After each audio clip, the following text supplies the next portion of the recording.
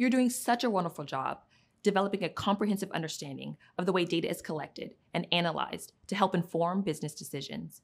You've learned a lot about how to analyze data and use the insights data holds to help stakeholders develop a complete picture of the business situation at hand. At this point in the program, your portfolio now includes a new entry in your PACE strategy document, a tidy data set, visualizations that tell a story with data, and a simulated A B test.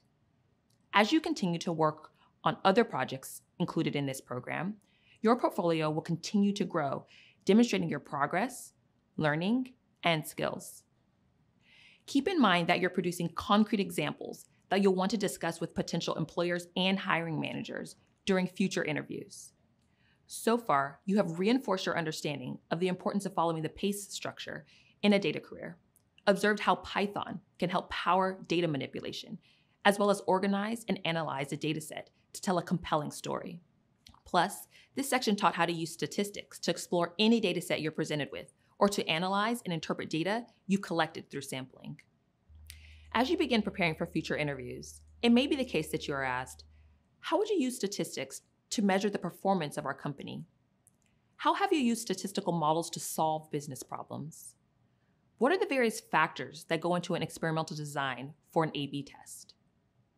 You might also be tasked with sharing details about a significant data project you worked on and how you used statistics to gain insights that benefited your team or organization. In that case, the project you just completed would be great to talk about. You use Python to simulate an A B test for a specific scenario. Keep in mind, too, that A B tests are used in many other contexts. All the same, A B tests generally call for similar methods since they serve to compare two versions of the same thing, whether product, website, email campaigns, or the like. A key skill for many professions, including those in the data career space, is the ability to be flexible in applying your knowledge. You've already come so far in the data learning journey.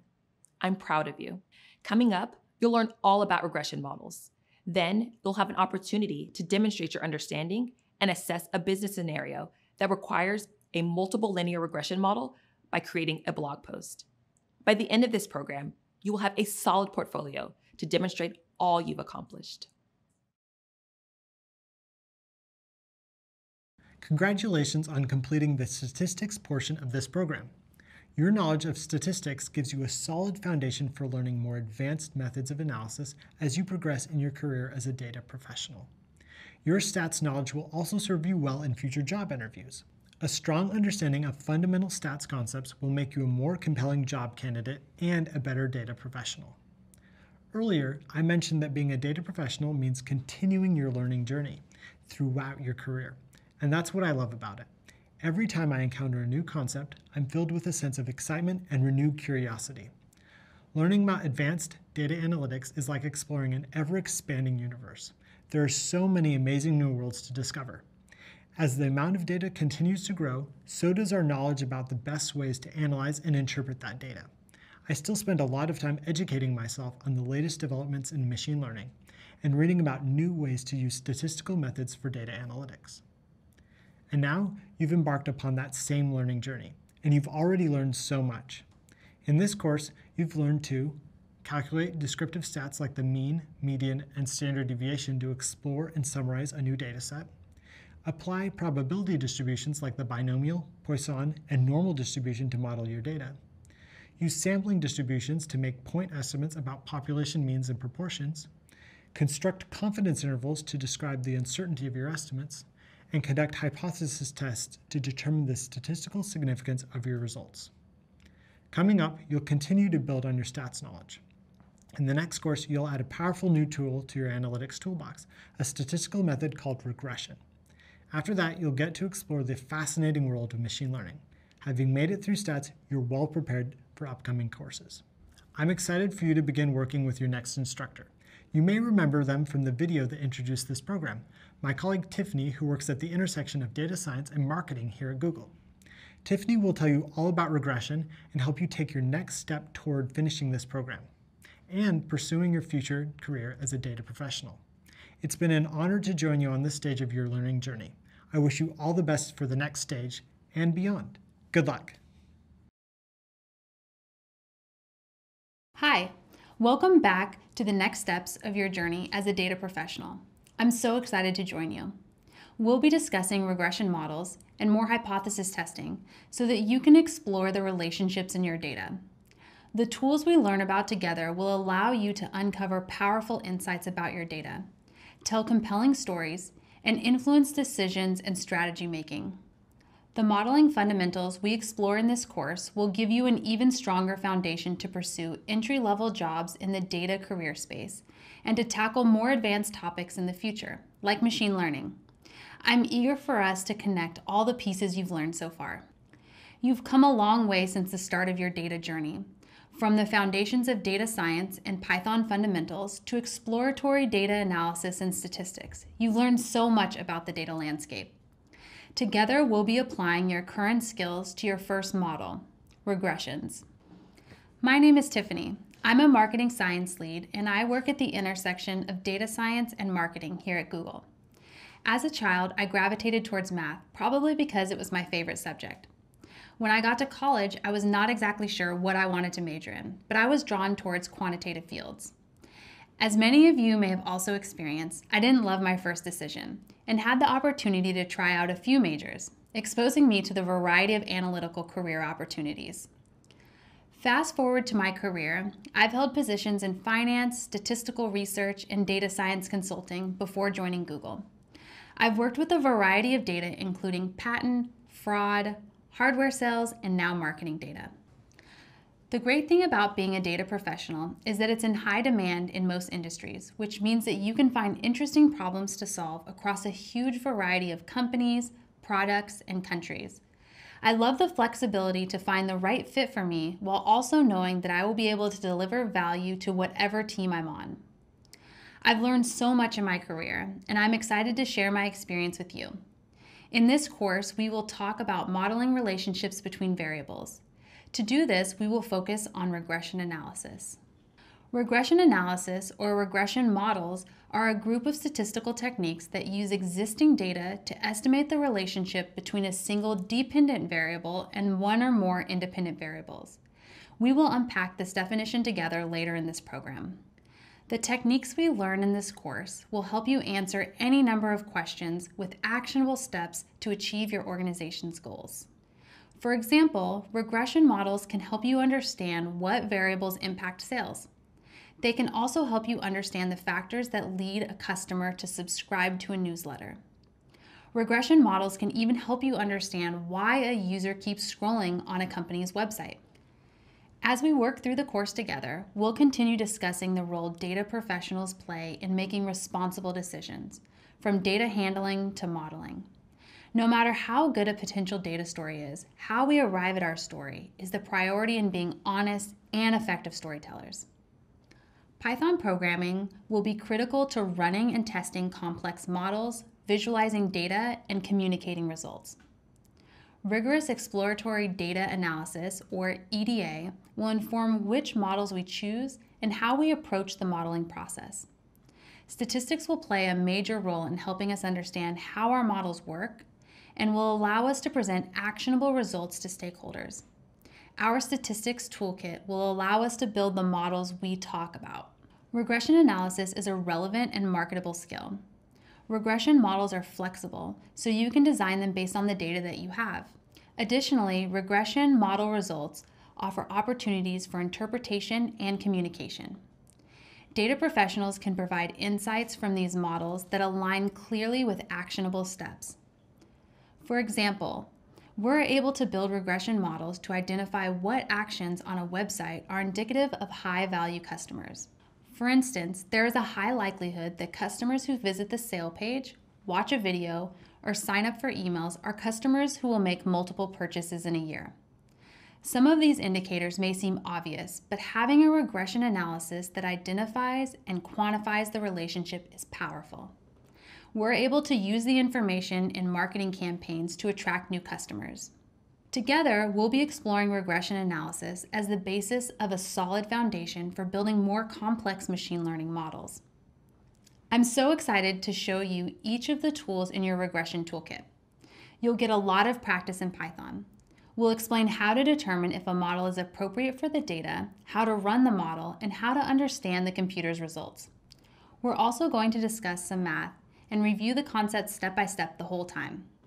You can also review course resources whenever you want. I'm so excited to get started on regressions, so let's begin.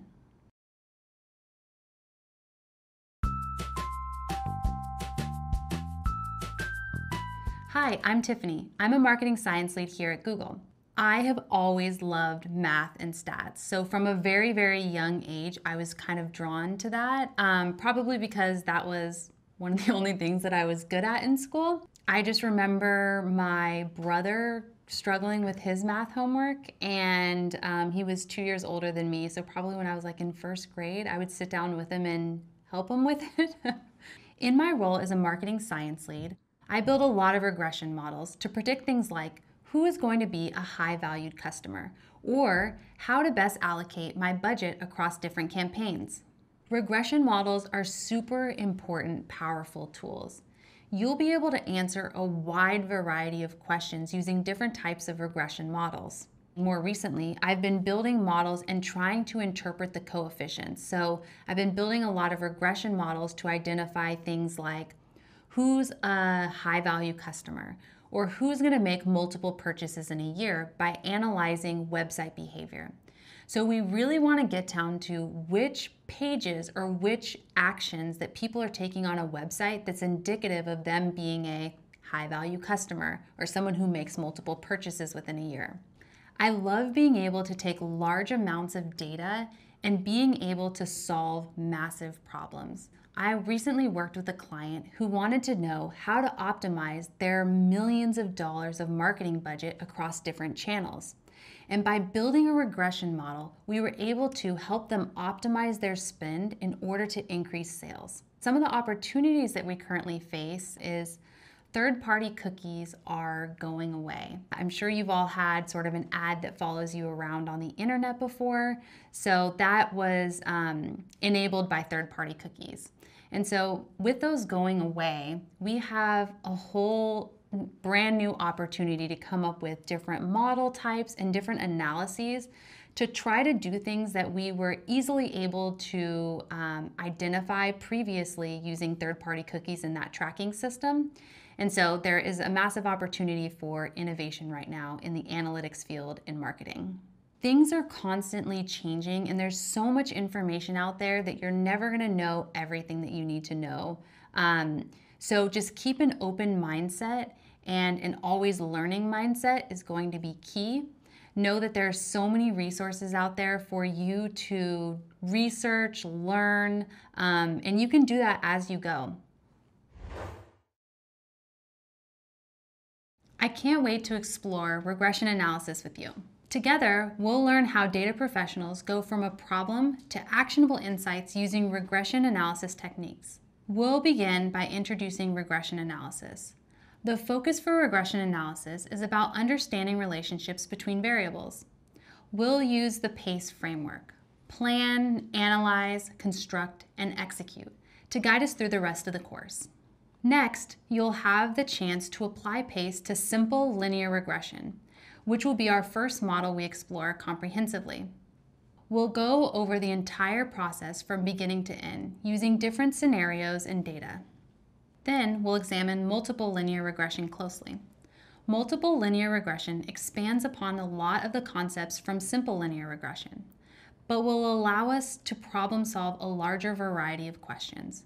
We will focus on some more nuanced topics like variable selection and model interpretation.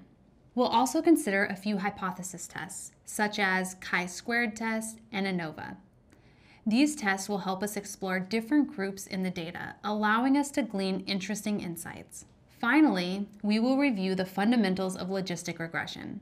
This is the last and most complex model, which will set you up well to approach the rest of the program on machine learning. Whenever you're ready, I'm excited to get started on the next video. You may be familiar with terms like machine learning models or regression analysis, and if not, you're in the right program. Next up, we'll get started on our learning journey. To begin, we're going to discuss a few key terms and definitions. Regression models are based on a statistical foundation. Models used in the data career space are a family of techniques that rely on existing information or data points to inform what we might think other data points will look like. The goal is always to tell a story about the relationships between the variables in the data. The story will help stakeholders adjust their business strategy and decisions.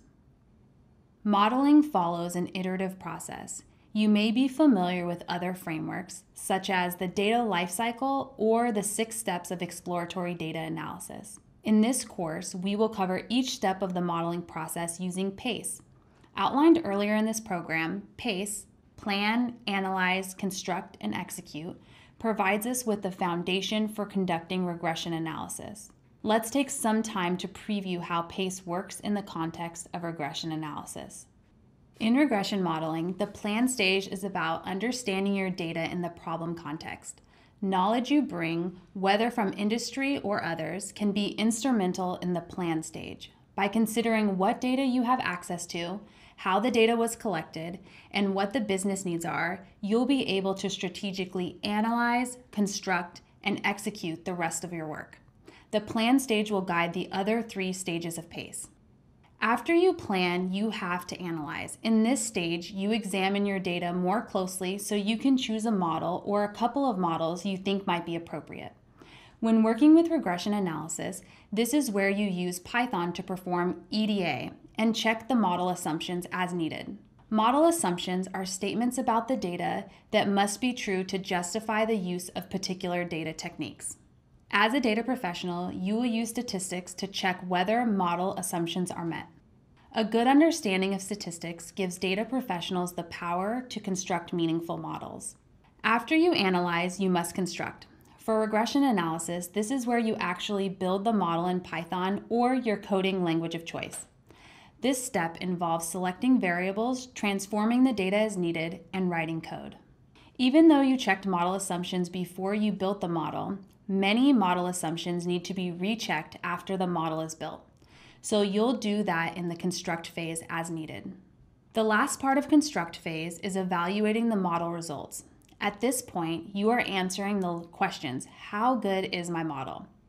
You'll choose metrics, compare models, and get preliminary results. Then, based on your evaluation, you can use EDA to refine your model accordingly. Of course, as a data professional, you must first and foremost be an honest storyteller. Studying the results produced by the regression will uncover relationships within your data and help you discover insights to tell the full story. This leads to the last part of PACE execute. You'll interpret everything you learned from analyzing and constructing to share the story. You'll prepare formal results and visualizations and share them with stakeholders. To do this, you'll convert model statistics into statements describing the relationship between the variables in the data. These descriptions must consider the context and initial questions from the plan phase. At the center of everything is data, and the PACE framework helps data professionals stay organized. The insights data professionals produce must be data driven and accurate, and they have to make sense given the business or community context.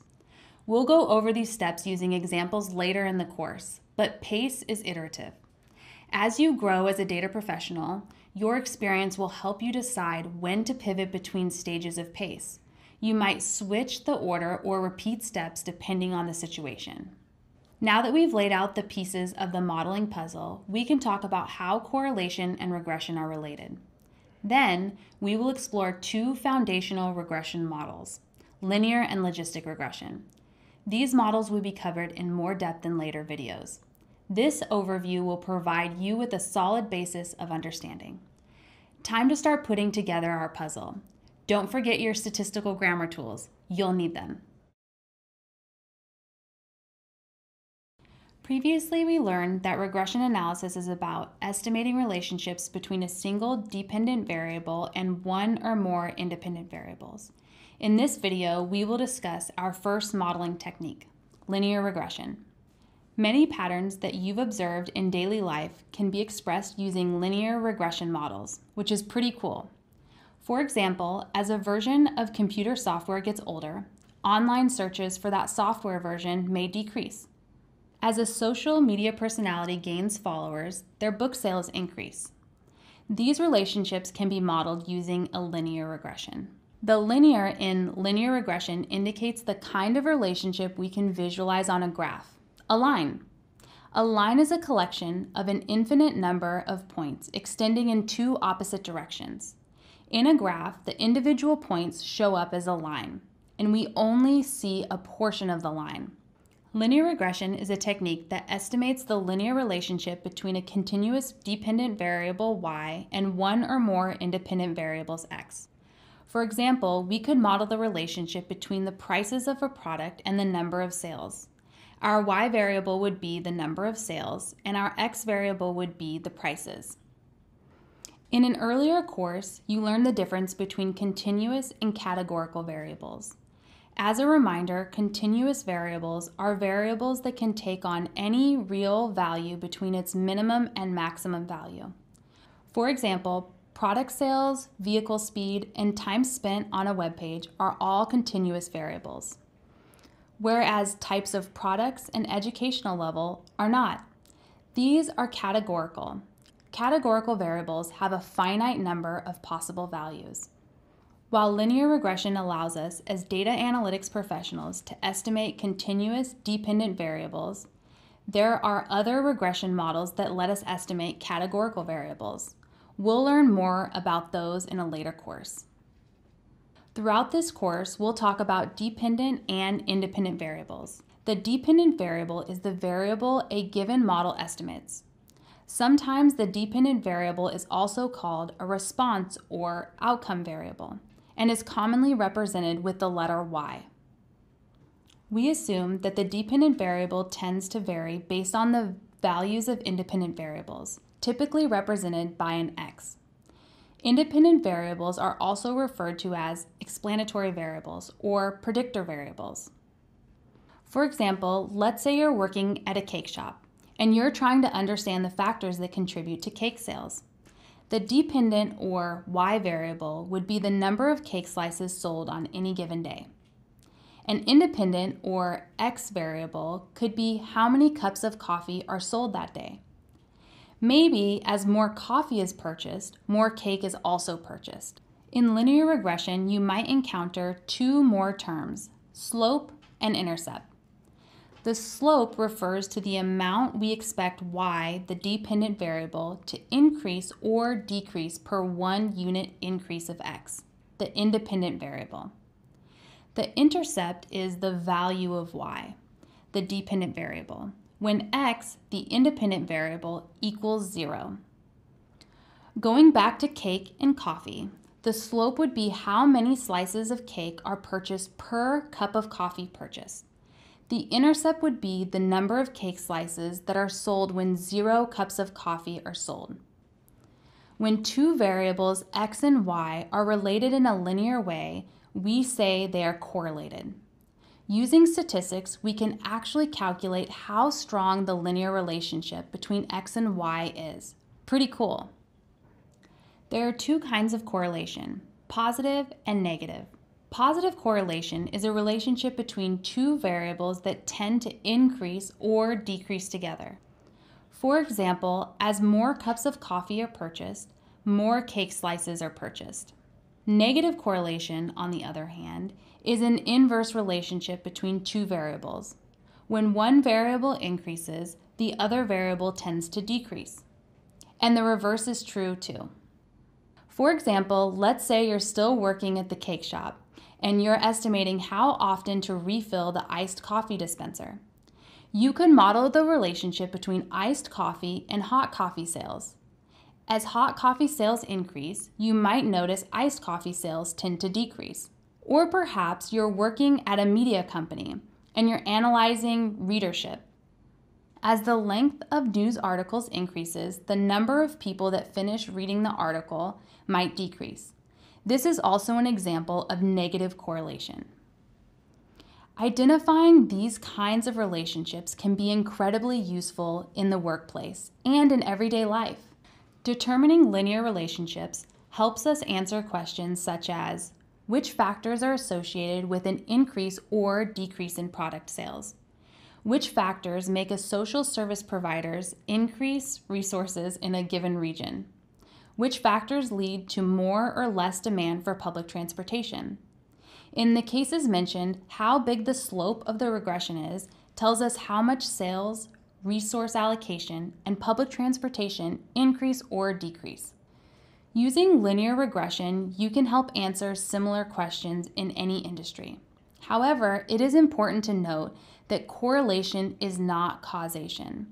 For example, in your cake shop, people buying coffee does not cause cake sales to increase. When modeling variable relationships, a data scientist must be mindful of the extent of their claims. Causation describes a cause and effect relationship where one variable directly causes the other to change in a particular way.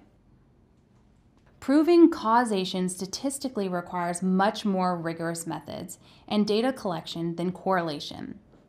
For a data professional, the distinction between correlation and causation is especially important when presenting results.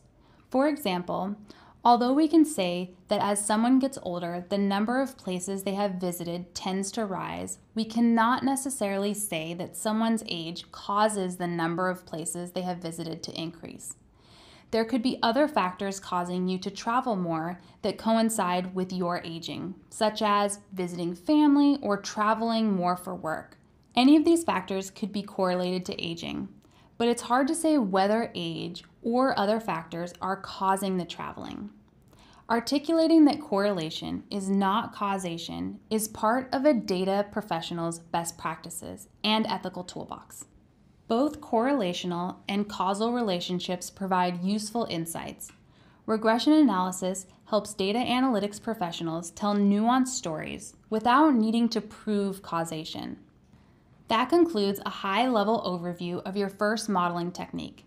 To recap, linear regression is a way to model linear relationships. Dependent variables vary according to independent variables. The slope identifies how much the dependent variable changes per one unit change in the independent variable. Positive and negative correlation describe linear relationships between variables. Always be mindful when interpreting regression results. Correlation is not causation. There are lots of linear relationships in the world and in industry. In this video, we've provided just a few examples, but there are plenty more. That's all for now. Next, we'll address the math behind linear regression. Your ever growing statistical foundations will help you explain regression results in the clearest way possible. In an ideal world, you would want every data point relevant to the question you are trying to answer. In a previous course, you learned that data professionals describe this as population. Let's imagine you're working for a publishing company. You want to understand the relationship between an author's social media following and their book sales. You would need data on every book author's social media follower count and every book sale of all time. This is an impossible task, but luckily, you don't actually need an entire population to run meaningful regression analysis. You can get a reasonable estimate with a representative sample. A sample is a part of the population, which is just the statistical way of saying a sample is some of the data you could possibly have. If you have a set of sample data, each data point can be represented with its own set of attributes or x and y values. In that case, the sample does not contain all possible values from the population of data. The observed values or actual values are the existing sample of data. Each data point in the sample is represented by an observed value of the dependent variable and an observed value of the independent variable. In the publishing company example, the dependent variable is book sales, and the independent variable is how many followers the author has on social media. An observed value you might have in your dataset would be X, or number of followers equals 10,000, and Y, or number of book sales equals 500. The goal of the regression analysis is to define a relationship mathematically between the sample y's and x's to understand how the two variables interact. You can imagine that at every x value, there are many possible values that y could take on. To simplify this understanding, linear regression analysis focuses on the mean of y given a particular value of x. This mean of y is the value on the line in a linear regression and is denoted with a Greek letter that looks like a lowercase m. You can remember m is for mean. The Greek symbol is mu. As described previously, in order to define a linear relationship, we need a slope and an intercept. In statistics, we write the intercept as beta 0, which we sometimes call beta naught, and the slope is written as beta 1. Mu of y and the betas are sometimes called parameters. Parameters are properties of populations and not samples, so we can never know their true value since we can't observe the whole population. But we can calculate estimates of the parameters using our sample data. To differentiate between the population parameters and the estimates of the parameters, we denote the estimates with a hat.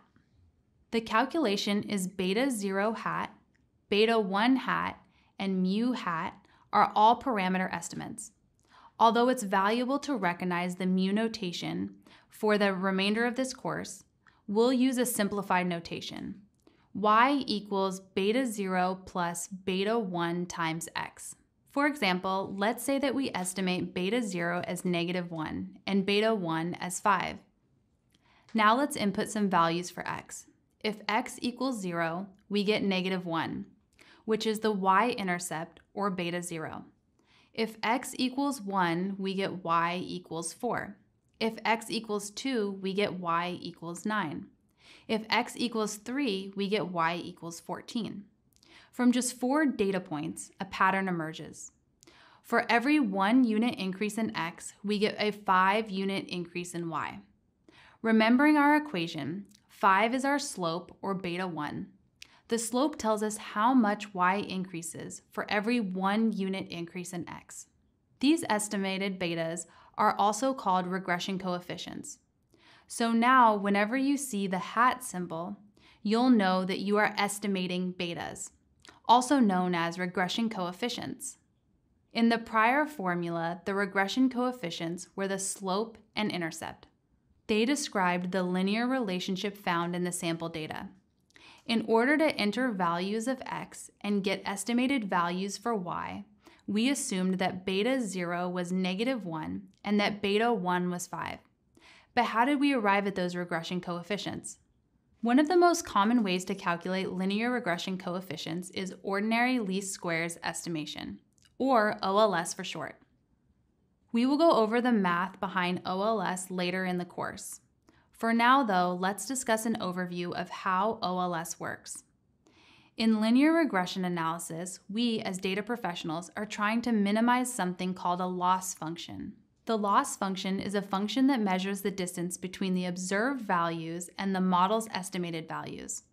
Theoretically, we could draw an infinite number of lines that model the data we have. But we don't want to find just any line. We want to find the best fit line. So we want to minimize the loss function. With this foundational understanding of how linear regression works, we will be able to talk about pace in linear regression analysis, which we addressed earlier. Later in the course, we'll build on the concepts we covered in the video to learn more about how regression works, when to use linear regression, its variants, and OLS in Python. I still remember being on a sports team, needing to determine which team first played offense or defense using a coin toss. What's the chance the coin will come up heads? What's the chance the coin will come up tails? The probability of either event occurring is 0.5 or 50%. This is a classic probability problem. But in the field of data analytics, we get to use a technique called logistic regression to model much more complex probability problems. For example, what factors lead to someone subscribing or not subscribing to a newsletter? Under what circumstances does someone comment on an online video or social media post? Given certain factors, how likely is it that someone renews their membership to an organization? All of these questions are tackling discrete events or categorical data. There are a specific set of possible outcomes subscribe or don't subscribe, comment or don't comment, renew or don't renew. To answer these kinds of questions, data professionals use a model called logistic regression. Logistic regression is a technique that models a categorical variable based on one or more independent variables. The dependent variable can have two or more possible discrete values. Let's say that your company has a newsletter and is interested in increasing readership. On the company website, users have the opportunity to subscribe to the newsletter. One factor related to the newsletter subscription could be how many minutes the user spends on the web page before leaving. Our dependent variable y has two possibilities. Users don't subscribe, which will represent with a zero, or users do subscribe, which will represent with a one. Our independent variable x is continuous and measures how many minutes the users spend on the web page before leaving. Let's graph the hypothetical data on a scatter plot, like we would when doing EDA or exploratory data analysis. We can observe that the data points are roughly in two horizontal lines. The higher one indicates the user subscribed. This is when y equals 1. The lower one indicates that the user did not subscribe. This is when y equals 0. The x-axis indicates how long the user was on the site in minutes. Since the relationship between x and y is not just a straight line, we need a new mathematical way of expressing the relationship between x and y. Logistic regression will allow us to model the probability a user will subscribe to the newsletter. The key concept is that the mean of y given x is equal to the probability of y equals 1 given x. Let's explore this idea. At this point, our observed y values are just a bunch of zeros and ones. To find the mean, we would sum all of our observations and then divide the total by the number of observations. Because some of the observed data are zeros, when summing the observations, the zeros all add up to zero. Therefore, the sum of all the observations is equal to the total number of ones. Then we divide by the total number of observations. This is equal to the probability of y equaling 1, or someone becoming a subscriber. In this case, we know that the mean of y given x is equal to the probability of y equaling a certain outcome given x. Sometimes the probability of y given x is written as p to reinforce the idea of probability. To help you remember, you can think p is for probability. Now we want to understand what variables help explain those probabilities. Mathematically, we need a way to relate the x variables to the probability that y equals 1. Imagine we only have one independent variable. So then we need to relate the probability of y equals 1 to beta 0 plus beta 1 times x. In logistic regression, we use a link function to express the relationship between the x's and the probability that y equals some outcome. A link function is a nonlinear function that connects or links the dependent variable to the independent variables mathematically. We will discuss how logistic regression and link functions work in more detail later on. But for now, just know that this is an example of the differences between linear and logistic regression models. Let's review a few more similarities and differences between modeling approaches. First, linear regression involves a y that is continuous, like book sales, while logistic regression involves a y that is categorical, like newsletter subscription. Choosing one model over the other is about the kind of data you have. You can answer similar questions about what factors impact an outcome of interest. Secondly, since linear regression models a continuous variable, we're estimating the mean of y. But logistic regression models a categorical variable. So we're modeling the probability of an outcome. For example, if y equals 1 or if y equals 0. Lastly, for linear regression, we can express y directly as a function of x. But for logistic regression, we need a link function to connect the probability of y with x.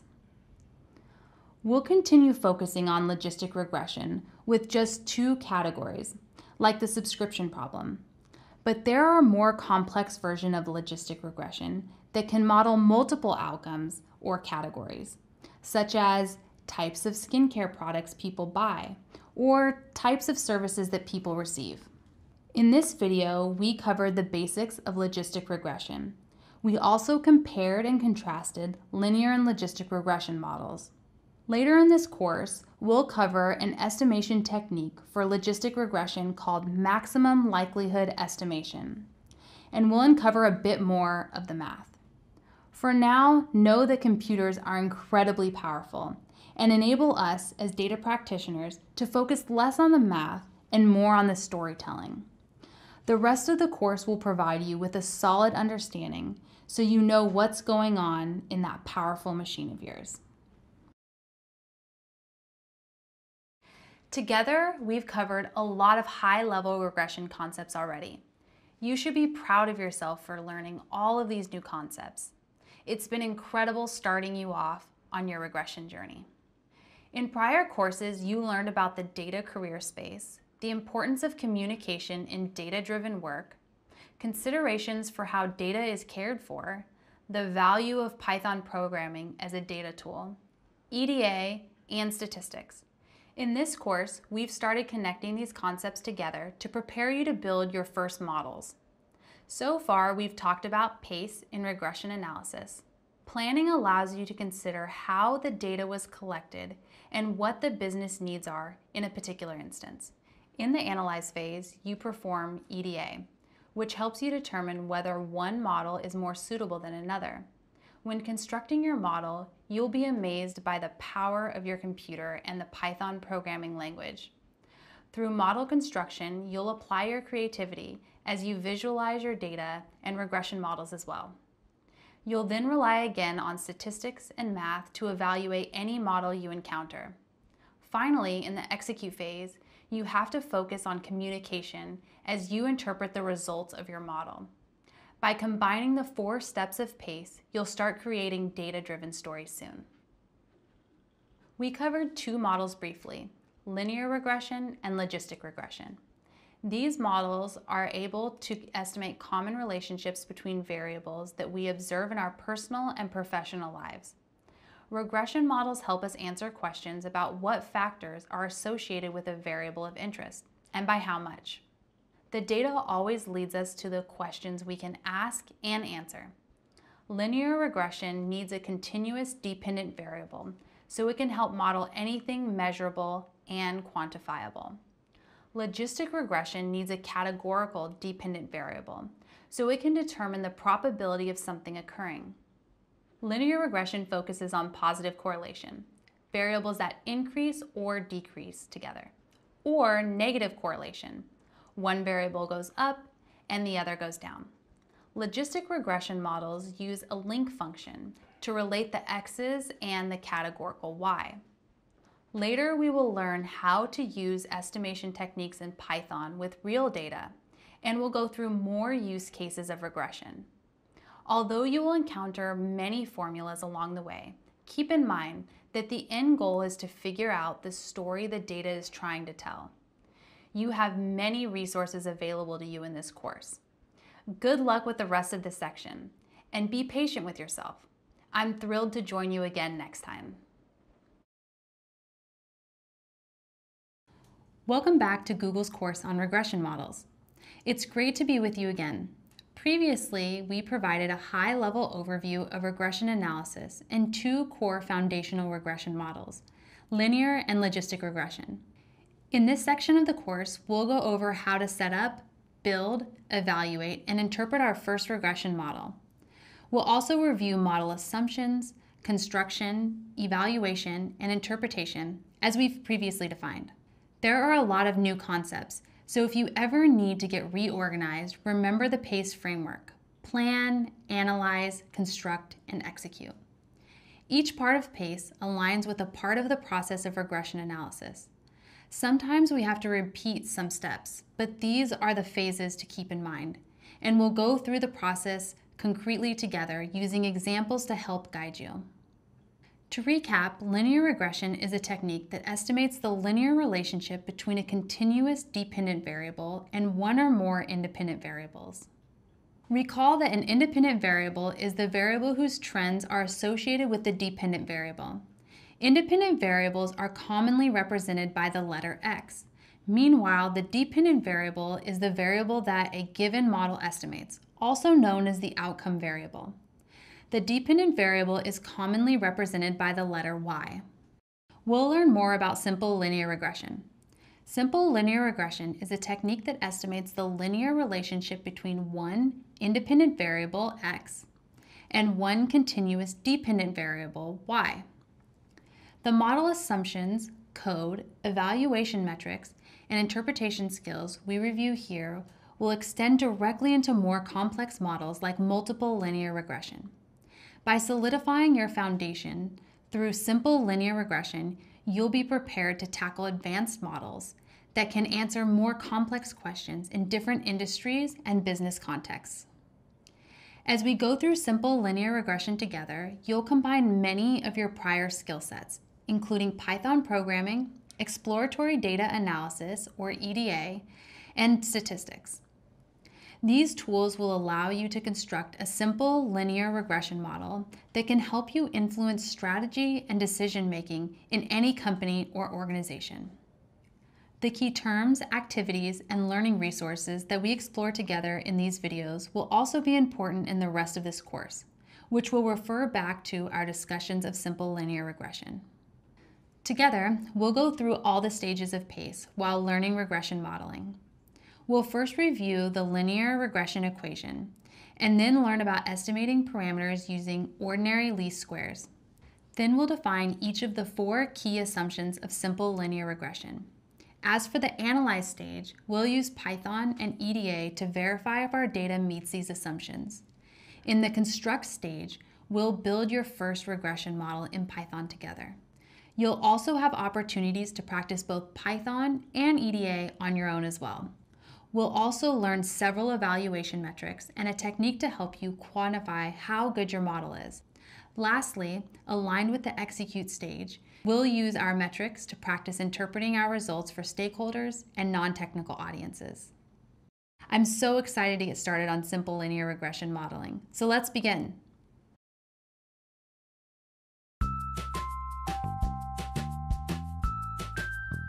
My name is Gerard, and I'm a principal lead in the analytics and decision support team in YouTube. And our team focuses on building out business intelligence and analytics for the YouTube business organization. Mentorships have been a huge part of my progression in my career.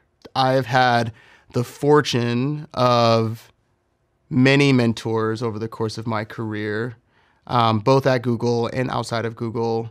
Some from like schooling, some just by happenstance, but every single one of them have given me something that was either a motivating factor or encouraged me to believe more in myself or that like just were there to listen to me vent about something not working or whatever it might be look for groups that are focused on the areas that you're interested in. If we're thinking about BI and analytics, there's so many groups of folks who are business intelligence professionals, and there's niche groups that are focused on data science or predictive analytics. I've also just reached out to people, whether it is via email or introductions from other folks that I know, LinkedIn And I usually tend to look for people that are doing something that I'm interested in, that have a skill that I don't have.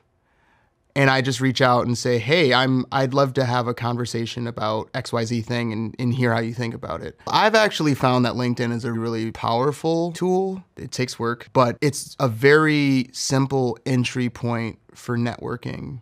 And when I say networking, I don't mean just like small talk. I mean actually reaching out to someone in the hopes that they are someone that actually wants to be reached out to.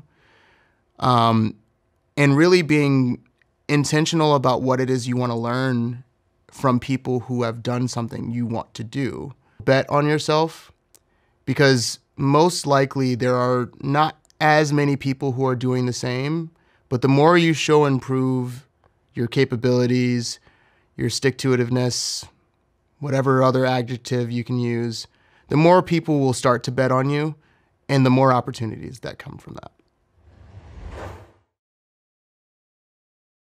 In prior videos, we've mentioned simple linear regression, which is a regression technique that estimates the linear relationship between one independent variable x and one continuous dependent variable y. Recall that the linear in linear regression indicates what the data looks like when plotted on an xy coordinate plane, a line. In simple linear regression, we're only interested in two variables, one x and one y variable. So the equation for a regression line is y equals intercept plus slope times x, which is represented as beta 0 plus beta 1 times x. Since we'll have a number of data points for any given problem, there are many different lines we could draw that might fit the data. However, we're looking for the best fit line, the line that fits the data best by minimizing a loss function or error.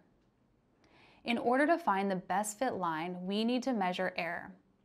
We can consider error as some difference between the data we have, the observed values, and the predicted values generated by a given model. The predicted values are the estimated y values for each x calculated by a model. The difference between observed or actual values and the predicted values of the regression line are what's known as a residual. The equation for a residual value is residual equals observed value minus predicted value. Each data point has one residual. Using mathematical notation, the equation for the residual of an individual data point is epsilon i equals yi minus yi hat. Epsilon is a Greek letter that resembles the letter E, as in E for error. We can calculate individual residuals for each data point. But an important thing to note is that the sum of the residuals is always equal to zero for OLS estimators. For some estimators, the sum of the residuals is not always equal to zero.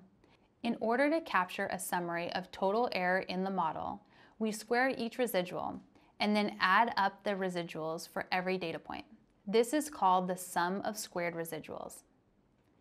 The sum of squared residuals, or SSR, is the sum of the squared differences between each observed value and the associated predicted value. For linear regression, we'll be using a technique called ordinary least squares to get our best fit line. Ordinary least squares, also known as OLS, is a method that minimizes the sum of squared residuals to estimate parameters in a linear regression model. Using OLS, we can calculate beta 0 hat and beta 1 hat using properties of the sample data. Recall that the hat symbol means it is an estimate of a parameter. We will never know the exact parameter. Remember, parameters or betas are a characteristics of a population. Since we will only ever have sample data, our goal is to get a reasonable estimate of the parameter.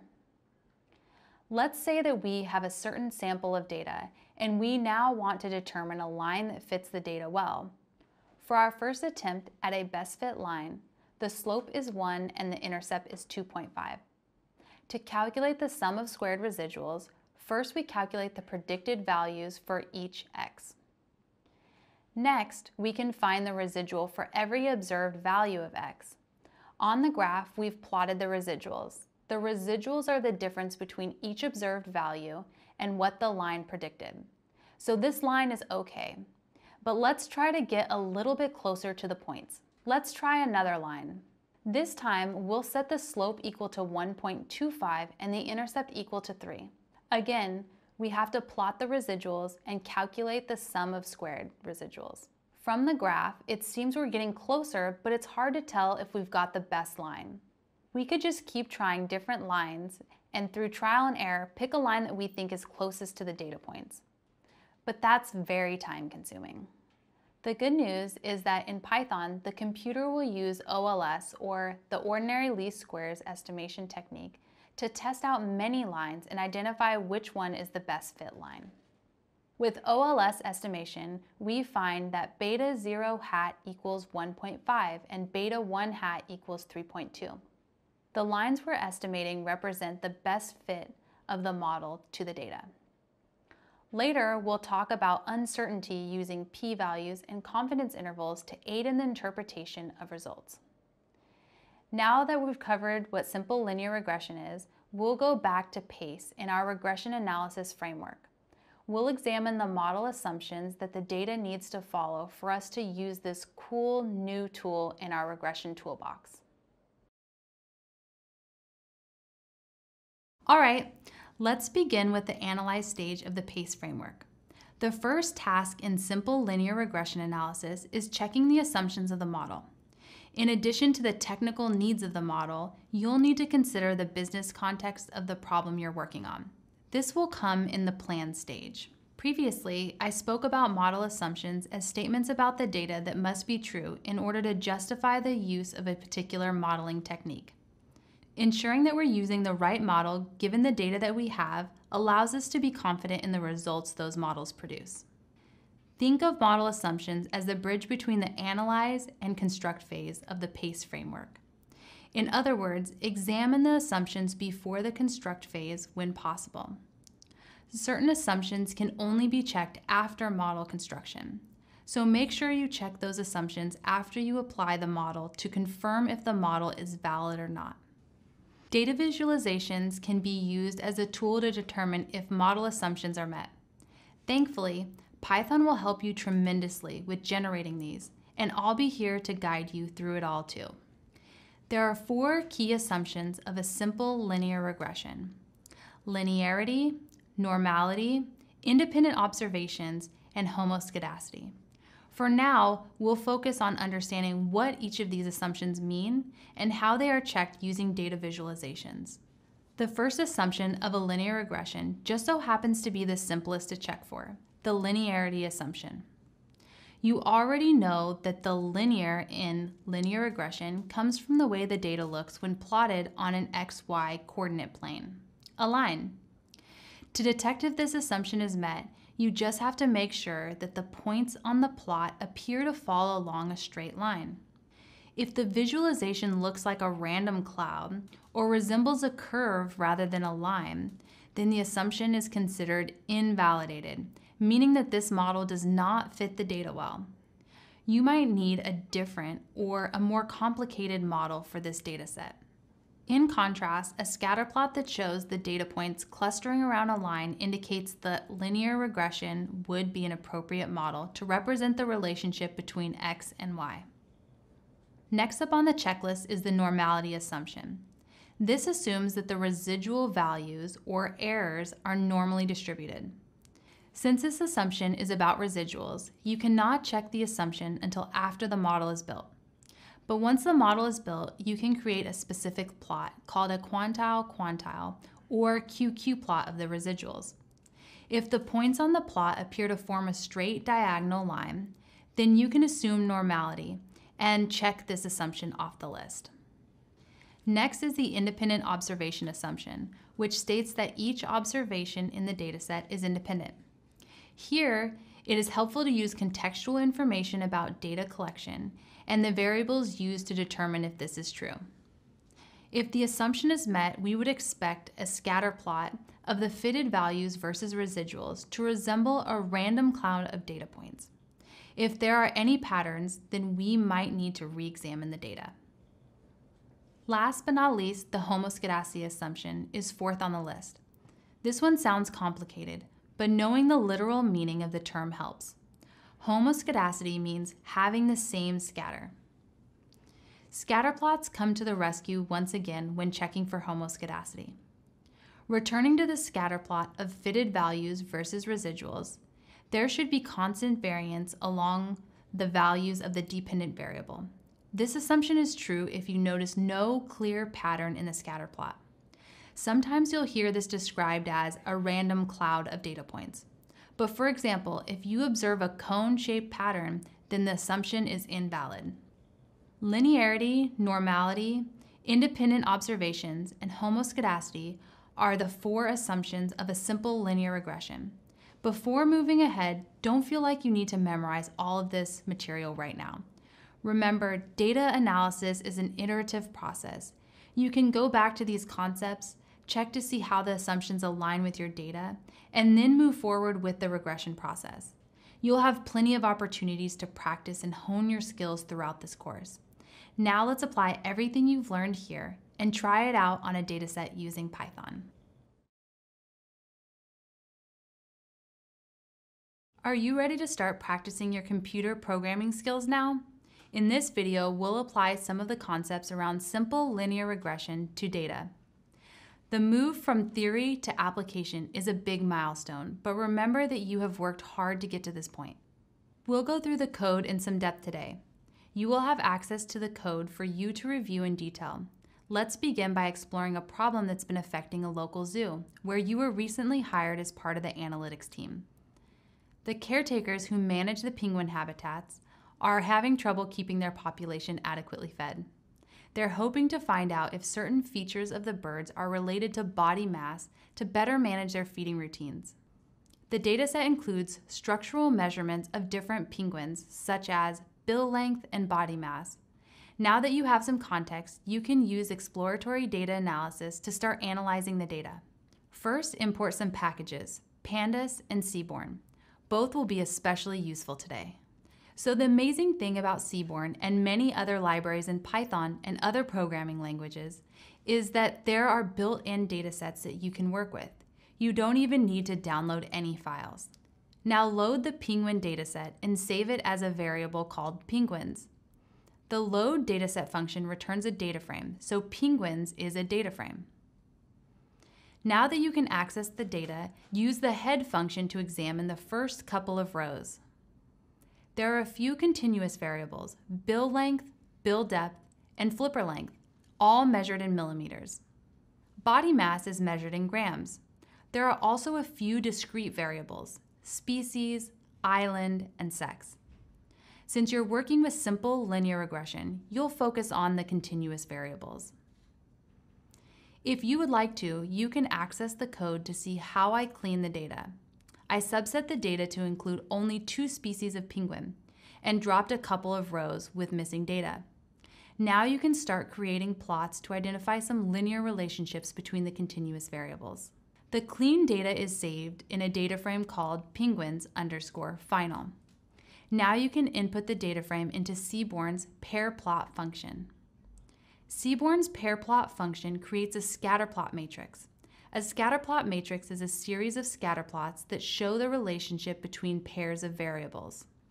By using the pair plot function, you will observe a few linear relationships in the scatterplots. The diagonal displays the distribution of the continuous variables. This assures you that the data has met the linearity assumption for building a simple linear regression. First, bill length and body mass seem to be positively correlated. Next, flipper length and bill length also seem to be positively correlated. Lastly, body mass and flipper length also seem to be correlated. Let's explore the relationship between bill length and body mass further in terms of linear regression assumptions. We know we have met the first linear regression assumption of linearity. Luckily, the diagonal of the pair plots also shows us the distribution of each variable we can observe that both bill length and body mass are close to being normally distributed. This suggests that we'll probably have normally distributed residuals. The third assumption is of independent observations. Since each row has data on a different penguin, we have no reason to believe that one penguin's bill length or body mass is related to any other penguins. We can confirm the last assumption, homoscedasticity, after we build our model when we graph the residuals. Now let's subset the data once more to isolate bill length and body mass. Note the use of double squared brackets, which tells Python which columns you want to choose. Write out the regression formula in terms the computer can understand, and you'll save it as a variable called formula. As you do this, pay careful attention to the column names. You need to specify the column names exactly so the computer knows how to run the regression model. First, type the y variable column name, which is body underscore mass underscore g, a space, and then a tilde, another space, and the x variable column name, which is bill underscore length underscore mm. The tilde lets the computer know that whatever comes after is our x variable. The spaces are not necessary, but can be helpful for clarity. Now that you have the data and the formula, you can create an OLS object using the OLS function from the stats model module. Save the object as a variable called OLS. Input the OLS formula variable as the formula argument of the OLS function. Then input OLS data variable as the data argument. Next, you'll use the OLS object's fit method to actually fit your linear regression model to the data. Save the results as a variable called model.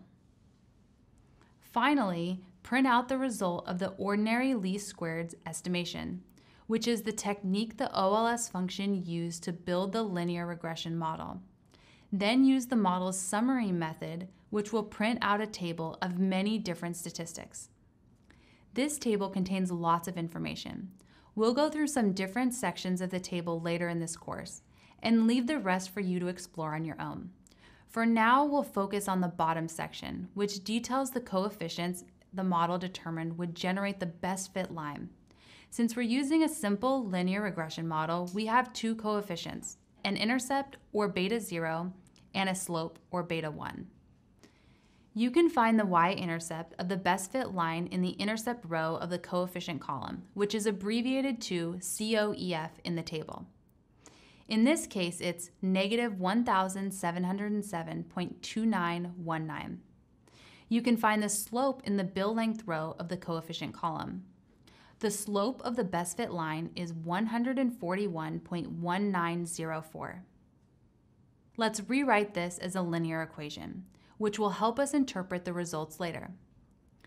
Begin by plugging the variables into the linear equation y equals intercept plus slope times x.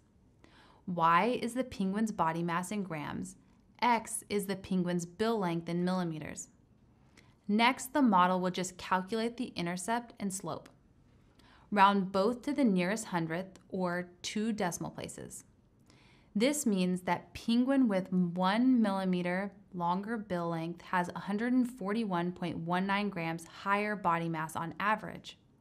Remember, you still need to examine some assumptions about the residuals to double check the conclusion. Great, you have fit a linear regression model to the data. To finish checking the model's assumptions, calculate some fitted values using your model's predict method. Then you can access the residuals using the model variable. By residuals, we mean the difference between the actual and fitted values using the model's resid attribute. Finally, create a couple of plots to confirm your findings. Use the Seaborn's regplot function to plot the data with the best fit regression line. You can observe a linear relationship between the variables, the best fit line, and a small shaded region around the line indicating the uncertainty around the model estimates. Returning to the linear regression assumptions, create a scatter plot of the fitted values against the residuals. This is a very common plot you'll encounter when working with linear regression to check various assumptions. From this plot, you can observe that residuals seem randomly spaced, which means you can assume homoscedasticity. A random looking scatter plot is indicative that the independence assumption is not violated, but it's not the sole reason that we believe it to be true. You could examine inputs and other more advanced statistical tests to confirm this. Lastly, create a histogram of our residuals to determine if the residuals are normally distributed. If the residuals are normally distributed, following that classic bell curve shape, then you can confirm the normality assumption has been met as well. The residuals are a little bit skewed in the histogram, so you can create a QQ plot to verify normality. You can use the stats model QQ plot function to create the graph. There is a straight diagonal line trending upward with some slight curvature on the extremes. You may want to explore this further, but for now, this is pretty good confirmation of the normality assumption. Now that you've confirmed all the assumptions are met, you can say that the results from the regression model are likely reasonable. Wow, we went through a lot of code and many plots together. You should be so proud of what you've accomplished in this video. Keep in mind that you can always review what we've covered, along with the code and documentation. Great work! So far, we've used PACE to think like a data professional as we address the penguin problem at our local zoo. We planned by thinking through the problem and subsetting the available data appropriately. How can we better understand the relationship between penguin anatomy and their body mass? In the analyze stage, we performed EDA and checked model assumptions. Then moving on to the construct stage. As a reminder, there are two parts. We built our model and were able to pull out some parameter estimates. Now we're going to focus on the next step of the construct phase, model evaluation. Model evaluation is an important practice in data analysis. Careful evaluation and interpretation of your regression model helps you understand its performance and accuracy. To start, let's revisit the results from our regression model. Based on the summary of results, you know that OLS has determined that the best fit line has an intercept of negative 1,707.29 and a slope of 141.19. But randomness and unpredictability are characteristics of every regression model that make it difficult to predict outcomes with 100% certainty. After all, there is still a difference between our observed and predicted values. You've just found the model that you are most certain about. To explore the notion of uncertainty further, let's turn our attention to the rest of the OLS summary table rows about the intercept and bill length. There is a column labeled P greater than the absolute value of T. This indicates the P value associated with the coefficient estimates. The two columns to the right of the p-value column indicate a 95% confidence interval around the coefficient estimates. When evaluating simple linear regression results, you'll focus less on the intercept row and more on the row involving your independent variables of interest. In this case, that's bill length. So you can say that the coefficient estimates for bill length is 141.19 with a p-value of 0.000 and a confidence interval from 131.788 to 150.592. Previously, when you learned about hypothesis tests, confidence intervals were defined as a range of values that describe the uncertainty surrounding an estimate. In the case of linear regression, we are estimating parameters. So a 95% confidence interval means that interval has a 95% chance of containing the true parameter value of the slope. What if the slope and intercept were slightly different? Well, let's draw out a few different lines on our plot with slightly different slopes and intercepts, all within our confidence intervals. We get a region around the regression line that is tight around the center and fans out a bit towards either end of the line. This shape may appear familiar, you plotted it previously using Seaborn's reg plot function. These lines make up the shaded region that was around the regression line.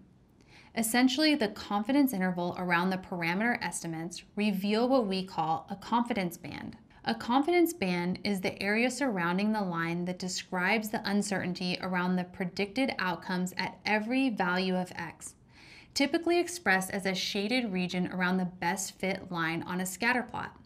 A confidence band reveals the confidence interval for each point on a regression line. Confidence bands are simply another way to report your findings responsibly. Simple linear regression is a powerful addition to any data professional's toolbox.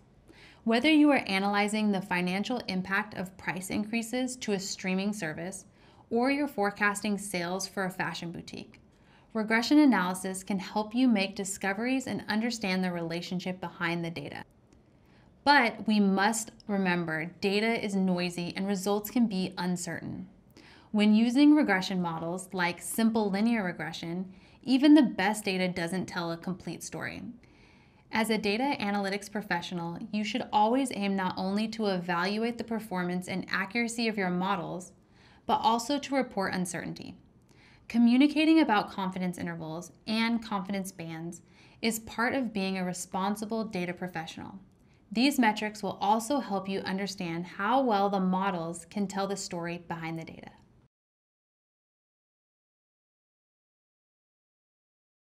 Up to this point, we've progressed through the plan and analyze phases of the PACE framework for regression modeling. We've even started the construct phase by actually building a linear regression model. I'm excited to continue guiding you through model evaluation. We're getting so close to the execute phase, where you share the stories behind the data you're studying. Using a variety of evaluation metrics, supports data professionals' confidence in the insights produced by their analysis. These metrics are key to responsible communication of results.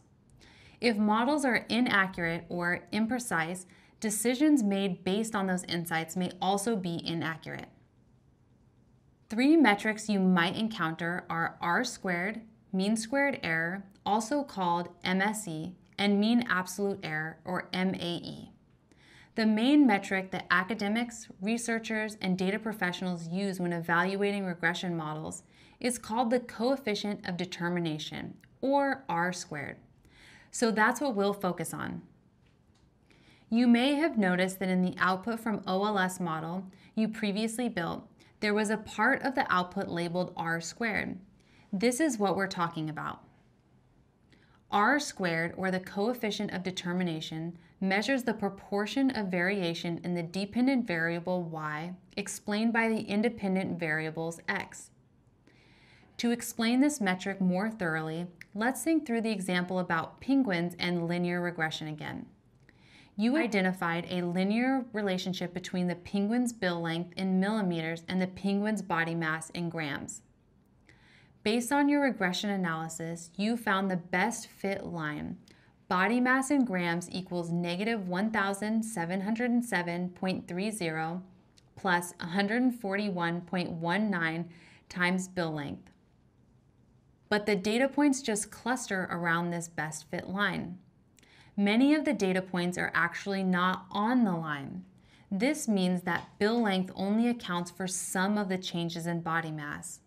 R squared helps data professionals determine how much of the variation in the x variable explains the variation in the y variable. At most, R squared can equal 1, which would mean that x explains 100% of the variance in y. If R squared equals 0, then that would mean x explains 0% of the variance in y. The OLS summary table shows the model has an R squared of 0.769. This means that bill length explains about 77% of the variance in body mass. There is still about 23% of the variance of body mass that is unexplained by the model. This variance might be due to other factors or natural unexplained differences from penguin to penguin. There is no benchmark value that r squared has to equal, but in general, the higher r squared, the better because it adds validity to any recommendation you make based on your analysis. R squared is a useful metric that can help you evaluate your model, but there are also processes that help strengthen the evaluation of a model.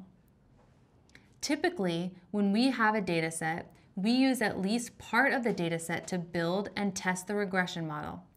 The computer uses the data to calculate a measure of difference between the actual and predicted values, such as sum of squared residuals. Then, based on the computer's calculations, it can find the best line. But sometimes we want our model to be good at generating predictions for data we haven't collected or that doesn't exist yet. For example, let's return to the penguins at the local zoo. They welcomed a new group of penguins to their flightless bird habitat. It would be helpful to have a sense of how the new penguin's structural measurements relates to their body mass. So in those cases, we want to know how the model we built performs on the data it learned from and how the model performs on data it hasn't experienced yet.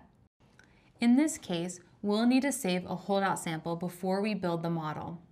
A holdout sample is a random sample of observed data that is not used to fit the model. Then you can evaluate how well the model fits the data used to build the model. And you can evaluate how well the model fits the holdout sample.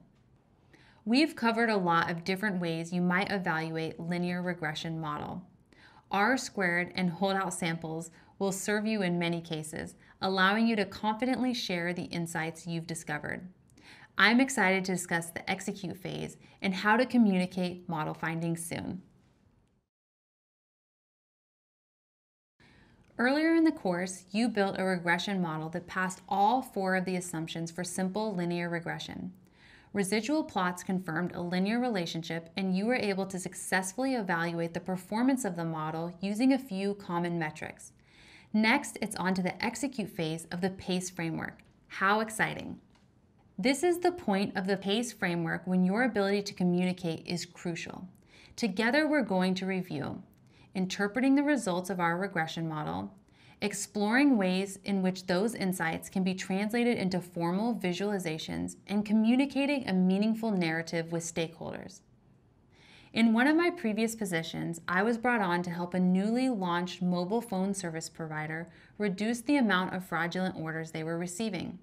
After building out a model, it was time to present the model, insights, and recommendations to my stakeholders. These folks were non technical business partners, so I knew that data specific terminology wouldn't interest them. As a matter of fact, it would be too technical and they would probably lose interest very quickly, which would cause lack of buy in. What was important to my business partners was stopping fraudulent orders, so telling the story in a way where I succinctly articulated how many fraudulent orders the model would detect and how that translated to the bottom line resulted in the model being implemented immediately. I remember feeling so accomplished in that moment because after all the hard work of building the model, I was able to get the model into production. Once the model was in production, fraudulent orders dropped drastically. Telling the right story to the right people takes time and practice. This is a skill that we'll continue to work on throughout our careers. It's super important to know your audience and tailor your delivery and story in order to have the most impact. Enough about me. Let's return to the example that we've been exploring where you were working at a local zoo.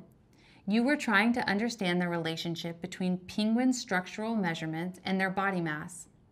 In the regression model you created, you observed a positive correlation between bill length and body mass of a group of penguins. Let's use the results of that model to translate the statistical findings for stakeholders. Regression model interpretation depends on coefficients and p-values. Coefficients will determine how changes in the independent variable are associated with changes in the dependent variable. P-values demonstrate whether coefficients are statistically significant.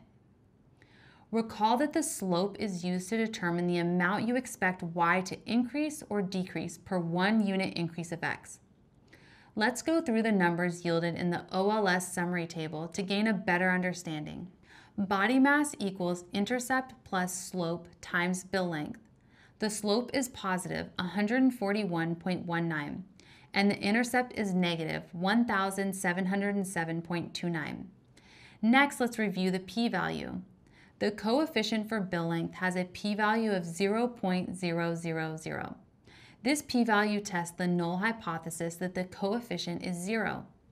If we observe a small p-value, the null hypothesis is likely false.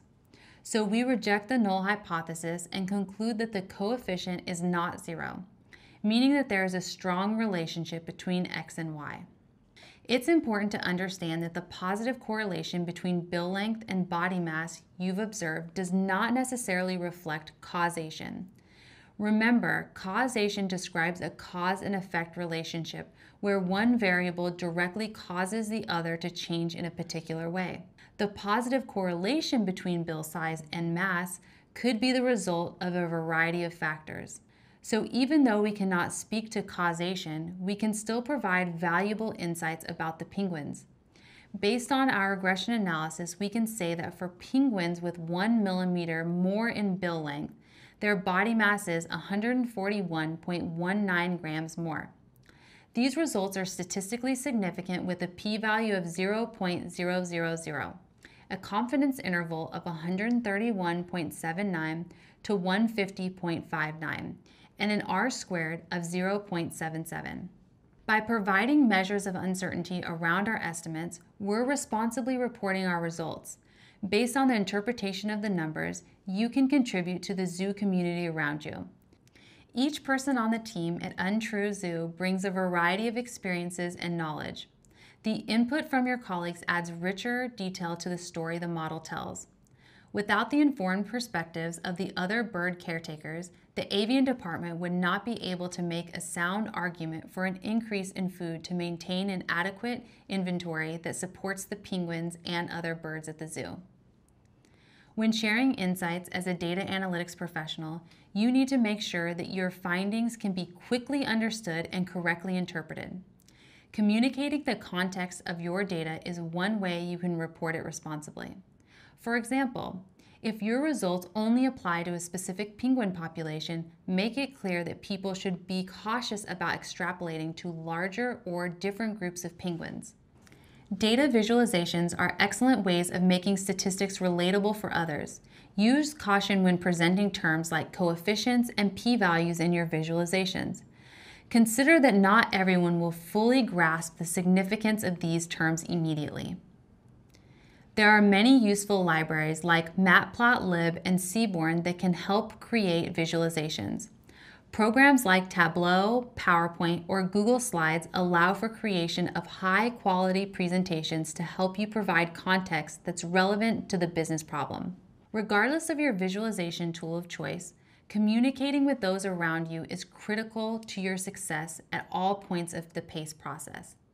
As a data analytics professional, clear communication allows you and your work to have impact throughout your team and organization. Well done. You've come a long way and you built your very first regression model. I'm so thrilled to continue your regression journey with you. Before we wrap up, let's recap what you've added to your data toolkit. Linear regression analysis is a foundational data science technique. By now, you're familiar with PACE, plan, analyze, construct, and execute in linear regression analysis you had an opportunity to use ordinary least squares estimation in Python. You used OLS to get the best fit line that minimizes the error between predicted and actual values. Next, you learn the four main model assumptions of simple linear regression. Linearity, normality of residuals, independent observations, and homoscedasticity. You had some practice applying EDA in Python to check whether linear regression is appropriate based on meeting these assumptions. You built a model in Python and you learned how to evaluate model fit using R squared, holdout samples, and measures of uncertainty like confidence intervals and p-values. Lastly, you turned numbers and statistics into a story you explored a penguin dataset to show how a data analytics professional can present findings to others in clear, simple terms. You learned the value of producing visualizations in Python to communicate these results of your simple linear regression model to stakeholders, a valuable skill that you'll be able to use throughout your data analysis journey. I'm proud of how far you've come along, and you should be too. So far, we've gone through all of PACE and simple linear regression. While we completed the circuit once, it doesn't stop there.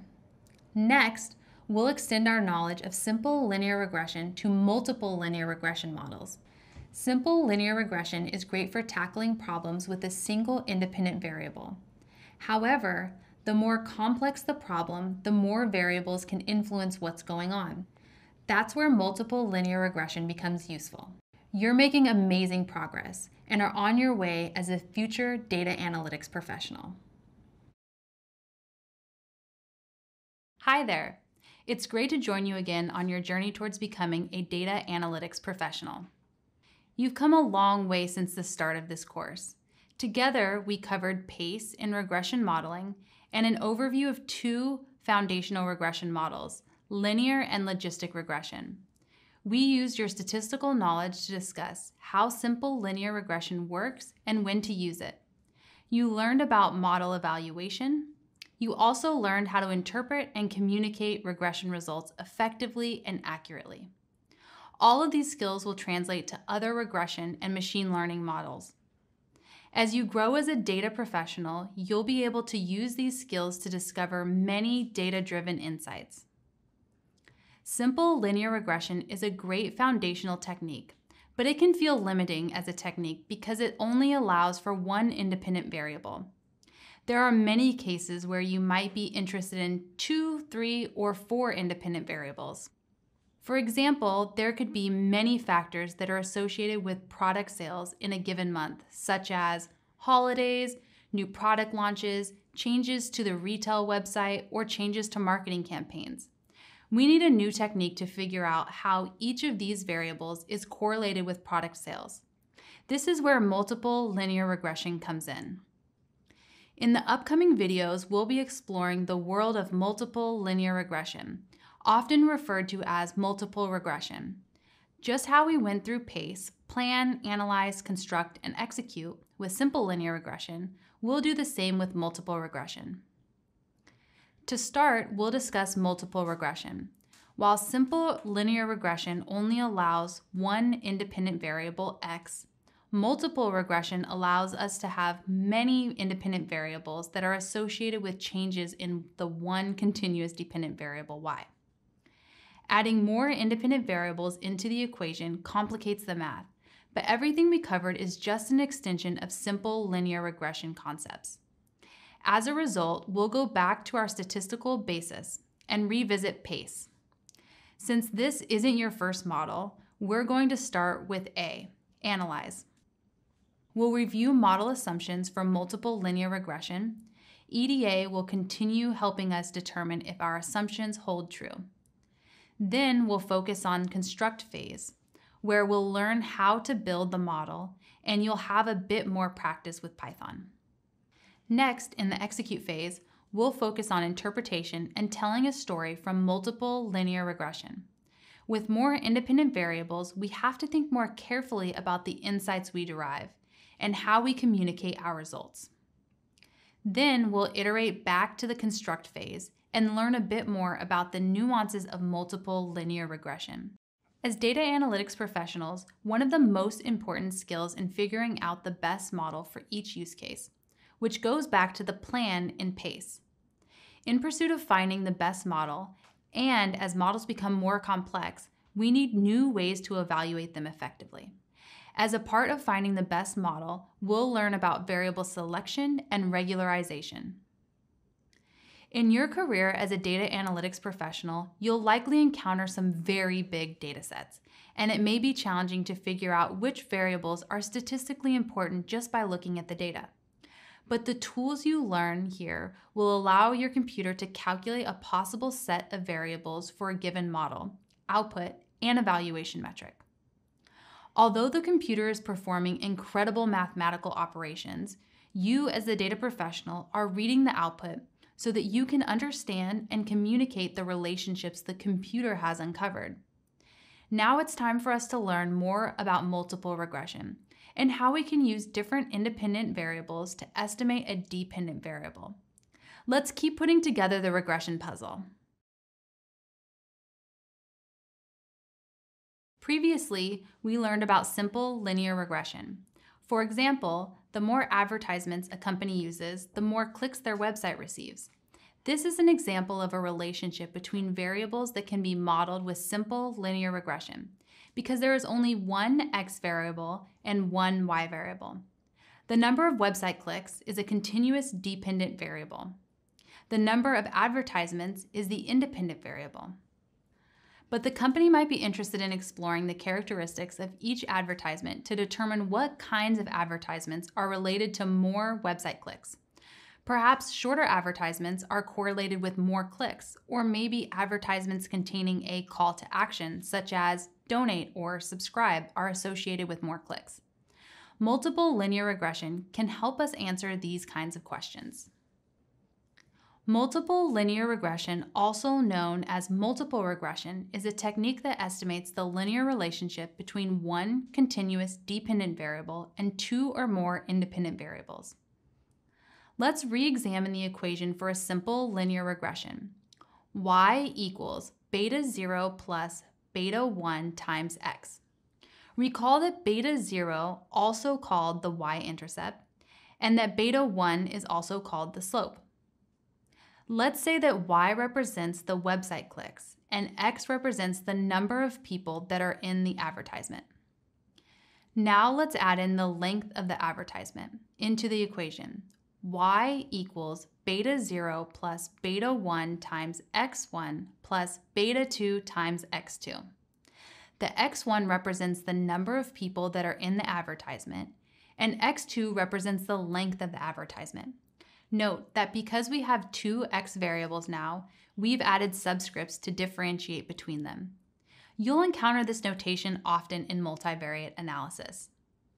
Multiple regression allows us, at a basic level, to add any number of independent variables that we're considering.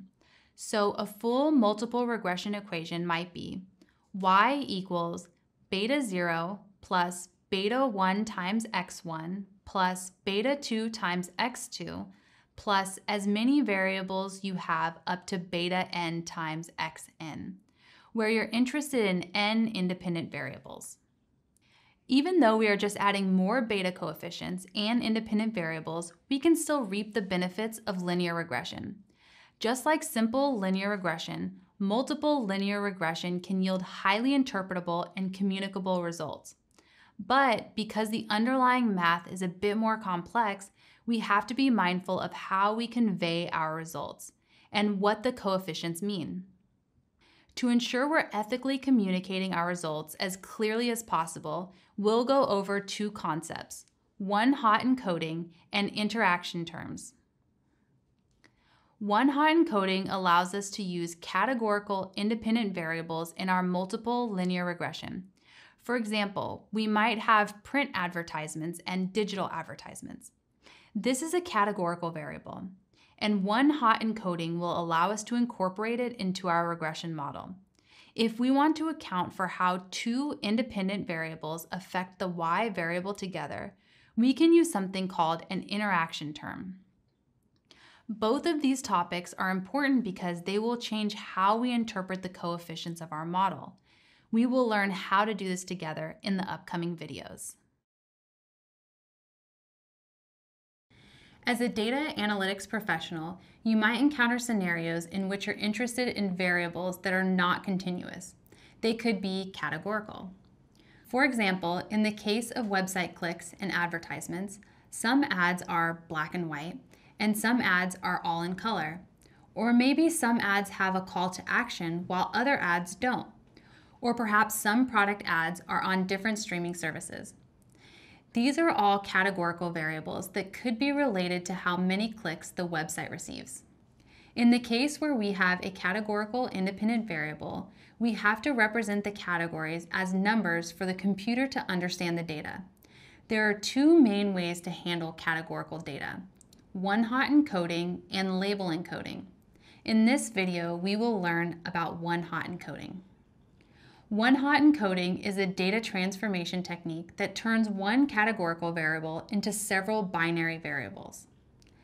Let's take the example of an advertisement having a call to action or not. We would create a new variable in the dataset. Let's call it action, and mathematically, we'll denote it as x action. If an advertisement has a call to action, then X action equals 1. If an advertisement commercial does not have a call to action, then X action equals 0. Our equation would become y equals beta 0 plus beta 1 times x1 plus beta 2 times x2 plus beta action times x action. X1 measures the number of people in the advertisement, and X2 measures the length of the advertisement. Now let's assume that we have two advertisements where X1 and X2 are the same, but one has a call to action and one doesn't. We can then assume that the advertisement with the call to action had beta action more website clicks than the advertisement without a call to action. Now let's remove the call to action variable. What if we are interested in which streaming platform the ad is on? Let's say the company is running ads on three services A, B, and C. Let's also assume that ads can only run on one platform at a time. So if an ad is on service A, it's not on service B or C. Now we have a categorical X variable that has three possibilities. Let's figure out how to represent it mathematically. To represent two possibilities, has a call to action versus does not have a call to action, we use one binary variable. In order to represent three possibilities, we need two binary variables. Let's examine why this works. Let's imagine we have a binary variable x service A. If x service A equals 1, we know that the advertisement is playing on service A. But we also know two other pieces of information. If the ad plays on service A, then it is not playing on service B, and the ad is also not playing on service C. If X service A equals zero, we only know that advertisement is not on streaming service A. The advertisement could play on either service B or C. Since we have missing information, we need another binary variable to help us and the computer figure it out. Let's add a variable x service B. If x service A equals 1, we already have all of our information. We know that the ad plays on service A, so x service B must equal 0. The ad does not play on service B, and we also know it does not play on service C. But if x service A equals 0, we can learn more information from x service B. If x service B equals 1, then we know that the ad plays on service B. In turn, we know that the ad does not play on service C. Lastly, if x service A equals 0 and x service B also equals 0, then we know the ad plays on neither service A nor service B. So the ad must play on service C. Now we have all the information we need with just two variables. So let's revise the equation one more time. We have y equals beta 0 plus beta 1 times x1 plus beta 2 times x2 plus beta service A times x service A plus beta service B times x service B. Now that the equation is written out, you'll notice there is no variable x service C because it would not provide us with more information but the interpretation is a little bit different. We can think of service C as the default streaming service. So, beta service A is the difference in website clicks for two advertisements that are the exact same except one ad is played on service C and one is played on service A. Similarly, beta service B is the difference in website clicks for two advertisements that are the exact same except one ad is played on service C and one is played on service B. In this video, you learn how one-hot encoding allows us to turn one categorical variable into several binary variables. Now we can start estimating how many clicks the website will get based on variables about the ad. Soon we'll go over how to use Python to one-hot encode categorical variables. We will revisit pace and regression modeling through model assumptions, model construction, model evaluation, and model interpretation together. Great work so far. I can't wait to join you in the next video. In previous videos, you learned about the model assumptions of simple linear regression. In this video, we'll review the assumptions you're already familiar with and introduce a new assumption specific to multiple linear regression. Simple linear regression and multiple regression share four assumptions, linearity, independent observations, normality, and homoscedasticity.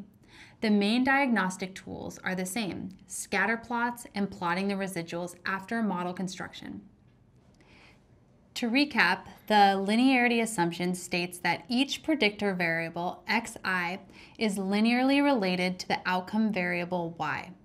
Plotting scatter plots of each x variable against the y variable will inform us which variables likely have a linear relationship with y. The independent observation assumption states that each observation in the dataset is independent. We can only examine this assumption by checking the data collection process. For example, if we are collecting data about income, people from the same household might not be independent from each other. The next assumption is the normality assumption, which states that the residuals are normally distributed. The last assumption we're reviewing is the homoscedasticity assumption, which states that the variation of the residuals, errors, is constant or similar across the model. There is a completely new assumption when we are working with multiple regression. The data cannot be multicollinear. The no multicollinearity assumption states that no two independent variables, xi and xj, can be highly correlated with each other. This means that xi and xj cannot be linearly related to each other. For example, if you're working at a concert venue, you might want to predict concert ticket sales. There are many factors involved number of social media followers, number of streams on the music platforms, year the artist debuted, cost of the tickets, how many days until the concert, and more. Although the cost of the ticket and how many days left until the concert might both be strong predictors of concert sales, it is likely that the cost of the ticket is correlated with how many days are left until the concert. Maybe there's a sale the week before the concert, so sales spike up. If you keep both variables in the regression model, it will be unclear which factor has what kind of effect. Additionally, you might not be explaining significantly more of the variance in ticket sales. Let's do some exploratory data analysis to confirm our initial thoughts. We can create a scatterplot matrix using Python code to show the relationship between pairs of variables. The scatterplot matrix creates a scatterplot for every pair of variables. If we're observing linear relationships between an independent variable and the dependent variable, we should consider including it in our multiple regression model. If we observe linear relationships between two independent variables and we include both variables in the model, we'll likely violate the no multicollinearity assumption. In the concert ticket example, you have six variables in the dataset. One dependent variable, concert ticket sales, and five independent variables, number of social media followers, number of streams on music platforms, year the artist debuted, cost of the ticket, how many days until the concert. You might expect the number of social media followers and the number of streams to be highly correlated with one another based on our context. But you can't confirm this hunch until you create scatterplots. That being said, EDA and visualizations are powerful tools, but they can't detect every relationship. So we turn back to the math. Conveniently, our computer can calculate VIF. The VIF quantifies how correlated each independent variable is with all the other independent variables. The minimum value of VIF is 1, and it can get very large. The larger the VIF, the more multicollinearity there is in the model. Once we have identified multicollinearity, one solution is to drop one or more variables with multicollinearity. Another possible solution is creating new variables using existing data. Then you can calculate the VIF again to check the multicollinearity assumption again. Remember, when in doubt, explore your data. EDA and visualizations are critical to understanding underlying trends and telling a compelling story. By taking these steps, you can ensure that your model fits the data and that your results are reasonable. Great work so far. Keep it up. We've already interpreted the results of simple linear regression before. For example, if we plot some data about temperature and iced coffee sales, the scatter plot will show us a series of points in a diagonal line trending upward. We are able to interpret the results relatively simply. In this video, we'll go step by step through the process of building a multiple regression model and then interpreting the results. As an example, let's say the data follows this equation. Sales equals negative 44 plus 2.2 times temperature. We can say that a 1 degree increase in temperature is associated with 2.2 more iced coffee sales.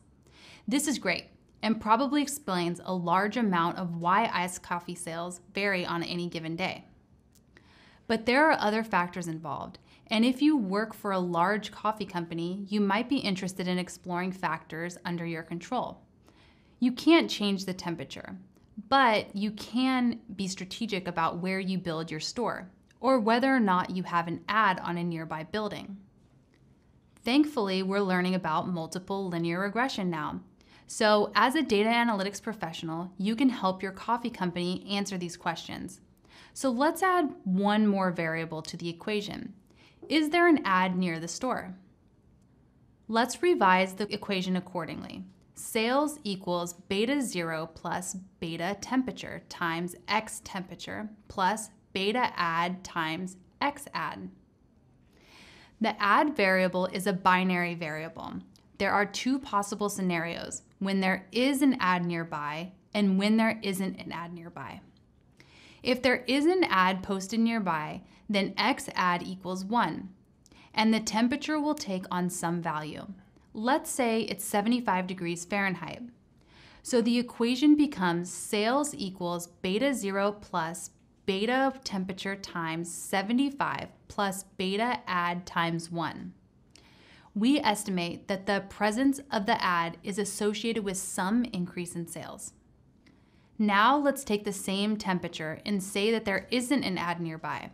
The equation then becomes sales equals beta 0 plus beta temperature times 75 plus beta ad times 0. Simplifying this equation, we get beta 0 plus beta temperature times 75 the beta ad terms drops out because it's multiplied by zero. When there isn't an ad, then the sales are only a function of the temperature. Now let's remove the ad variable and introduce the question of proximity to public transportation. The variable transportation will measure how many kilometers away a given coffee shop is to a bus, train, or subway stop. The equation becomes sales equals beta 0 plus beta temperature times x temperature plus beta transportation times x transportation, where temperature and distance to transportation are continuous variables. For every one degree increase in the temperature, while holding distance to public transportation constant, we expect iced coffee sales to increase by beta temperature. For every one kilometer further a store is from public transportation, while holding temperature constant, we expect iced coffee sales to decrease by beta transportation. Note that we have to hold the other variable constant when interpreting the results. The math will explain why. Now we've gone over what to do when we have several standalone variables.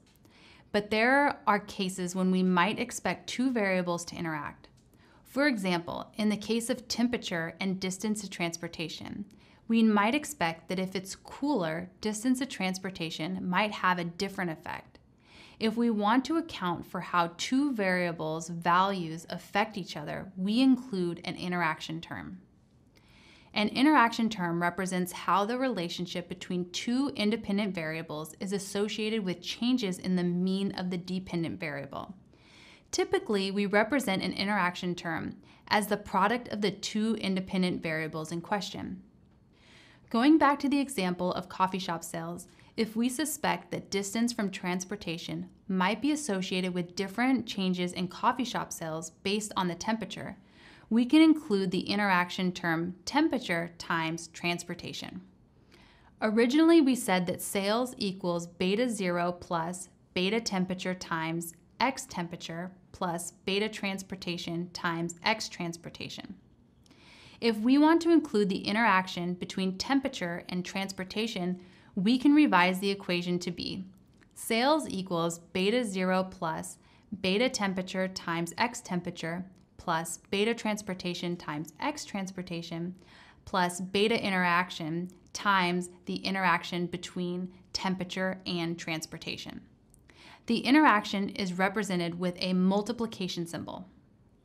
In this example, we took into consideration the interaction between independent variables using the interaction term. We'll continue to learn how to interpret the nuances of regression coefficients in this course. We've covered a lot so far, and practice will help you build confidence in these concepts. Spend time connecting the resources available in this course to help you use multiple regression, interpret the results, and tell the data story. Next, we'll keep digging into multiple regression. We explored some interesting and more complex questions that multiple regression can help us answer. We went through an overview of how to interpret multiple regression models. Now let's turn to Python. Just like with simple linear regression, we'll find the best fit line by minimizing the sum of squared residuals, which is a measure of error. While we could spend a lot of time performing ordinary least squares estimation one step at a time, Python has some built-in functions that help us build models. This way, we can spend our time as data analytics professionals exploring the data and communicating insights from the calculations. We're going to revisit the penguins dataset from earlier to see if we can learn more about the penguin's body mass. We've already done some exploratory data analysis and data cleaning, and saved data as a variable called penguins. Get a quick summary of the data using the pandas head function. There are four different variables in the dataset body mass in grams, bill length in millimeters, gender, and species. The data is relatively clean. For this problem, you'll try to predict body mass based on the other variables. Next, divide the dataset into the independent variables, or x's, and the dependent variable y. This step helps prepare the data for the function you'll use to create training and holdout datasets. Use the train test split function from the scikit-learn library to create a training dataset and a holdout or testing dataset. First, import the function. Now use the prepared data to divide the data into training and holdout datasets. Note that the test size variable is the proportion of data you're randomly assigning to the holdout dataset. In this case, you're holding back 30% of the data to test the model. Depending on the context, it may be appropriate to hold back more or less of the data. The random state variable does not have to be set, but you are assigning it the value of 42 so that you can replicate our results. You'll encounter the number 42 frequently in code documentation. The number 42 is a significant number in a popular science fiction novel and has been adopted by the computer science community. If you put in a different value for the random state variable, you'll get different results. It does not matter what number you put, but setting the random state allows someone else to replicate your work. Next, we need to think about our multiple regression formula. Our independent variables are bill length, gender, and species. We'll use the statsmodels module to run the regression, like you did for simple linear regression. The statsmodels' ordinary least squared function, OLS, needs to know your regression formula. Save it as a variable. OLS underscore formula equals body mass tilde bill length plus gender plus species. Note that we added capital C in parentheses around gender and species. The notation lets statsmodels' OLS function know that gender and species are categorical variables. The function will then encode the variables. If you haven't already imported the OLS function, do so with the following line of code. The data was saved already as a data frame called OLS data. You can input your formula and the data frame into the OLS function. Lastly, use the OLS object's fit method to actually fit the model to the data. One of the benefits of using statsmodels OLS function is that it provides us with a compact summary table of relevant statistics. we can easily find the coefficients, standard errors, t statistics, p values, and confidence intervals for each independent variable. These values let us interpret the regression results quickly and easily. Access the OLS summary table using the summary function. Let's explore the male variable. Under the column for the coefficient, there is a row labeled C parentheses male. The way the variable was encoded was male is 1 and female is 0. This means that the baseline or reference point is female penguins. So the coefficient indicates how much body mass would differ between two penguins that only differ in gender. Assuming the male and female penguins are the same species and have the same bill length, we expect the male penguin's body mass to be about 528.95 grams more than the female penguin. The p value is very small, so this coefficient is statistically significant. Now let's consider the row for bill length. Assuming that two penguins are the same gender and species, if the bill length increases by one millimeter, we would expect the penguin with the longer bill to be about 35.55 grams larger in body mass. The p value is very small, so the estimate is statistically significant. The OLS summary table also gives you model evaluation metrics like R squared. The R squared is 0.85, indicating that your model explains about 85% of the variance in body mass. This seems reasonable, but we will discuss the importance of metrics other than R squared when working with multiple linear regression later. You know how to fit the model to the data and get a summary table of statistics, and you explored the coefficients and p-values. There's a lot more in the table, so you can investigate any of the metrics we have not covered yet in this course. I encourage you to peruse the readings in this lesson and try out the code on your own. All of these statistics form the basis for interpreting results and communicating with stakeholders. Great work so far. I'll join you again next time.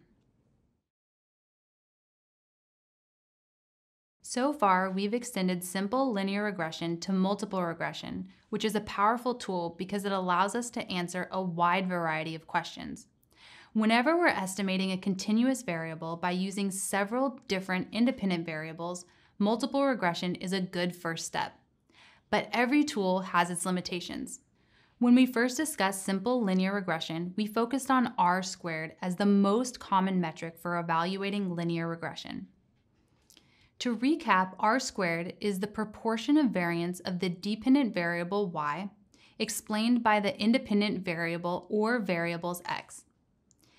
This seems like a reasonable and highly interpretable metric for determining how good of a linear regression model you have. If you recall, when we examined the output of multiple regression model, R squared was still one of the metrics listed. But when we started adding more independent variables into the equation, R squared gets more complicated. Whenever you add another independent variable to a multiple regression model, the R squared increases without fail. But not all variables added to a model equally contribute to understanding changes in Y. This is a problem because the high R squared can be misleading. If we're just trying to get a high R squared without considering what each variable contributes, the model becomes very specific to the data it was built on. Therefore, the model is no longer applicable to a larger population. As data analytics professionals, we call this overfitting. Now we're going to focus on what to do now that we know about overfitting. Overfitting in the data space is when a model fits the observed or training data too specifically and is unable to generate suitable estimates for the general population. The conclusion from the regression model no longer applies to the population, which we are trying to draw conclusions for, and only applies to the data used to build the model. Overfitting tends to occur when a model is too complex or incorporates too many variables. Preventing overfitting is one of the reasons that we use model evaluation techniques like holdout sampling, which is when we set aside a part of the data we already had but did not use to fit the model. By using a holdout sample, we can observe if the model performs just as well on data it has not experienced yet. Aside from holdout sampling, we can also use another metric called adjusted R squared to evaluate multiple regression models. Adjusted R squared is a variation of the R squared regression evaluation metrics that penalizes unnecessary explanatory variables. Just like R squared, adjusted R squared varies from 0 to 1. Adjusted R squared is used to compare multiple models of varying complexity. R squared is more useful when interpreting the results of a regression model, as you can determine how much variation in the dependent variable is explained by the model. Now that we have reviewed the problem of overfitting and some ways to better evaluate multiple regression models, we can turn to variable selection. After all, we need a method to determine which variables to include and exclude in our models. I'm excited to explore variable selection and other techniques later in this lesson. In previous videos, we defined overfitting as a problem when we modeled the observed or training data too specifically and are unable to generate suitable estimates for the general population. One way to better evaluate how good a model is while factoring in overfitting is using adjusted R squared, which penalizes unnecessary variables in a model we learned that adjusted R squared is most effective when we can compare multiple models that are using different subsets of independent variables. In this video, we'll review a couple of variable selection techniques. Thankfully, Python and our computer will take care of a lot of the work very efficiently. But it's important as a data analytics professional to have a high level understanding of what's going on in your machine. Variable selection, also known as feature selection, is the process of determining which variables or features to include in a given model. As with many of the processes discussed in this program, variable selection is iterative. As you grow as a data analytics professional, you will develop a stronger intuition for how to go about variable selection. In this video, we'll cover forward selection and backward elimination which are based on extra sums of squares f-test. These simple techniques will allow you to continue exploring the world of multiple regression and prepare you for more advanced techniques covered later. Forward selection and backwards elimination essentially work from opposite directions of the problem. We know that a model with zero independent variables is probably not the best choice we know that a model with all of the possible independent variables is also probably not the best choice. Forward selection is a stepwise variable selection process. It begins with the null model, with zero independent variables, and considers all possible variables to add. It incorporates the independent variable that contributes the most explanatory power to the model, based on the chosen metric and threshold. The process continues one variable at a time until no more variables can be added to the model. Backwards elimination is a stepwise variable selection process that begins with the full model, with all possible independent variables, and removes the independent variable that adds the least explanatory power to the model, based on the chosen metric and threshold. The process continues one variable at a time until no more variables can be removed from the model. Both forward selection and backward elimination require more cutoff points or threshold to determine when to add or remove variables respectively. One common test is the extra sum of squares f-test. The extra sum of squares f-test quantifies the difference between the amount of variance that is left unexplained by a reduced model that is explained by the full model.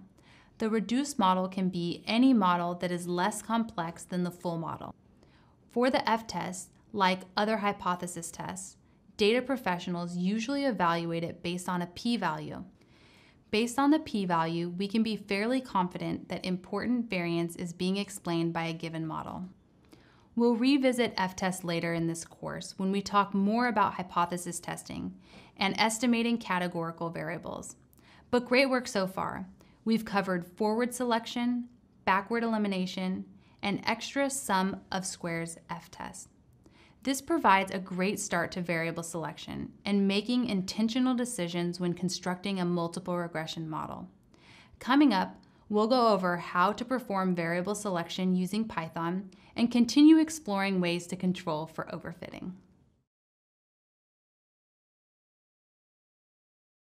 So far, we've covered a lot about the versatility of linear regression models in impacting business decisions and strategy.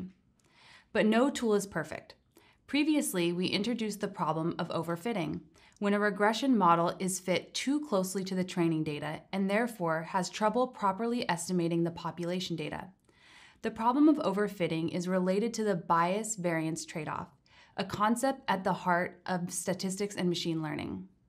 The bias variance trade off balances two model qualities, bias and variance, to minimize overall error for unobserved data. The ideal model has some bias and some variance. Bias simplifies the model predictions by making assumptions about the variable relationships.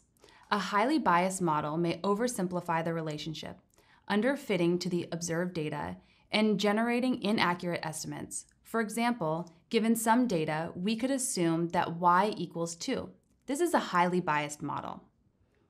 Variance in a model allows for model flexibility and complexity, so the model can learn from existing data. But a model with high variance can overfit to the observed data and generate inaccurate estimates for unseen data.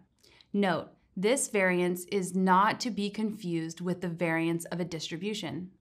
We can think of bias and variance as two ends of a scale. We don't want there to be too much bias or too much variance.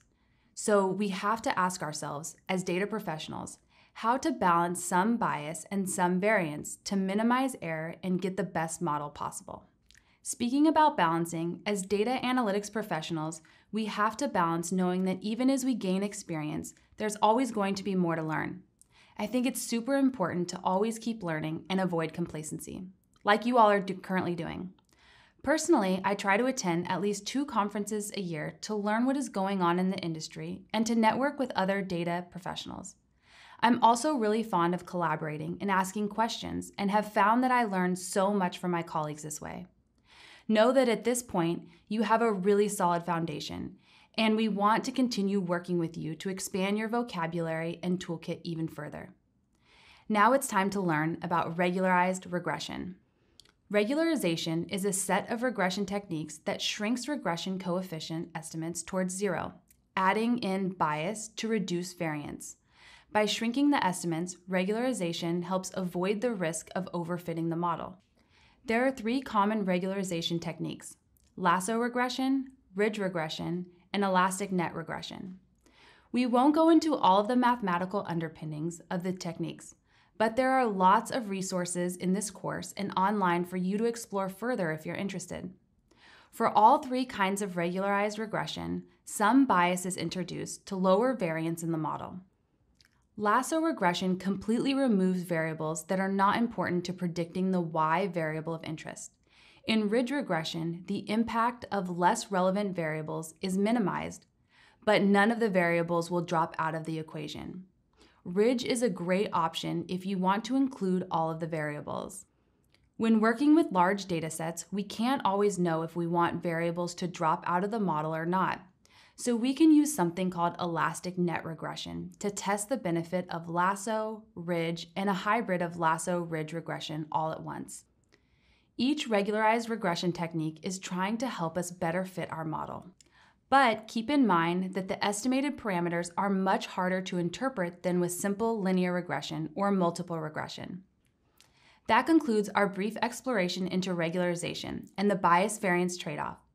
Now that you know the basics of regularization and the bias variance trade off, you can continue learning about how to find the best regression model. Keep up the great work, and I'm excited for us to continue on your journey to regression analysis. Wow, we extended a lot of what we learned about simple linear regression to multiple linear regression. While simple linear regression models the linear relationship between one independent variable x and one continuous dependent variable y, multiple regression models the linear relationship between two or more independent variables and one dependent variable. The allowance for multiple independent variables provides data analytics professionals with the ability to ask a wider variety of questions. We reviewed the model assumptions for simple linear regression and extended them to multiple regression. The model assumptions that apply to multiple linear regression are linearity, independent observations, normality, homoscedasticity, and no multicollinearity. We showed how to test each of these assumptions using either math, built-in Python functions, or through visualizations during EDA. We highlighted multicollinearity as that assumption is specific to multiple regression. We then provided some examples of how to code a multiple regression in Python. There are similarities with coding a simple linear regression, but there are some key differences. Next, we focused our time together on how to interpret and evaluate multiple regression results now that we have so many independent variables. We also discussed understanding the computer output, which is critical to providing accurate and nuanced storytelling. Lastly, as part of model interpretation and evaluation, we reviewed the problem of overfitting and ways to counteract it. Overfitting occurs when a model too closely matches a training dataset or observed data and is unable to predict unseen data or generalize to the population either. To combat overfitting, we discuss two variable selection techniques, forward selection and backward elimination. Both use the extra sum of squares f-test to determine whether to add or remove a variable. To wrap variable selection, we provided an overview of regularization, which helps prevent overfitting. To understand regularization, we define the bias variance trade-off, which is core to many data science and machine learning model decisions. A model with high bias might underfit the data, oversimplifying the model. A model with high variance might overfit the data, overcomplicating the model we introduced three regularization techniques, lasso, ridge, and elastic net regression. They all add bias to reduce variance. Regularization is particularly helpful when working with large datasets, as it can be difficult to predetermine which variables are or are not important. Wonderful work so far. We've gone over many concepts. Everything we've worked on together is here for you to review on your time. Good luck, and I'll join you again next time. Hey, welcome back to Modeling Variable Relationships. We've covered a lot of material about regression so far. We worked through the assumptions, construction, evaluation, and interpretation of simple linear regression model, and then built a more complex model using multiple regression. These tools gave us powerful ways to ask and explore questions about continuous variables. For example, if we were interested in understanding product sales, Multiple regression would allow us to consider the impact of both digital video and print advertising on sales. Now we'll start focusing more on categorical variables. By expanding our toolkit to include more hypothesis testing, we can start asking and answering a different range of questions. For example, is the difference among three or more groups statistically significant? Is the distribution of observed data different from what we expected? Perhaps we're conducting user research and you want to make a change to the website you're analyzing. You can use hypothesis testing to determine if user engagement is different between a couple groups, where each group is using distinct website layout. Recall that hypothesis testing is a statistical procedure that uses sample data to evaluate an assumption about a population parameter.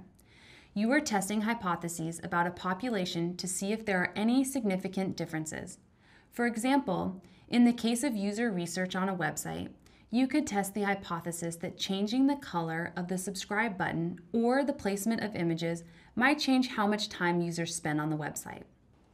You can utilize different models and tests from your data toolbox to answer various questions. You can also use some techniques together. For example, sometimes you might want to combine a regression model with hypothesis tests or a series of hypothesis tests. The core principles of data analysis continue to apply to each technique. We want to explore and better understand the relationships between different variables. We can use what we have learned to tell compelling stories about the data. Based on the kind of data we have available, we can determine which test or model will be most appropriate. But sometimes we have to use several tests and models before we can determine the best approach to answer our questions. In this video, we'll start with chi-squared distribution and chi-squared test. Chi is the 22nd letter of the Greek alphabet and looks a lot like a fancy capital X in English. Our discussion will expand on prior learnings about t-tests and hypothesis testing. Chi-squared test will help us determine if two categorical variables are associated with one another and whether a categorical variable follows an expected distribution. For example, if we flip a two-sided coin many, many times, we would expect about half of the time one particular side comes up. About the other half of the time, the other side comes up. Next, we will examine analysis of variance, or ANOVA, and its variants, analysis of covariance, ANCOVA, and multivariate analysis of variance, and covariant MANOVA and MANCOVA, respectively. By unpacking variable relationships with a focus on categorical data, we'll be able to expand the types of data we can effectively use to draw conclusions about various decisions, strategies, and practices in industry. Previously, we encountered hypothesis testing in the form of one-tail and two-tail t-tests. T-tests help us answer questions about whether the mean of two different groups is significantly different. In this lesson, we'll explore if our data is what we expected it to be. We'll introduce two hypothesis tests, the chi-squared goodness of fit test and the chi-squared test of independence. These tests will help us compare our expected and observed data. We'll revisit null and alternative hypotheses when we define chi-squared tests just like you might have done with t-tests. When using linear regression, we were primarily focused on continuous variables. But what if our variables aren't continuous? Chi-squared tests can address questions involving categorical variables. For example, let's say you're working at a movie theater, which sells small, medium, large, and extra large portions of popcorn. You have projections or some expected counts of how each size will sell. In a bar chart, it can be difficult to determine if the expected counts are statistically the same as what you observed, but you can run a chi-squared goodness of fit test to answer the question. The chi-squared goodness of fit test determines whether an observed categorical variable follows an expected distribution. As a data practitioner for the movie theater we mentioned, you're working on the popcorn sale problem. An employee claims that 25% of people order each size on any given day. Now you can create a table of counts based on the number of popcorn buyers on a given day. So let's say 100 people bought popcorn yesterday. Then you can multiply the percentage by the total to figure out the expected counts for each cell in the table. 25% of 100 is 25, so you expect that 25 people bought each size of popcorn.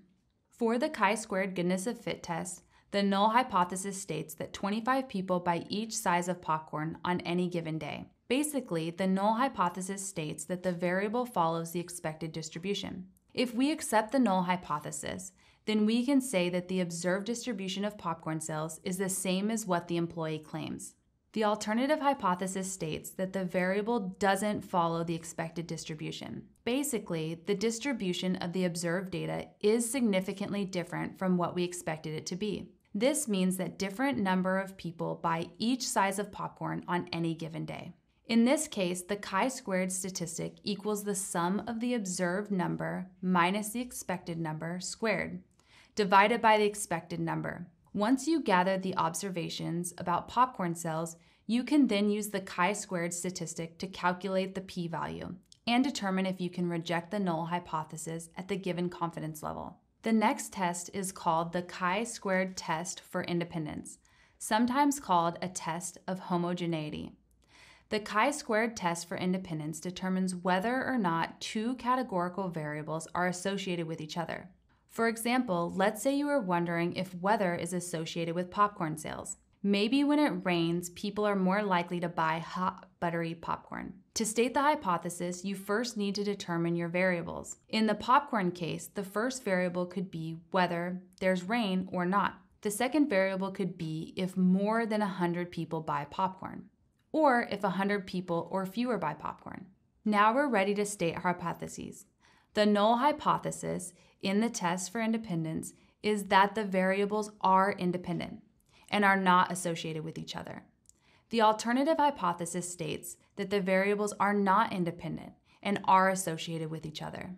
For the chi-squared test, it's important to construct a 2 by 2 table of counts to see how many observations fall under each category. Let's say we have data from the spring, summer, and fall popcorn sales. There were 275 days of data collected, including 83 days where it rained and 192 days where it did not. On 135 days, more than 100 people bought popcorn, and on 140 days, fewer than 100 people bought popcorn. You can then fill in each cell with the count of days for each category. You can then calculate the expected value for each cell in the 2 by 2 table using the following formula. The expected value for the cell in the ith row and jth column is equal to the total of row i times the total of column j divided by the total count in the 2 by 2 table. The formula comes from the definition of independence, where two events are independent if the probability of both occurring probability of A and B is equal to the probability of A times the probability of B. The observed value is just the count for the cell in the ith row and jth column. You can then use the same formula as the goodness of fit test to calculate the chi-squared statistic. As with the goodness of fit test, you can use the chi-squared statistic to calculate the p-value, and determine if the two categorical variables are independent or not. Great work! We'll cover a couple of the assumptions of chi-square tests and how to perform chi-square tests in more depth in upcoming readings. The key here is connecting concepts you have learned about hypothesis testing to these chi-square tests as well. You'll answer more questions about categorical variables soon. Knowing our data well helps us determine what we can do with the data. It helps us understand which tests we can run, which tests we can't run, and which tests we might be able to run if we transform the data a bit more. In prior videos, we showed the difference between continuous and categorical variables. We've spent most of this course so far talking about linear regression, which can estimate continuous variables of interest. But there is so much categorical data out there. So far, we've learned about the chi-squared goodness of fit test and test of independence. Both of these tests examine the relationship between categorical variables. Now we'll focus on analysis of variance, or ANOVA, which helps examine the relationship between categorical variables and continuous variables. Analysis of variance, commonly called ANOVA, is a group of statistical techniques that test the difference of means between three or more groups. If this sounds familiar, you might recall t-tests, which are a common statistical test. ANOVA is an extension of t-tests. While t-tests examine the difference of means between two groups, ANOVA can test means between several groups. Let's say you work at a botanical garden, and you're wondering if different species of butterflies have different lifespans. ANOVA testing can help in this situation. There are two main types of ANOVA tests, one-way and two-way. One-way ANOVA testing compares the means of one continuous dependent variable in three or more groups. We'll use a categorical variable to represent the groupings. When using ANOVA, we have a null hypothesis and an alternative hypothesis. Let's say you're measuring the lifespans of three different butterfly species, monarch, mourning cloak, and swallowtail butterflies. Your colleagues suggest that the lifespans may be the same regardless of butterfly species. Since the null hypothesis is that the lifespans are equal, a one-way ANOVA test is appropriate. This means that the lifespan of monarch butterflies is equal to the lifespan of mourning cloak butterflies, which is also equal to the lifespan of swallowtail butterflies we can write H naught as mu monarch equals mu mourning cloak equals mu swallowtail. To generalize, we can use one-way ANOVA when the null hypothesis states that the means of each group are equal. The alternative hypothesis would then be the lifespan of these three butterfly species are not all the same. This is a little difficult to express using math symbols, so you can just write not before the null hypothesis. So not mu monarchs equals mu mourning cloak equals mu swallowtail. Only one of the mean lifespan has to be different to reject the null hypothesis. We represent the alternative hypothesis as H sub 1, or H1, because you may run more complex tests in the future where you are testing more than two hypotheses at once. One-way ANOVA is a great tool, but sometimes you might encounter situations in which there are two factors that are associated with the continuous dependent variable. At the botanical garden, let's say you want to study if butterfly lifespan is related to the species of the butterfly and the size of the butterfly. Imagine that butterflies can be small, medium, or large. Now the data is varying according to two factors, species and size. Two-way ANOVA testing compares the means of one continuous dependent variable based on two categorical variables. You are now testing three null hypothesis and alternative hypothesis statements at once. The first null and alternative hypothesis pair is the same as before. They focus on the relationship between species and lifespan. The null hypothesis states that there is no difference in lifespans between the three butterfly species. The alternative hypothesis states that there is a difference in lifespans between the three butterfly species. The next pair of hypotheses focuses on our second, new categorical variable, size. The null hypothesis is that there is no difference in lifespans based on butterfly size. The alternative hypothesis is that there is a difference in lifespans based on butterfly size. The last pair of hypotheses test the interaction between the two variables. This concept of interaction may be familiar from our work on multiple regression. The null hypothesis states that the effect of species on lifespan is independent of the effect of butterfly size, and vice versa. The alternative hypothesis states that there is interaction effect between butterfly size and species on lifespan.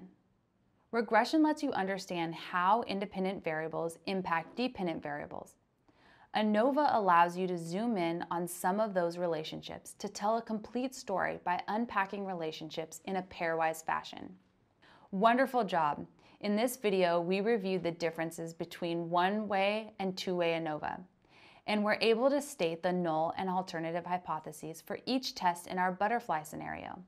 Next, we'll learn how our computers and Python can help us run ANOVA tests. At the core of all of our regression analyses and statistics is storytelling. We want to understand how the different variables are related.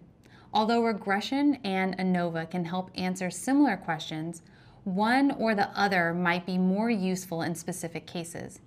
A regression analysis will help provide a holistic picture of if and by how much a number of different variables impact an outcome variable. On the other hand, ANOVA helps unpack pairwise comparisons among subsets of those variables to better understand the nuances among the elements that fueled the regression analysis. ANOVA can work like a magnifying glass, zooming in on specific parts of the regression story. Now, let's use a subset of a dataset about diamonds to explore ANOVA in Python. You can load in the original dataset through the Seaborn library, We've already cleaned the data and transformed some variables. We have two variables, logarithm of the price and the color grade of each diamond. Using Pandas, load in the CSV file. Now that the dataset is loaded in, examine the data. If you haven't already, import the Seaborn package as SNS. Use a box plot to determine how the price varies based on the color grade.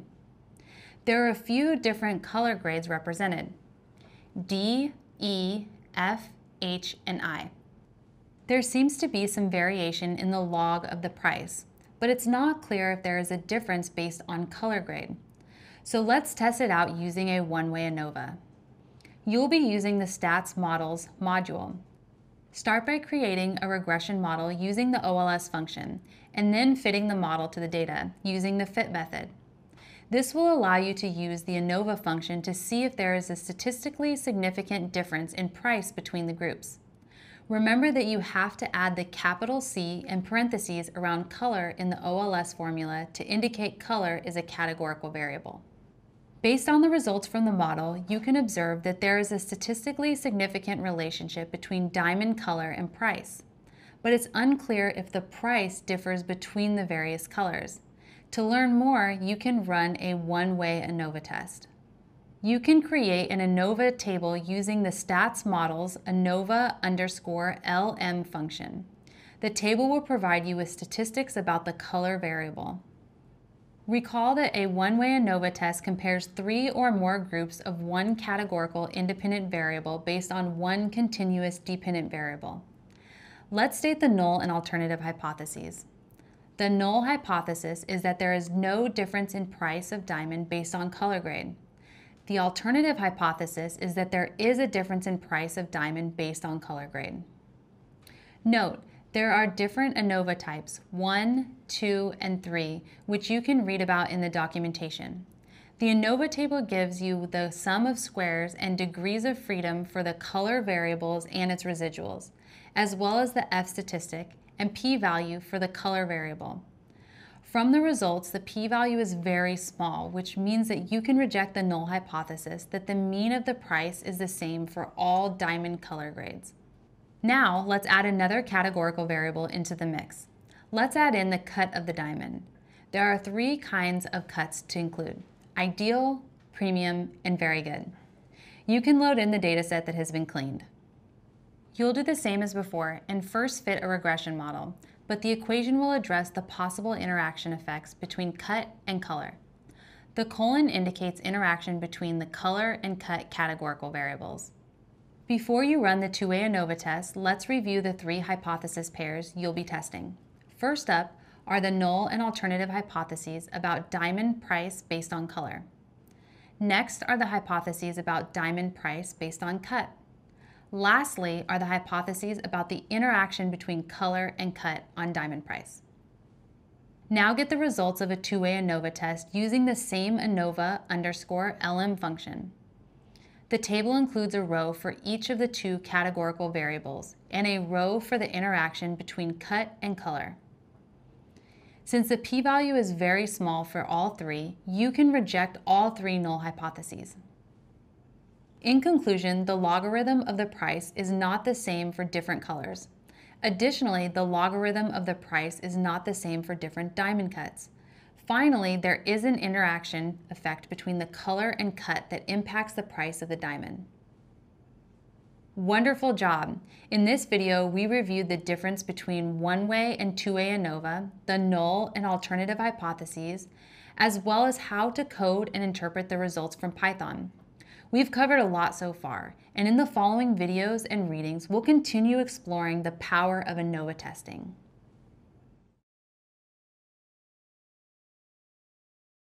Previously, we talked about the effectiveness of ANOVA testing to understand continuous variables a bit more in relation to categorical variable of interest. To recap, ANOVA testing can be applied to the results we get from a linear regression. If we have a categorical independent variable such as diamond color and we're trying to estimate the price of a diamond, we can use an ANOVA test to determine if there is a statistically significant difference in price based on diamond color.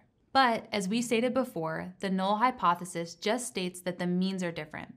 If we have three or more groups, we don't know which one is different or how many are different from each other. There might be cases where it's really important to know if one category in particular is different. For example, if you're building a roller coaster, you will be choosing among a couple of different material types based on their strengths. You really want to know if and how much the materials differ in strength. In this case, an ANOVA post hoc test can be helpful. An ANOVA post hoc test performs a pairwise comparison between all available groups while controlling for the error rate. If you recall from learning about statistics, we have confidence intervals and p-values to quantify our uncertainty. There is always a small chance that we falsely reject the null hypothesis purely based on probability. Falsely rejecting the null hypothesis is sometimes referred to as type 1 error. Typically, there's a 5% chance we've rejected the null hypothesis when it was actually true. But if we run a bunch of tests, all with a 5% chance that we're incorrectly rejecting the null hypothesis, the chance that we've made a mistake multiplies. So the odds that we've made at least one mistake increases very rapidly the more tests we perform. Post hoc ANOVA tests control for that increasing probability. One of the most common ANOVA post hoc tests is the Tukey's HSD. honestly significantly different. After performing ANOVA test where you get statistically significant results, all you know is that at least one of the group's means are different. Tukey's HSD test will then compare all the pairs of groups and determine which pairs are different from one another, while controlling for the fact that you're running multiple hypothesis tests all at once. Now let's return to the one-way ANOVA diamond example. Let's say you already have your packages imported from last time, and you've saved the dataset as a data frame called diamonds. Create the linear model again. You already know that there is a statistically significant relationship between color and price. Now, run the one-way ANOVA just like before. Here you can observe that the p-values are much smaller than 0.05, so the results are statistically significant, and therefore you can reject the null hypothesis that the mean price is the same across all diamond colors. Now that you have significant results from an ANOVA test, you can run the Tukey's HSD post hoc test. First, import the Python function pairwise underscore Tukey's HSD from SM. Next, run the test. The endog variable indicates which variable is being compared across groups. The groups variable tells the function which variable holds the groups you're interested in, in this case, color. The alpha variable tells the function the significance or confidence level you are testing for. You set alpha to 0.05 as you are aiming for a 95% confidence level. You can access the results of Tukey's test in two ways. One way is to use the summary function. You can also use the print function. In both cases, you can observe all of the pairwise comparisons between each pair of diamond color grades. There is an adjusted p-value column, a column with the lower and upper bound of the confidence intervals, as well as a column letting you know whether or not you can reject the null hypothesis. If the reject column reads false, then you cannot reject the null hypothesis. If the reject column reads true, then you can reject the null hypothesis. For example, the first row compares the mean diamond price between color grades D and E. The null hypothesis is that the diamond prices between the two color grades are the same. But the Tukey's HSD test informs us that you can reject the null hypothesis with a p-value of 0.001. In conclusion, the diamond price is not the same for H and I grade diamonds. Awesome job today. To recap, combining tests may seem like a complex task, but it's so powerful to have a wide set of tools to run analysis. We'll continue unpacking ANOVA and post hoc tests in the course materials. As always, revisit any prior videos and readings as needed. You can do this. Good luck, and I look forward to joining you again next time.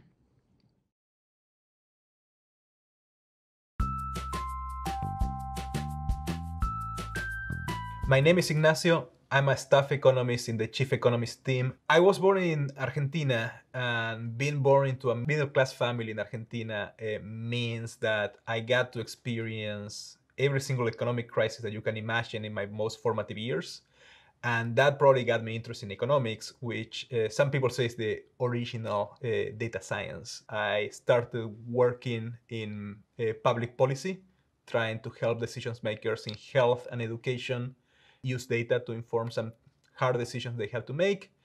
And after five years of doing public policy, I moved uh, into the tech sector. I started working at Google, where I use the same toolkit but to inform uh, business decisions. If you are going to enter this field, professional development is something that will always be a part of your life. Uh, when I finished my PhD, uh, I say, okay, I have my toolkit. I can go and answer any questions. Like that's not the case. Uh, soon after when I started my, my first job uh, in policy research, I remember this very senior statistician came to me and say like, what you're doing is great, but if you were using these different tools, it would be way better. I quickly learned that there were things that I could learn that I didn't learn in grad school that would help me be better at my job. Uh, and I made the decision of investing uh, on myself. And that basically meant that on a weekend, I would wake up early, and I will watch uh, some YouTube lectures that people recommended me, or I will read a book that people recommend recommended to me. And once I learned what I wanted to learn, as I remember talking with my boss at the time and say, "We just did this thing for this client, but now I want to do it in a different way." And I also want to show them and see what they think. By the time I left my previous job, 100% of my work was using that new toolkit that I learned while at the job. Uh, and I expect that uh, five years from now, the tools that I'm going to be using are probably going to be almost exclusively things that I haven't learned yet. So, so you're probably finishing uh, your advanced data analytics certification and you are asking yourself, what is next? Uh, so my guess is that you're a self-motivated person and you can learn by yourself. And today doing that is quite easy because resources are free, available online. You can go to a virtual conference from your home you can watch a lecture on YouTube. You can be on Econ Twitter and learn what is the latest uh, innovation in methodology that may help you answer a business question you're working on uh, that day. And once you start in that world, uh, you can go down the rabbit hole and like learn more and more. So far, we've learned some exciting ways to uncover stories about categorical variables. One of these tests is ANOVA, or Analysis of Variance. ANOVA helps us learn more about the differences in continuous y variable based on different groupings. Using ANOVA, we can determine whether groups are actually different from one another. You may recall that when we learned about simple linear regression, we could only take into account one independent variable to explain the variance of one dependent variable. Then we learned about multiple regression, which allowed us to incorporate lots of different factors into our analysis. By working with simple linear regression, you build a strong foundation for understanding the mechanics of regression modeling. By working with multiple regression, you were able to vastly expand the kinds of questions you could explore. For example, using simple linear regression, you could explore the relationship between the weather and iced coffee sales. But with multiple regression, you could then include temperature and distance to public transportation or other variables you think might be related to coffee sales. There's a similar relationship between ANOVA and ANCOVA, or analysis of covariance. Analysis of covariance, or ANCOVA, is a statistical technique that tests the difference of means between three or more groups while controlling for the effects of covariates. Covariates are the variables that are not of direct interest to the question we are trying to address. By taking the covariates into account, we can better isolate the relationship between the categorical variable we are interested in and the y variable. This allows us to draw more accurate conclusions about the relationships among the variables. For example, if examining iced coffee sales, ANCOVA allows you to analyze how the sales are different on workdays versus the weekend, while controlling for the temperature of the day. Let's say we have a drop in sales one weekend we could assume that no one buys coffee on weekends because they're not going to work, but perhaps it was especially cold that weekend. And ANCOVA allows us to double check whether temperature was a factor. You might wonder why a data analytics professional would use ANCOVA when we already have linear regression analysis we can use. There are many similarities between ANCOVA and linear regression. For example, both allow for continuous and categorical independent variables, both focus on a continuous y variable, and both center on understanding relationships between variables. But the use cases depend on which variable we're most interested in understanding. With ANCOVA, while we are not focused on the covariates, we are including covariates to gain a clearer understanding of the categorical variable. With regression, we might be interested in all of the independent variables or in predicting the y variable for unseen data. That was a lot. We've gone through one-way ANOVA, two-way ANOVA, and ANCOVA, after covering various linear regression models. All of these are important concepts to be able to talk about as a data analytics professional, but don't feel like you have to remember everything we're going through verbatim. That would be really hard. When you're working on a new project, you'll be able to refresh your memory by revisiting this course, doing a quick Google search, or asking other people. I literally do this every day. For instance, I don't remember every equation off the top of my head. But what's important is knowing that there are assumptions and equations. And when I need them, I can either look at my past code or search for them. If you're anything like me, you'll get really good at fine tuning your searches. Going back to ANCOVA, we're dealing with hypothesis tests. So it's important to state our null and alternative hypothesis before running a test. We'll cover how to run the test in Python later in this course. In this video, we'll focus on understanding what kinds of questions ANCOVA can help us answer. Let's say that you're working at a bookstore and you're interested in the relationship between book genres and sales. It seems new books tend to get more attention because authors are traveling to promote their recent work. The good news is that ANCOVA will let us control for publication year. Controlling for other variables is important so we don't draw conclusions that are not accurate.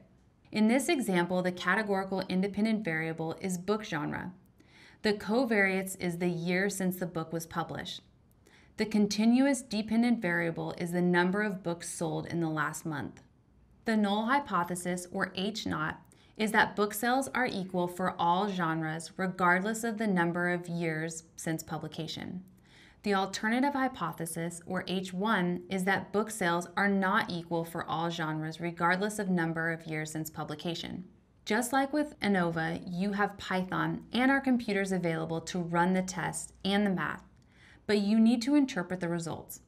Typically, if the test yields a p-value of less than 0.05, you can reject the null hypothesis that all of the means were the same, even when controlling for the covariates. Great work. We've reviewed a lot about the importance of ANCOVA, which you can add to your data analysis toolkit now. As always, remember that there are additional resources for you to keep exploring ANOVA and its variants. Good luck, and until next time, keep exploring interesting questions and telling compelling stories. Remember how far you've come on your data journey so far. You've built and extended a number of models and tests from their most basic form to include more variables and different kinds of data. As you've explored various models, you've encountered different questions you can answer and different use cases for each model. You've made the shift from ANOVA to ANCOVA, much like you extended simple linear regression to multiple regression. You added more independent variables to help isolate the effect of each x variable on the y variable in question. In this video, we'll add more dependent variables to allow us to perform new and different kinds of comparative analyses. The two tests we'll introduce are MANOVA and MANCOVA. Based on the names, you might be able to guess how these relate to ANOVA and ANCOVA. MANOVA, or Multivariate Analysis of Variance, is an extension of ANOVA that compares how two or more continuous outcome variables vary according to categorical independent variables. Like ANOVA, the two most common versions of MANOVA involve one or two categorical independent variables and are referred to as a one-way and two-way MANOVA. The independent variable must be categorical and the outcome variables must be continuous. Since we're still dealing with hypothesis testing, we need some hypotheses to test. Let's return to the bookstore example to generate and test new hypotheses about factors relating to book sales. The one categorical variable will be book genre. The two continuous dependent variables could be the number of books sold per month and profits from the book sales. Let's say you're working with a one-way MANOVA test. In this case, the null hypothesis would be that the means of both continuous variables are equal for every book genre. So the number of books sold per month is the same for each book genre, and the profit from selling books is the same for each book genre. The alternative hypothesis would be that the means of both continuous variables are not equal for every book genre. This indicates that only two genres of books must differ for just one of the outcome variables we're examining. For example, perhaps the profit made from self-help books differs from the profit made from science fiction books.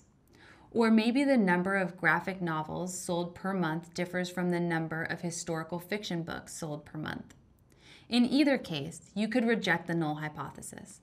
MANOVA allows us to think of each data point as having a number of characteristics, which are the continuous y variables that we want to understand based on one or two sets of groups we care about, the one or two categorical x variables. If, however, we're only interested in one categorical variable and we want to control for another variable, we can use MANCOVA. MANCOVA, or Multivariate Analysis of Covariance, is an extension of ANCOVA and MANOVA that compares how two or more continuous outcome variables vary according to categorical independent variables while controlling for covariates. Let's say you're still interested in whether book genre is related to the number of books sold and the amount of profit, but you want to control for the popularity of the author. Then you could use Mancova. The categorical X variable is still book genre, but now you add a covariate, which is the follower count an author has across social media platforms, which you are controlling for. Then the two Y outcome variables remain the same the number of books sold per month, and the monthly profit. The null hypothesis is that book sales and monthly profits are equal for all genres regardless of the author's social media following. The alternative hypothesis, or H1, is that book sales and monthly profits are not equal for all genres regardless of the author's social media following. As you continue expanding your data toolkit, you'll encounter more tests, tools, and models that build off each other. Identifying the connections and use cases is important as you continue throughout your career as a data professional. I'm excited for you to continue testing your hypotheses. Everything we've covered so far has allowed us to explore categorical variables in different ways. By fully utilizing the assortment of tools available with regards to categorical variables, you'll be able to tell a wider variety of stories in your data. After all, we are scientists, and sometimes we need to try out a few tests in order to figure out the story that the data holds. Starting with just understanding one categorical variable, we examine the chi-squared goodness of fit test, which determines whether a variable matches a theoretical distribution.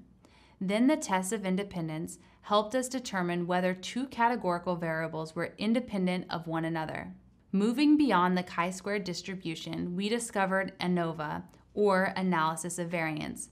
ANOVA forms the basis of all the other tests we covered in this section. One way ANOVA is a powerful way to determine if there are differences in a continuous outcome variable between groups you're interested in. Two-way ANOVA allows you to gain similar insights while incorporating another set of groups as well. ANCOVA built upon the idea of ANOVA by allowing us to control for another variable to isolate the effect of the groups from covariates. MANCOVA built upon ANOVA and ANCOVA to allow testing of multiple outcome variables of interest. As with any hypothesis testing, all of these tests had null and alternative hypotheses. Stating these hypotheses helps you to articulate what you're trying to learn from running these tests. I encourage you to continue working through scenarios with hypothesis tests. The more questions you ask, the more the data will reveal. Keep in mind the data requirements of each test and that there is always room for error. With practice and time, you'll be telling impressive stories soon. I'll join you again next time. Hello, it's great to be with you again. When we learned about linear regression, we started thinking about different kinds of questions that regression analysis could help us answer. For example, we could consider the factors that contribute to penguins' body mass, or factors that affect click throughs on a website. We're going to expand the kinds of questions we can ask. This time, we'll focus on modeling the probability that an event will occur. There are lots of problems that we could explore. For example, what factors influence the odds that a customer buys from a company again? What impacts the likelihood a worker receives high performance ratings? What contributes to a user commenting or not commenting on a video? Logistic regression can help us in these situations. Remember that logistic regression is a technique that models a categorical dependent variable y based on one or more independent variables x the dependent variable can have two or more possible discrete values. We'll focus mostly on binomial logistic regression, which models the probability of an observation falling into one of two categories, based on one or more independent variables. we use a binary variable y to indicate the category. For example, let's say that you're a data professional working for a basketball team, and you want to understand the probability that any given player on your team will score more than 10 points in a game. There are many variables you might want to consider. For example, how well did the player perform last season? What's their average playing time? How many points did they score this season? This might seem like a multiple linear regression problem, but consider the outcome variable whether or not the player will score more than 10 points in a basketball game. This is a binary outcome variable. Since there are only two possible outcomes, we can't draw a best fit line in the same way we did for linear regression. For example, if you plot playing times against whether or not the player will score more than 10 points in a game, your data will look like two flat lines, one at y equals 0 and one at y equals 1. This is very different from the linear relationship you observed in prior scenarios. Later in the program, we'll learn more about binomial logistic regression and review the stages of regression and PACE. We'll analyze our data by understanding the model assumptions to the best of our ability and ensure we have a binary outcome variable. We'll construct our model and evaluate it using several different metrics. Then we'll execute and share the results with stakeholders and other team members. Logistic regression is a versatile and powerful model, and I'm excited to review it with you. So let's get started. So far, we've learned that binomial logistic regression is a method for modeling the probability of a binary outcome, such as how likely it is that a player will score more than 10 points in a basketball game. Will a user comment or not? But just like any other statistical method, we have to make assumptions about the data to have confidence in the results. Now we'll discuss the main assumptions of binomial logistic regression and consider how to find the best logistic regression model given a set of data. Logistic regression is a bit more complex than linear regression, so our goal is to understand the basics of how it works, not to understand every detail of the model. Recall that as we navigate the first two stages of PACE, we can figure out if a logistic regression model is the best choice to address the question we're working on. We consider the assumptions of the model as we analyze our approach. Some assumptions are similar to those of linear regression, and some are different. The first and most important assumption of binomial logistic regression is the linearity assumption, which is a bit different from the linearity assumption for linear regression. In binomial logistic regression, the linearity assumption states that there should be a linear relationship between each x variable and the logit of the probability that y equals 1. The linearity assumption is the key assumption that explains how we can estimate a logistic regression model that fits the data best. To understand logit, we must first define the odds. The odds of a given probability p is equal to p divided by 1 minus p. We can think of the equation as the probability of p occurring divided by the probability of p not occurring. For example, let's imagine that in a package of cookies with different flavors, you know that about 60% are chocolate. You'll represent this as 0.6 then the probability of a cookie not being chocolate is 0.4 because 1 minus 0.6 is 0.4. The odds a given cookie is chocolate is 0.6 divided by 0.4, which is 1.5. The logit or log odds function is the logarithm of the odds of a given probability. So the logit of probability p is equal to the logarithm of p divided by 1 minus p. Logit is the most common link function used to linearly relate the x variables to the probability of y.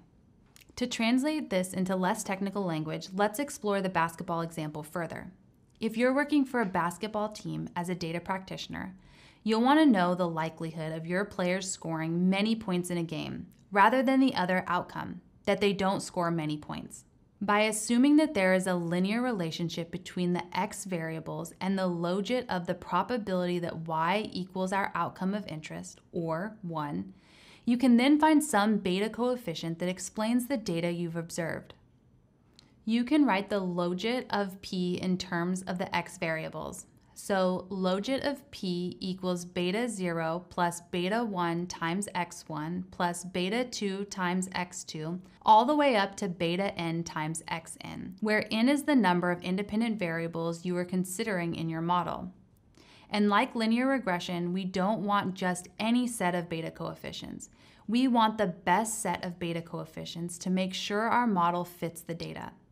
In linear regression, we minimize the sum of squared residuals, which is a measure of error, to figure out the best model. In logistic regression, we'll often use maximum likelihood estimation to find the best logistic regression model. Maximum likelihood estimation, or MLE, is a technique for estimating the beta parameters that maximize the likelihood of the model producing the observed data.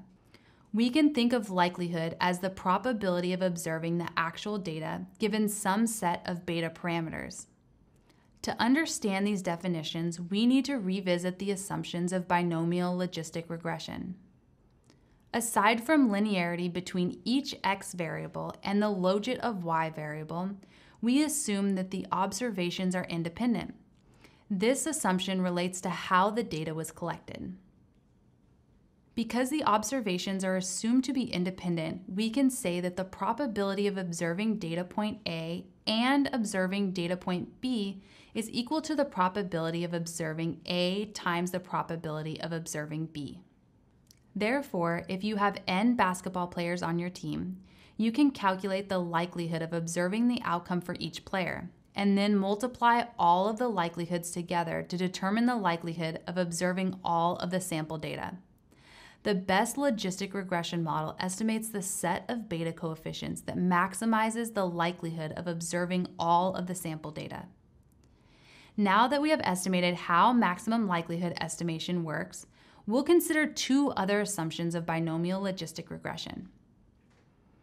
We assume that there is little to no multicollinearity between the independent variables. If we include multiple x variables, they should not be highly correlated with one another, just like with linear regression. Lastly, we assume that there are no extreme outliers in the dataset. Outliers are a complex topic in regression modeling and can be detected after the model is fit. Sometimes it is appropriate to transform or adjust variables to maintain model validity. Other times it can be appropriate to remove outlier data. To recap, we've defined the main assumptions of logistic regression and how to fit the best logistic regression model to the data using MLE. Coming up, we'll explore how to build and evaluate a logistic regression model in Python using real data. Meet you there. We've explored the kinds of questions logistic regression can help answer, reviewed the theory supporting logistic regression, and why it's a reliable and foundational data analysis tool. In this video, we'll build a logistic regression model in Python, which puts us in the construct phase of PACE. To illustrate how to code a binomial logistic regression in Python, we'll go through an example with data together. The dataset we'll use comes from a study about motion detection in older adults. We've selected a subset of the data to work with. We've already loaded our dataset in a data frame called activity. You can call the describe function to get more statistical information about the variables. There are 494 rows of data based on the count row. You can also observe the mean, standard deviation, minimum value, maximum value, and the value at each quartile for every variable. Now examine the first few rows using the head function. There are two variables in the dataset. The first variable measures acceleration in the vertical direction. The second variable indicates whether a person is lying down. You want to use logistic regression to predict whether the person is lying down or not. Load in scikit-learn's train test split and logistic regression functions. Now prepare the data for the Python functions to split the data into training set and a holdout dataset. Divide the activity data frame into the x variables and y variables as you've done for other models. Here you'll just focus on one x variable, vertical acceleration. To follow good data practices, split the data into a training and holdout dataset using scikit-learn's train test split method you imported earlier. You'll use the holdout or testing data later when you evaluate the model you're building now. We set the random state so that the results are repeatable, but you don't always have to set the random state. If you use a different random state, your results will differ. Next, build the logistic regression model and save it as a variable called CLF.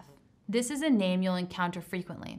CLF stands for the classifier. Call on the logistic regression function to build a classifier. Then use the fit method of the logistic regression classifier and input the training dataset. Then call on the classifier's coefficient and intercept attributes to get the parameter estimates. The coefficient or parameter estimate for beta 1 is negative 0.118, rounded to the nearest thousandth, and the estimate of the intercept or beta 0 is 6.102, rounded to the nearest thousandth. If you want to create a plot of your model to visualize results, you can use the Seaborn package. So import Seaborn using SNS alias if you haven't already. Then call on the regplot function. You have to tell the function which column the x variable is in, which is labeled ACC, parentheses, vertical, close parentheses. Then specify y variable column. Next, tell the function where the data is stored. Specify that you're interested in logistic regression by setting the logistic argument as true.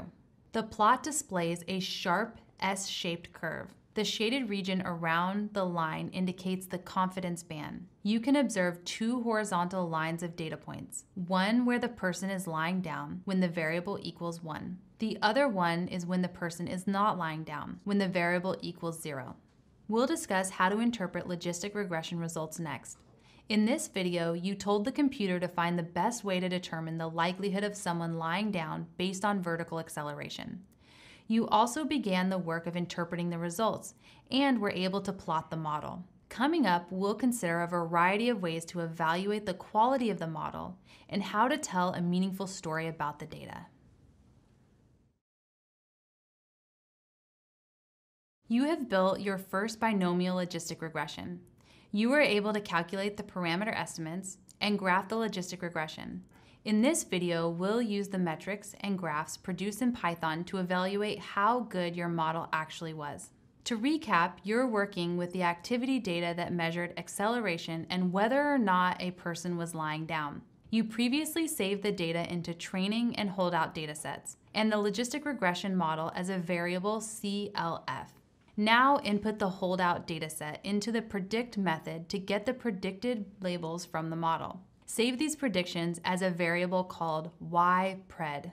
Note that MLE predicts a probability that an observation is a 0 or 1.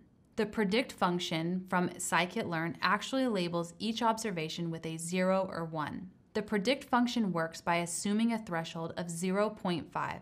So if MLE predicts a value greater than or equal to 0.5, the predict function will label that observation a 1. If MLE predicts a value less than 0.5, the predict function will label that observation a 0. The predict proba function, on the other hand, will allow you to check what probability was predicted for each data point. Now that you have predictions about whether each observation is a 0 or 1, you can create a confusion matrix that will give you a quick overview of how well your model categorized each data point in the holdout dataset. A confusion matrix is a graphical representation of how accurate a classifier is at predicting the labels for a categorical variable. The confusion matrix displays how many data points were accurately categorized by a classifier for each category. The other squares in the grid convey how many data points were misclassified. Now build your own confusion matrix, and together we'll review each part of the plot. Import scikit-learn's metrics module to create your own confusion matrix. To graph the confusion matrix, you can use two methods from the metrics module, confusion matrix and confusion matrix display. Use the confusion matrix to generate values for the matrix and save the output as a variable called CM. Then save the graph as a variable called disp using the confusion matrix display method. Now show the confusion matrix by plotting the confusion matrix display function's output. The diagonal from upper left to lower right displays how many data points were accurately categorized by the classifier for each category. The other squares in the grid show how many data points were misclassified. On the axes of the confusion matrix, there are labels indicating the category of data point as 0 or 1. 0 means the person was labeled as not lying down for that observation. Data professionals call a data point that is labeled 0 a negative data point. 1 means the person was labeled as lying down for that observation. A data point that is labeled 1 is a positive data point. In the upper left corner of the confusion matrix, we have the count of observations that our classifier predicted as not lying down, and they actually were not lying down. These are called true negatives. Moving to the lower right, we have our true positives. This is our count of observations that our classifier predicted as lying down, and they actually were lying down. Now let's consider where our model's predictions were wrong. In the upper right is the count of observations where our classifier predicted the person was lying down, but they were not lying down. These were our false positives. In the lower left is the count of observations where our classifier predicted the person was not lying down, but they were lying down. These were our false negatives. In a great model, we should observe a high proportion of true positives and true negatives, and a low proportion of false positives and false negatives. In this video, you learned about the confusion matrix. This versatile tool can help you add depth to stories you tell about logistic regression models. In the following videos, we'll discuss even more ways to evaluate the quality of a logistic regression model. I'll meet you there. Earlier, we covered confusion matrices, which help to visually represent and quantify how well a logistic regression performed. In this video, we'll continue to work through the analyze and construct phase of PACE and discuss evaluation metrics for logistic regression. These metrics summarize the true positives, true negatives, false positives, and false negatives presented by the confusion matrix. The three metrics we'll discuss are precision, recall, and accuracy. You can access the functions used in this video through scikit-learn's metrics module and we'll continue to consider our activity data example. Precision measures the proportion of positive predictions that were true positives. Precision is equal to the number of true positives divided by the sum of true positives and false positives. In this case, precision would tell us among the people we predicted to be lying down, how many of them are actually lying down. Scikit-learn's metrics library has a convenient function that does the math for us. We input the y values in our holdout dataset and the y values that our model predicted from the x values in our holdout dataset. Since the range of precision is 0 to 1, a score of 0.97 is great. Recall measures the proportion of positives that the model was able to identify correctly. Recall is equal to the number of true positives divided by the sum of true positives and false negatives. Remember that false negatives are those that were lying down, but the model did not detect as lying down. Recall measures the proportion of people the model correctly identified as laying down out of the people who are actually lying down. We input the same data that we input to get precision, but using the recall score function from scikit-learn we get a recall of about 0.98. And since recall also ranges from 0 to 1, this model performs pretty well. Lastly, we have accuracy, which is the proportion of data points that were correctly categorized. Accuracy is equal to the sum of true positives and true negatives divided by the total number of predictions. In our activity example, Accuracy will measure the proportion of people our model correctly identified as laying down and the proportion of people our model correctly identified as not laying down. We can use the accuracy score function from scikit-learn. In this case, our model achieved an accuracy score of 0.97. But note that most of the time, precision, recall, and accuracy are not all this high. This is to be expected. Two other common evaluation techniques that may be helpful when working with classifiers are the ROC curve and AUC. These concepts are related to thresholds, true positives, and false positives.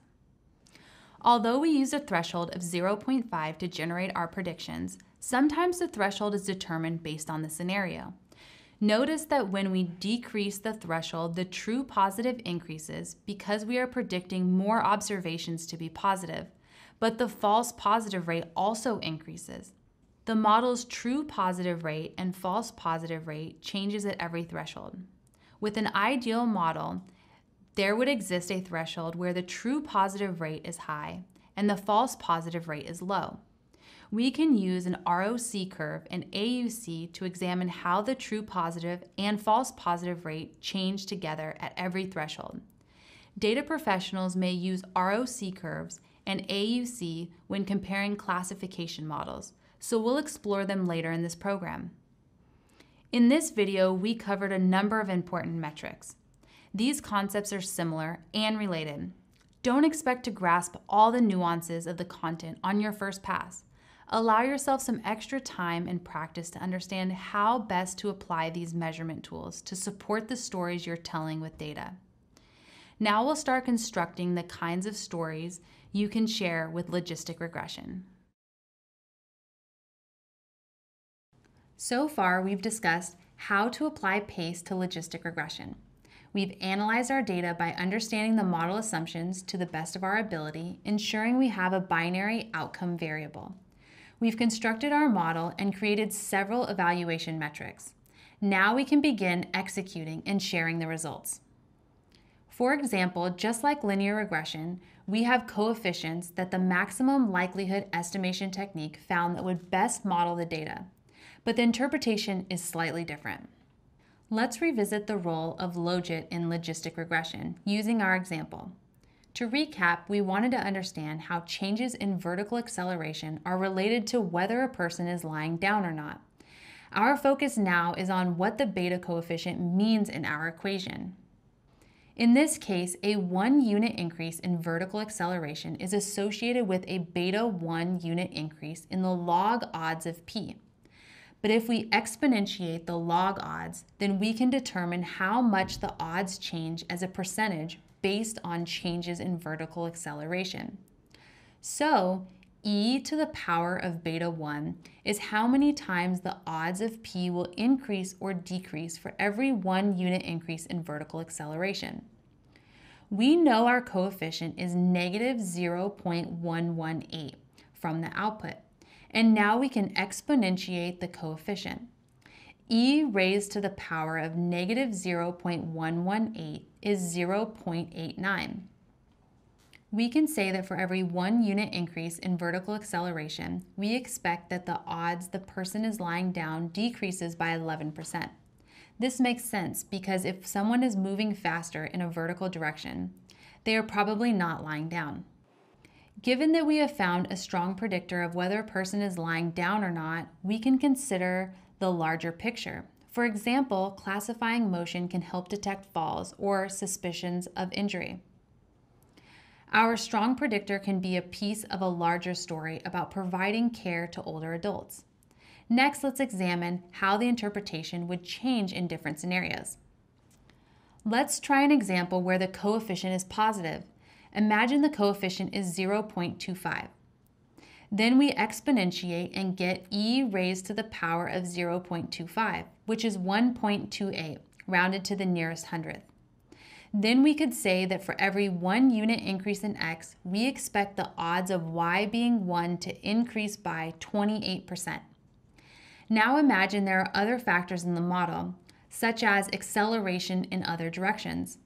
When there are multiple independent variables in a logistic regression model, just like in a linear regression model, we have to report coefficients while holding other variables constant.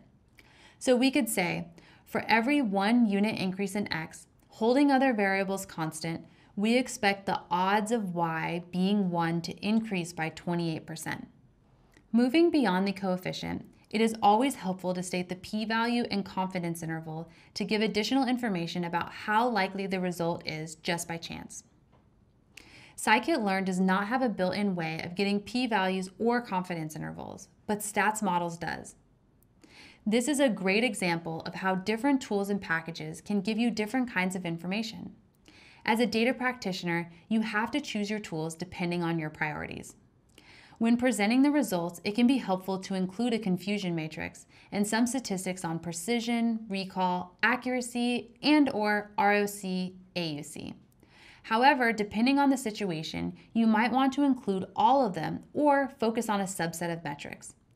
Consider that certain industries or organizations may have preferred metrics given how they manage their modeling process. It's important to check with your team about this as you get started as a data analytics professional. Take, for example, the case of detecting spam text messages. Spam texts are unsolicited messages sent to many recipients. Only a small fraction of text messages that you receive are probably spam.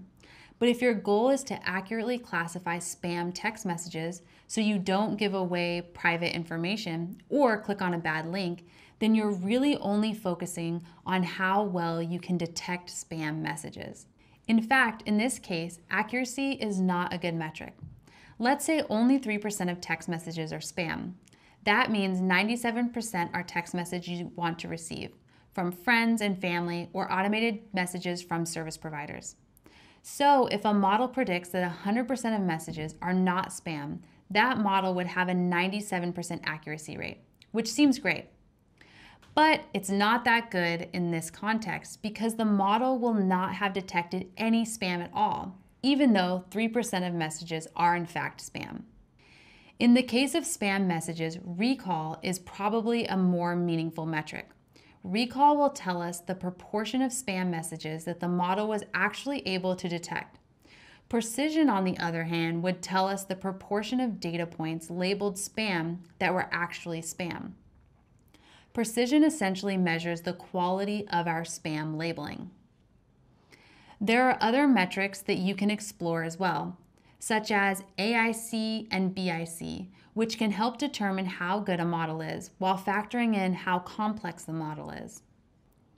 As with many of the topics covered in this course, we've reviewed many concepts and now understand the terminology associated with the material. Work in the data space is dynamic. There is no one solution that works every time. Data professionals are constantly learning and thinking about better approaches. We always have to contextualize the data, the problem, and the available solutions. Next up, we'll focus on comparing some of the models and tests you've learned so far. Meet you there. You've learned a lot about binomial logistic regression and the kinds of problems it can help you solve. Now you'll review some of the other techniques that you've learned and focus on the kinds of questions you might encounter in your work as a data professional.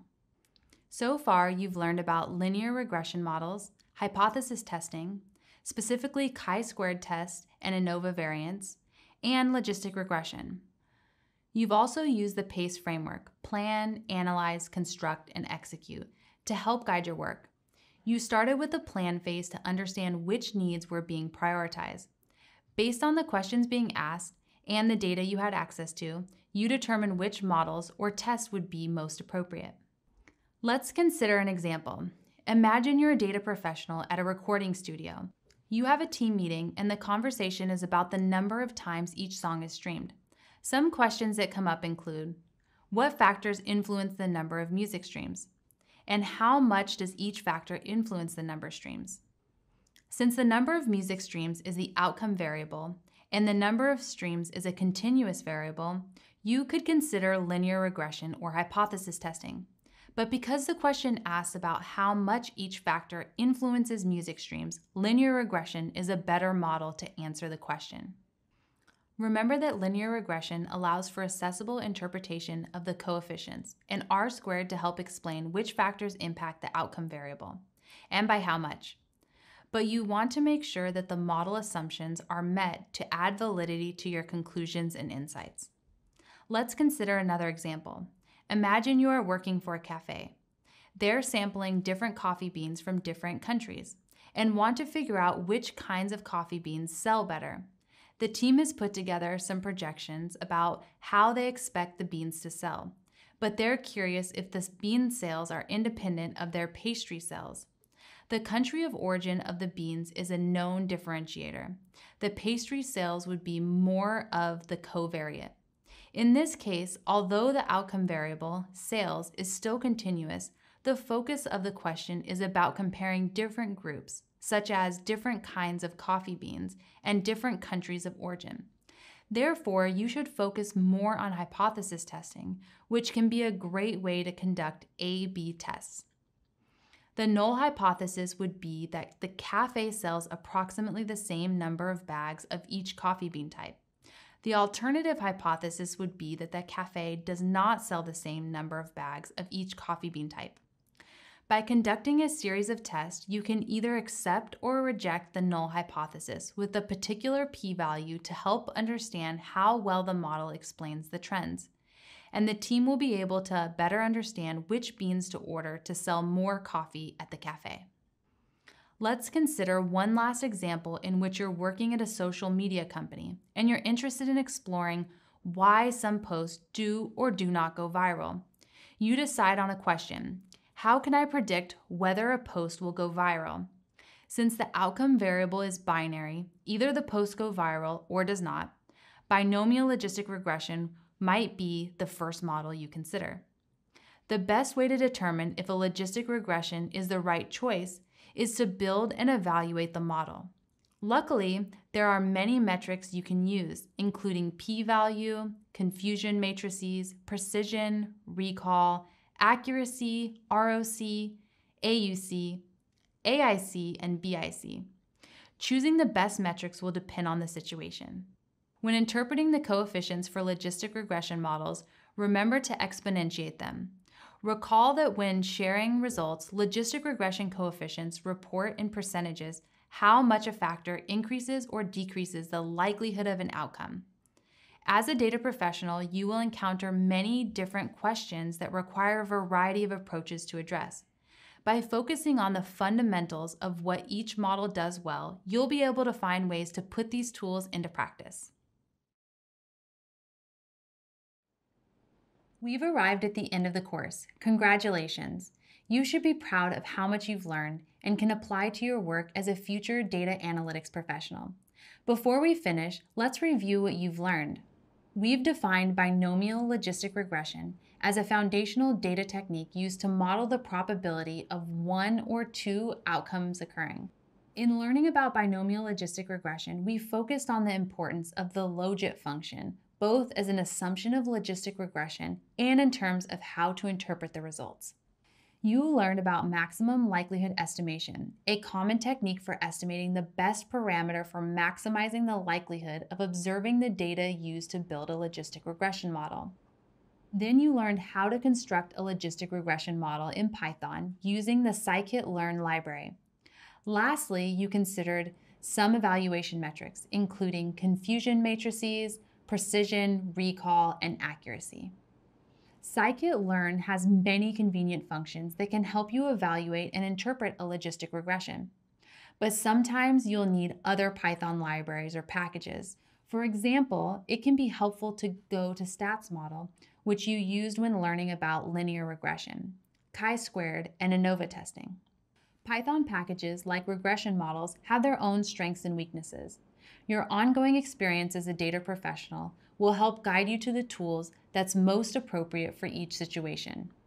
You also learned how to interpret logistic regression coefficients and what considerations to make when selecting metrics and plots based on the questions you're trying to answer. Lastly, you reviewed example scenarios to figure out why certain models or tests might be most appropriate in each situation. You've worked very hard up to this point. Celebrate all that you've learned and consider the many questions you've asked and answered throughout this learning journey. You're well on your way, so keep up the good work. Hi, I'm Tiffany. It's great to be with you again. I'm here to talk more with you about your portfolio ideas and how you can use it in your job search. Completing the project for this course is a great way to present your knowledge and experience about data centered tasks to potential employers. This time, your project will demonstrate what you've learned about regression analysis. Ready to get started? As you learned in earlier courses, each portfolio project provides an opportunity to complete tasks that demonstrate what you've learned in a course and create artifacts that you can add to your portfolio. While completing this portfolio project, you will also develop your interview skills. When interviewing for a job, I recommend that you discuss specific experiences that apply to data professional work. You can also use this portfolio project in these instances to show and explain your transferable skills. Additionally, some employers might ask you to assess a business scenario that requires multiple linear regression model. This project was designed to help you practice these skills. In order to complete the project, you'll be presented with details about a business case. Use the instructions to complete a new entry in your PACE strategy document and create a multiple linear regression model with ANOVA testing. You'll also use your PACE strategy document to continue recording your methods and considerations for approaching data projects. Remember, you can go back to other videos and resources in this course if you'd like a refresher on any of the material. Ready? Let's go.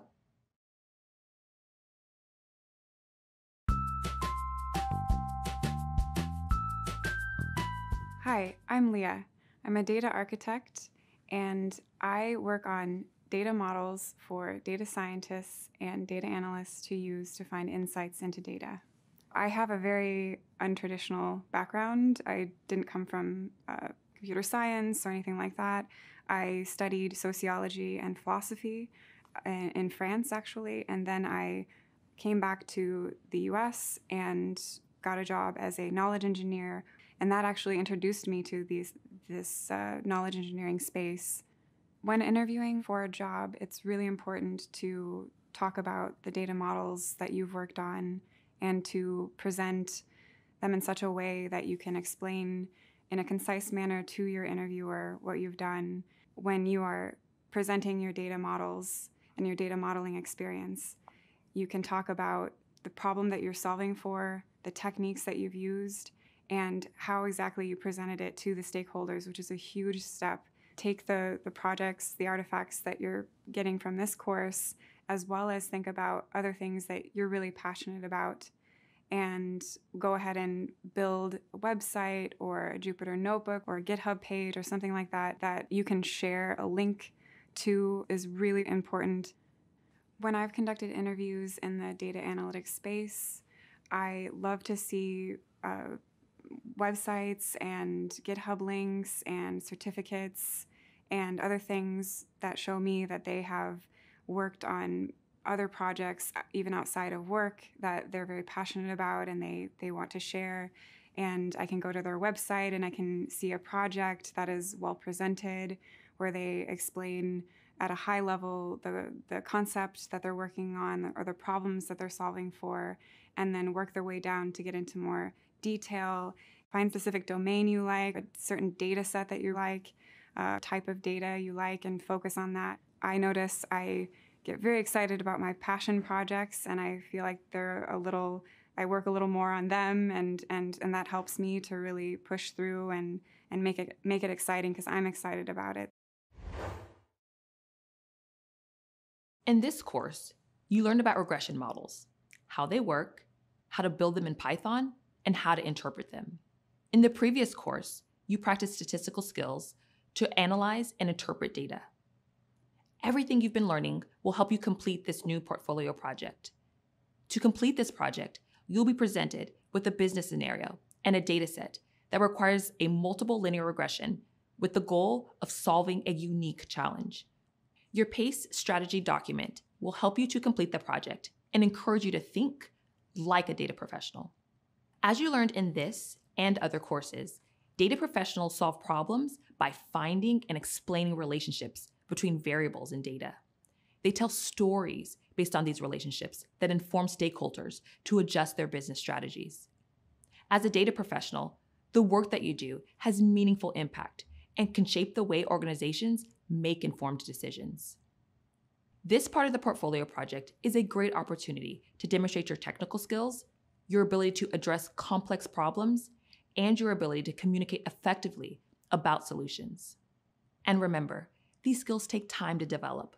The more portfolio projects you complete, the better prepared you'll be to face difficult job interview questions and handle challenges in your future role as a data professional.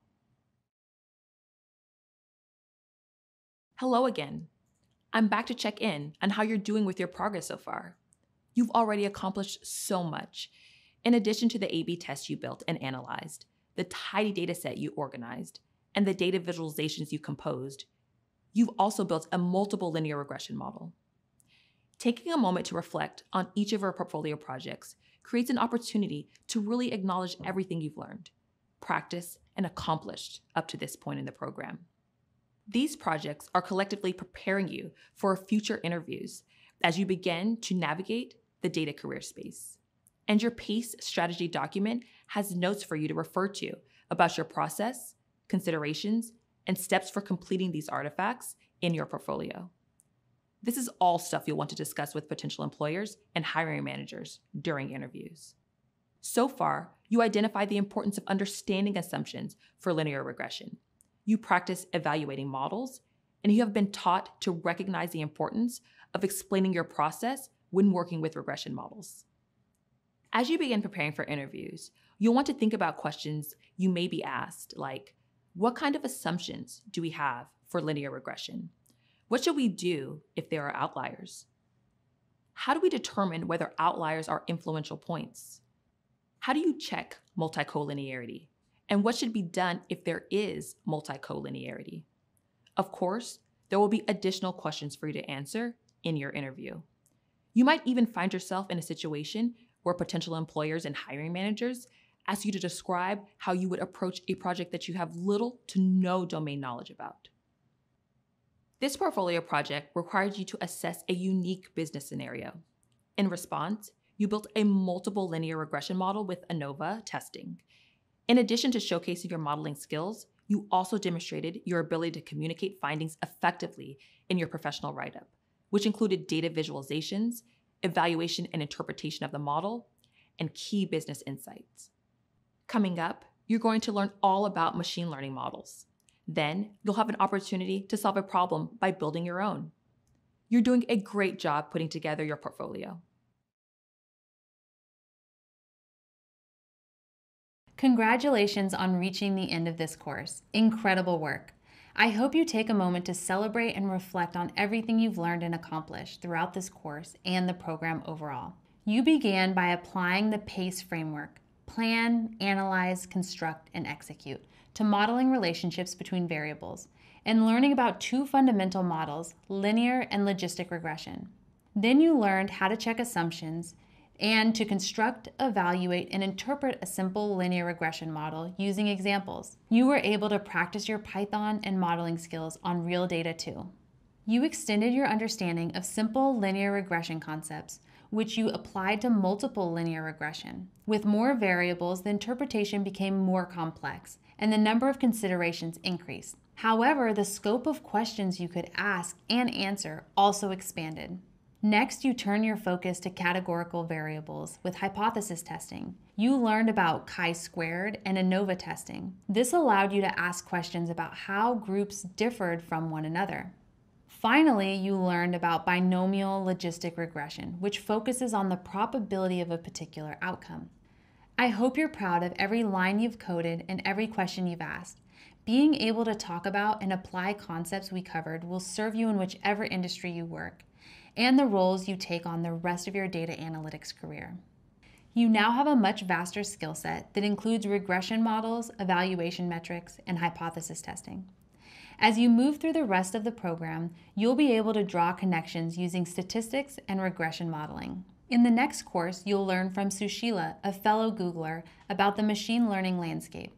You'll explore supervised and unsupervised machine learning. I can't wait for you to meet Sushila and for all she has to teach you.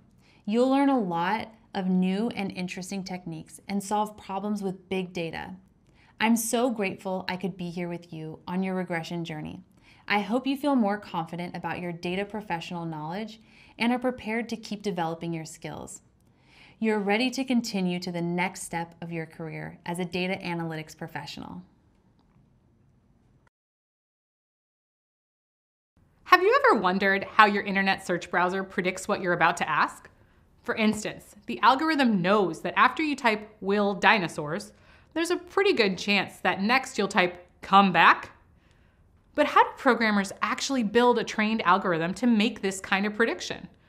Well, in this course, you'll learn the process for creating complex models, which can be used to offer suggestions about all kinds of things.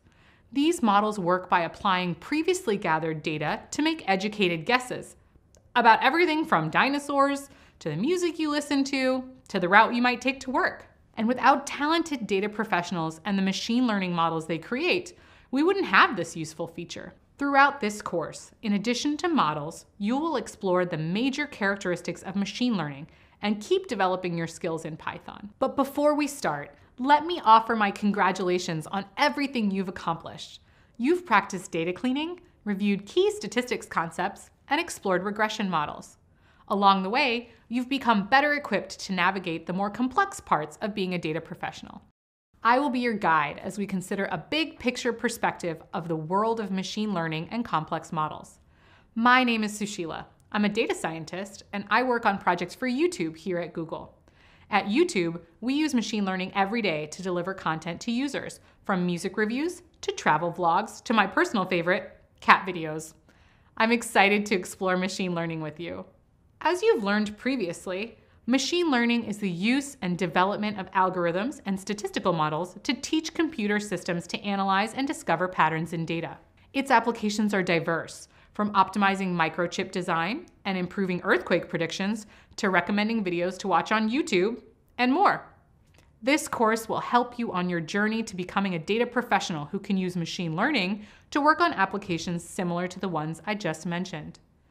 Before you begin, it may be helpful to review linear and logistic regression and statistical models covered earlier in this program.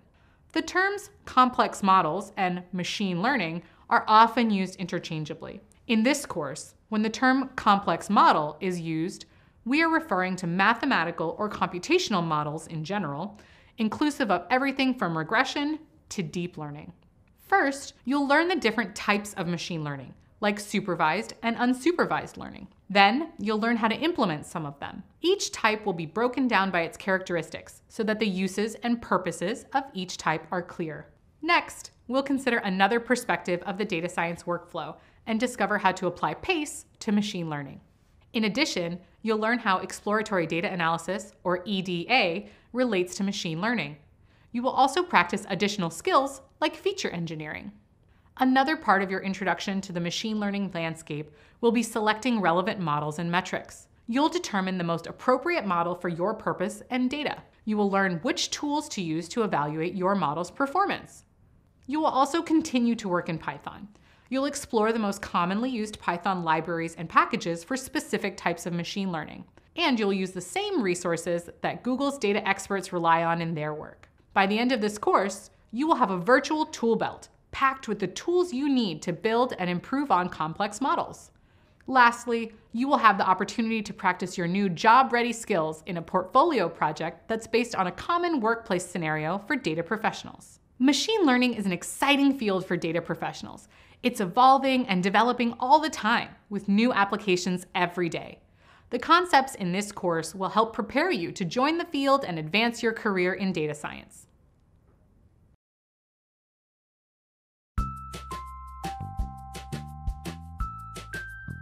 I'm Sushila. I'm a senior data scientist here at Google. I work with teams at YouTube to answer questions they have about their product with data. A typical day for me can look very different depending on which day of the week it is. I like to guard some of my days of the week where I have very few meetings, and that's time for me to have really deep work time, really focused time.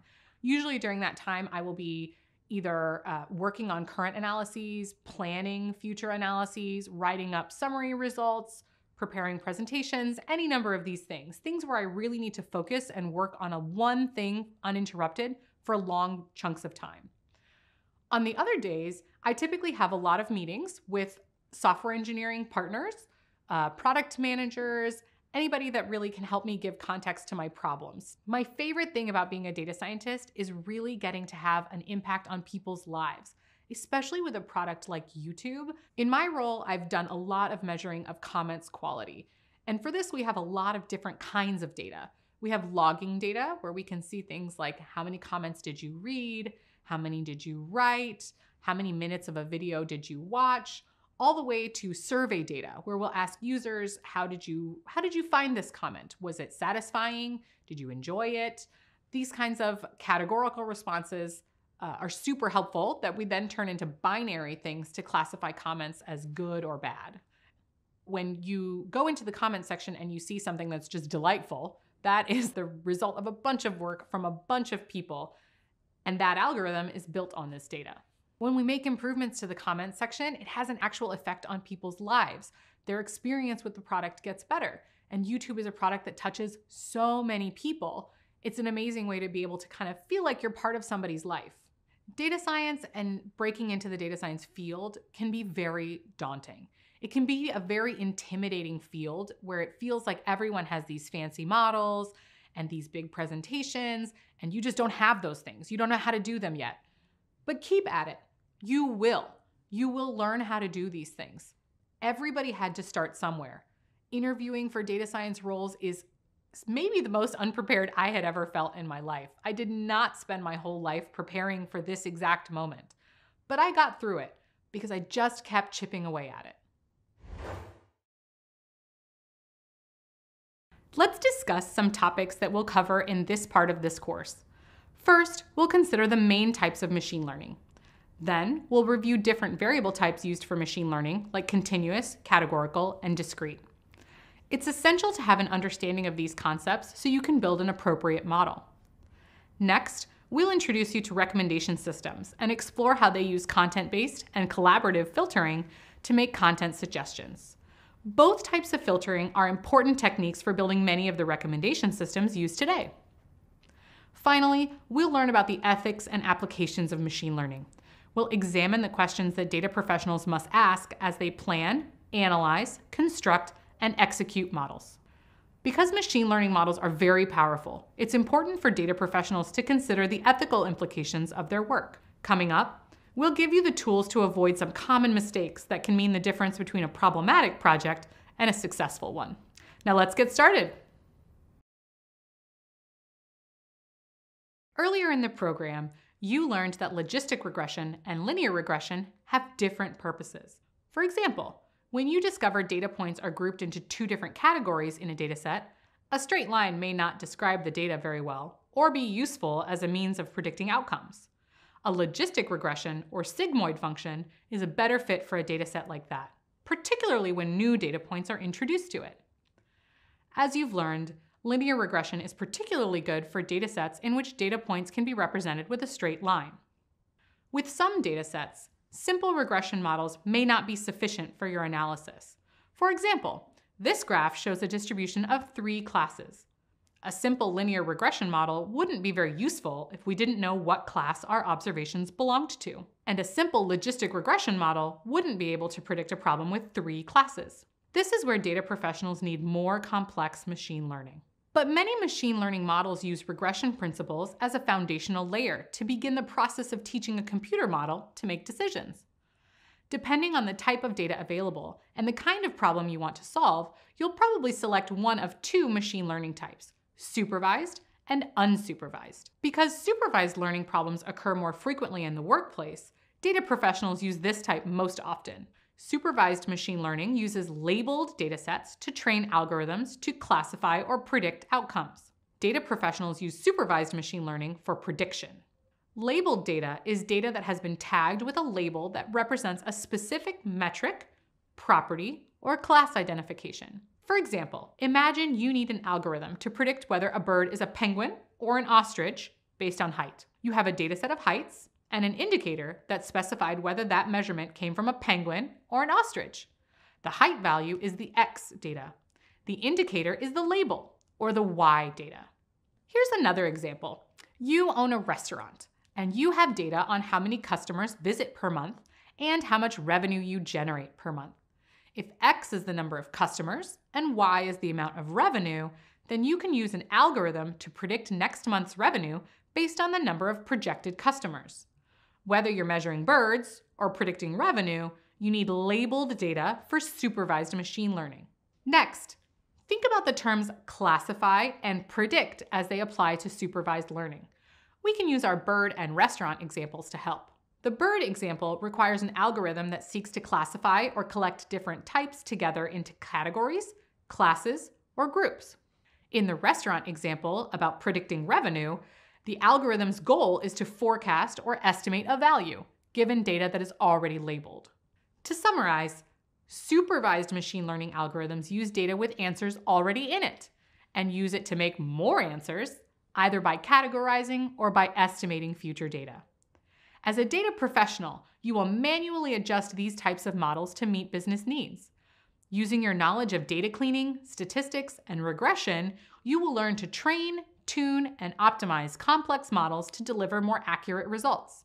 The other most common type of machine learning used by data professionals is unsupervised learning. Unsupervised machine learning uses algorithms to analyze and cluster unlabeled data sets. In this type, data professionals ask the model to give them information without telling the model what the answer should be. At this point, you may have an idea of what unlabeled data means. Think back to the ostrich example we discussed earlier. Unlabeled data would describe a set of flightless birds and not contain any kind of labels, tags, or categorizations. When you receive a data set like this, the goal is to group the birds by their similarity based on patterns detected by your model, without there necessarily being a correct answer. Once an algorithm is deployed, unsupervised learning will manage data as it comes in and classify or analyze it. For example, when a news aggregator categorizes an article by topic, or a media platform categorizes a video by genre. This is done by unsupervised learning algorithms. Later in the program, you will learn how these algorithms work on a conceptual level, how to implement them, and how to apply them to datasets you'll encounter on the job. There are a couple of other types of machine learning besides supervised and unsupervised. Reinforcement learning is often used in robotics and is based on rewarding or punishing a computer's behaviors. The computer will take action based on a policy or set of rules that it has learned. If the action results in a favorable outcome, it will receive a reward. In an unfavorable outcome, the computer will receive a penalty. Based on whether it received a reward or a punishment, the computer will update its policy, trying to optimize for rewards or minimize penalties. This process will repeat until a satisfactory policy is found. Finally, there is deep learning. Deep learning models are made of layers of interconnected nodes. Each layer of nodes receives signals from its preceding layer. Nodes that are activated by the input they receive then pass transformed signals either to another layer or to a final output. Another term you often hear in connection with machine learning is artificial intelligence. Artificial intelligence includes all types of machine learning, so we won't rely on the term for the purposes of this course. Instead, we'll focus on supervised and unsupervised learning. These are the most common applications of machine learning, and having strong skills in these domains is valuable to potential employers. Supervised and unsupervised learning use many of the same principles as reinforcement learning and deep learning, so you'll have the foundation you need to explore these topics further on your own. Now you're familiar with the machine learning landscape. In this course, machine learning falls under the scope of artificial intelligence, which is illustrated on this map. Machine learning and artificial intelligence refer to the same principle training a computer to detect patterns in data without being explicitly programmed to do so. Under the category of machine learning, you'll also find all the other types of learning we've discussed. Finally, there is one aspect of machine learning and data science that every data professional should know. Quality is more important than quantity. A small amount of diverse and representative data is often more valuable for data professionals than a large amount of biased and unrepresentative data. The concept of infinity can be difficult to comprehend. Whether we're cooking a meal or reading a book, most activities humans partake in have a beginning, middle, and end. In other words, they're finite. But as you've learned from previous courses, we data professionals deal with infinity all the time. And this is also true when building complex models. As you learned earlier in the program, continuous features can take on an infinite and uncountable set of values. Understanding this concept is critical when selecting a machine learning model and choosing the measurements to check that model's utility. Imagine you own a citrus tree farm, and you want to learn the average weight of this year's yield of kumquats. The entire yield, or population, is 100 bushels. Using simple random sampling, you pull three kumquats from each bushel and weigh them individually. The recorded individual weights of all these kumquats are considered continuous data, because the possible value of one kumquat is infinite and uncountable. In other words, one kumquat doesn't weigh 15 grams exactly. And out of the 300 kumquats you weighed, their weights may have been measured to two decimal places, like 15.76, 16.09, and 15.56, but the measurement is continuous because the weights could be any infinite number between those measured points, like 15.762950. Simply put, weight is a continuous feature because it has an uncountable set of possible values. Conversely, the total number of kumquats in your 100 bushels has a fixed quantity. Because of this, the total number of kumquats is not a continuous feature. As a data professional, knowing whether the features you input into a machine learning algorithm are continuous or fixed will be essential to choosing the correct model and the evaluation metric for that model. Recognizing whether data features are continuous is not the only indicator to consider when deciding which machine learning model to use, but it is a very helpful one. Here's our machine learning map again, with some new information added to it. Beneath supervised, you find a block of models used to predict continuous outcomes, including several regressors. Supervised learning models that make predictions that are on a continuum are called regression algorithms. Some of these models were introduced earlier in the program. Others will be defined later in the course. For now, just know that data professionals use these types of models to work with continuous data. The goal of these models is to predict outcomes or values based on the datasets provided. The nature of a data professional's job, in this case, is to train the model to predict the values as accurately as possible. And that's what you'll learn coming up. Meet you there!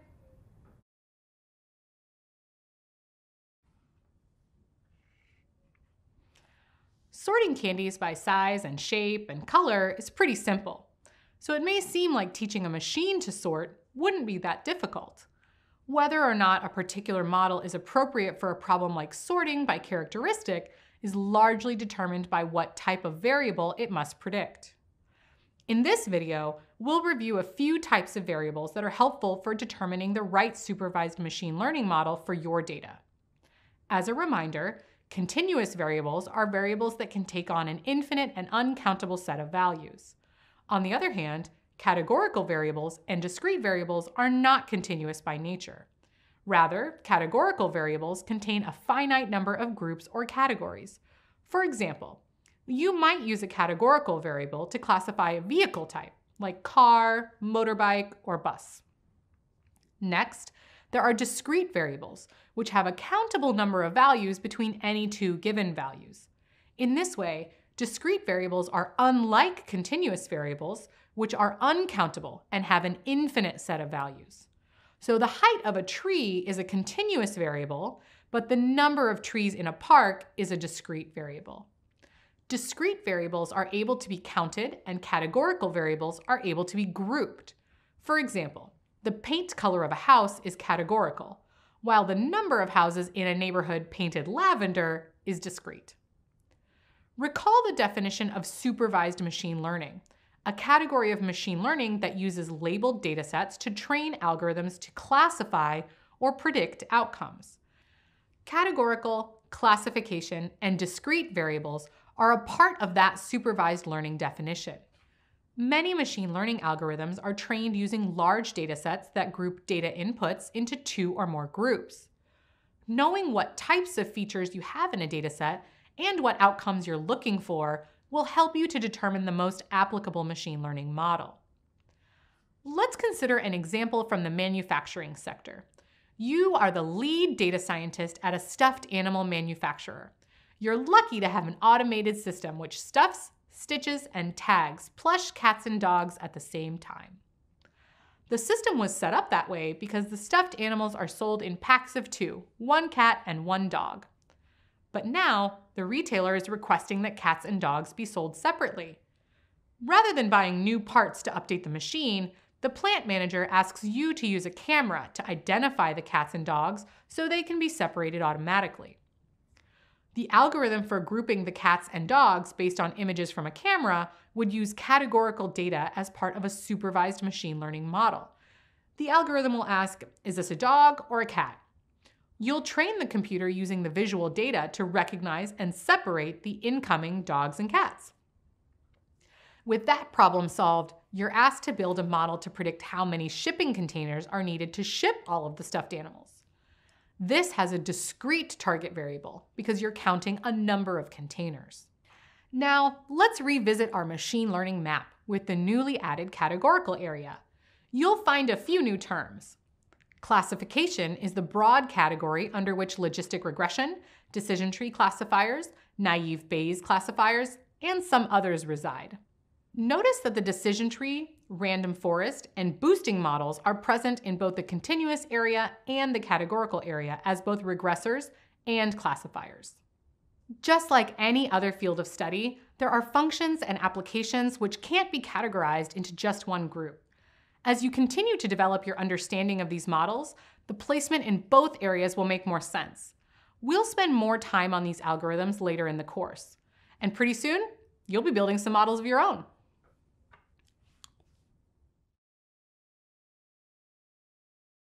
Now that you understand the different types of features used in machine learning models, let's investigate how they can be used together in a type of model you're likely very familiar with. Have you ever been streaming your favorite new album and when you reach the end, something entirely new begins to play? You've never heard it before, but you really like it. How did your streaming service do such a good job choosing a new song for you? It used a recommendation system. Recommendation systems are a subclass of machine learning algorithms that offer relevant suggestions to users. And as you probably realize, they're everywhere. Just about any website or app that matches you with something, whether it's an outfit to wear or a recipe to cook, most likely uses a recommendation system. The main goal of a recommendation system is to quantify how similar one thing is to another and use this information to suggest a closely related option. In this way, recommendation systems make it easier for users to find and connect with information, products, and content that's relevant and enjoyable. Let's examine how this works. First, you selected a song on the music streaming service. Then, when the song ended, the service played more music related to your initial choice. This is an example of content based filtering, in which comparisons are made based on attributes of content itself. In this case, attributes of the music you played are compared to attributes of other music to determine similarity. To make this comparison, there must be data about each song that's a deconstruction of its attributes. In other words, everything that makes the song unique is identified and labeled, like the artist's voice type, the rhythm or beat, or whether a certain instrument is featured. Then, when you search for a song, the content based recommendation system will access the list of attributes for that song and every other song in its library. Finally, the system will compare them all using the same list of attributes. Good song recommendation systems compare hundreds of attributes. Content based filtering has benefits and drawbacks. Some of the benefits are that they're easy to understand, they help recommend more of what a user likes, even niche things that few others are interested in, and they don't need information from any other users to work. Another advantage is that the filtering is not limited to comparing items, like songs. They can map users and items in the same space and then recommend things that are closest to a user's typical preferences. Interestingly, sometimes a benefit can also be a drawback, and vice versa. For instance, the fact that content based systems always recommend more of the same type of thing can be a drawback. Users won't be introduced to something that diverges from what they've selected in the past, or learn something new. Another disadvantage is that the attributes often have to be selected and mapped manually for all the items, which is an enormous amount of work. Finally, content based filtering is ineffective at making recommendations across content types because different content types don't use the same features. For instance, a book doesn't have beats per minute, so the same streaming service won't be able to use your song preferences to recommend a new novel. So the use cases can be limited. Note that, in this music streaming example, you didn't actually rate anything. You just listened to your playlist and the algorithm found similar songs. When you stream videos, on the other hand, you might rate or review something when you like it. The recommendation system can also use your feedback to suggest other videos you might like. In the video streaming example, you both viewed and actively participated in the feedback process by liking the videos you enjoyed. A drawback of this method of recommendation is that you probably like videos about various topics, but the system will use your feedback to only suggest similar videos to the ones you liked. Here's another example of how recommendation systems work based on your feedback, called collaborative filtering. When a user actively likes content by rating it or giving it a good review, it leads to collaborative filtering. A recommendation system will use collaborative filtering to make comparisons based on who else liked the content. Then, it will suggest videos to someone else with similar preferences. Collaborative filtering is different from content based filtering in that the recommendation system doesn't need to know anything about the content itself. All that matters is if you liked it. It's a different flavor of recommendation system. Which brings me to ice cream. Perhaps we want to know which ice cream flavors David will enjoy. A collaborative filtering system would compare past items that he has liked to what other people have liked. And because David's likes and dislikes are very similar to Fatima's, the algorithm will predict that he'll enjoy fudge brownie because Fatima does. Collaborative filtering works regardless of what the items are. The flavors don't matter. It doesn't even matter that it's ice cream. It could be cars or restaurants or hair products. All that matters is that David and Fatima have similar tastes. The ability to recommend across content types is one of the main advantages of collaborative filtering. Other benefits are that it finds hidden correlations in the data and it doesn't require tedious manual mapping. Drawbacks of collaborative filtering are that these systems need lots of data to even start getting useful results, and every user must give the system lots of data. Also, collaborative filtering data is very sparse, which means it has a lot of missing values. Let's use movies as an example. There are hundreds of thousands of movies in existence, but most people have only viewed a small fraction of them. So each person's movie data would have missing values for all the movies they haven't experienced. A recommendation system would need to use advanced filtering techniques to manage all that empty space. Most recommendation systems are highly complex and use hybridized models that make use of elements from both content based and collaborative filtering. But even in the simplest use cases, there are different needs, resources, and strategies available for data professionals to use. And it's the data professional's job to recommend the best problem solving approach. Recently, you learned about recommendation algorithms and how they help users discover everything from new music to stream, to new hair care products to try, or new games to play with friends and family. These algorithms can be extremely accurate, but they can also miss the mark. For example, one limitation of recommendation tools is the problem of popularity bias, which is the phenomenon of more popular items being recommended too frequently. This leaves the majority of other items, which might be just as pleasing to users, not getting the attention they deserve. As machine learning becomes more accessible and its power applied to an ever broadening set of challenges, there's greater potential for models to have unintended and even harmful consequences. So, as a data professional, it's important that you prioritize fairness in the data that you have and use. Part of this responsible data stewardship is taking steps to reduce the potential of unintended consequences of your machine learning applications. Data professionals must also consider risk. They may need to make decisions that could expose a business and the people it serves to negative consequences.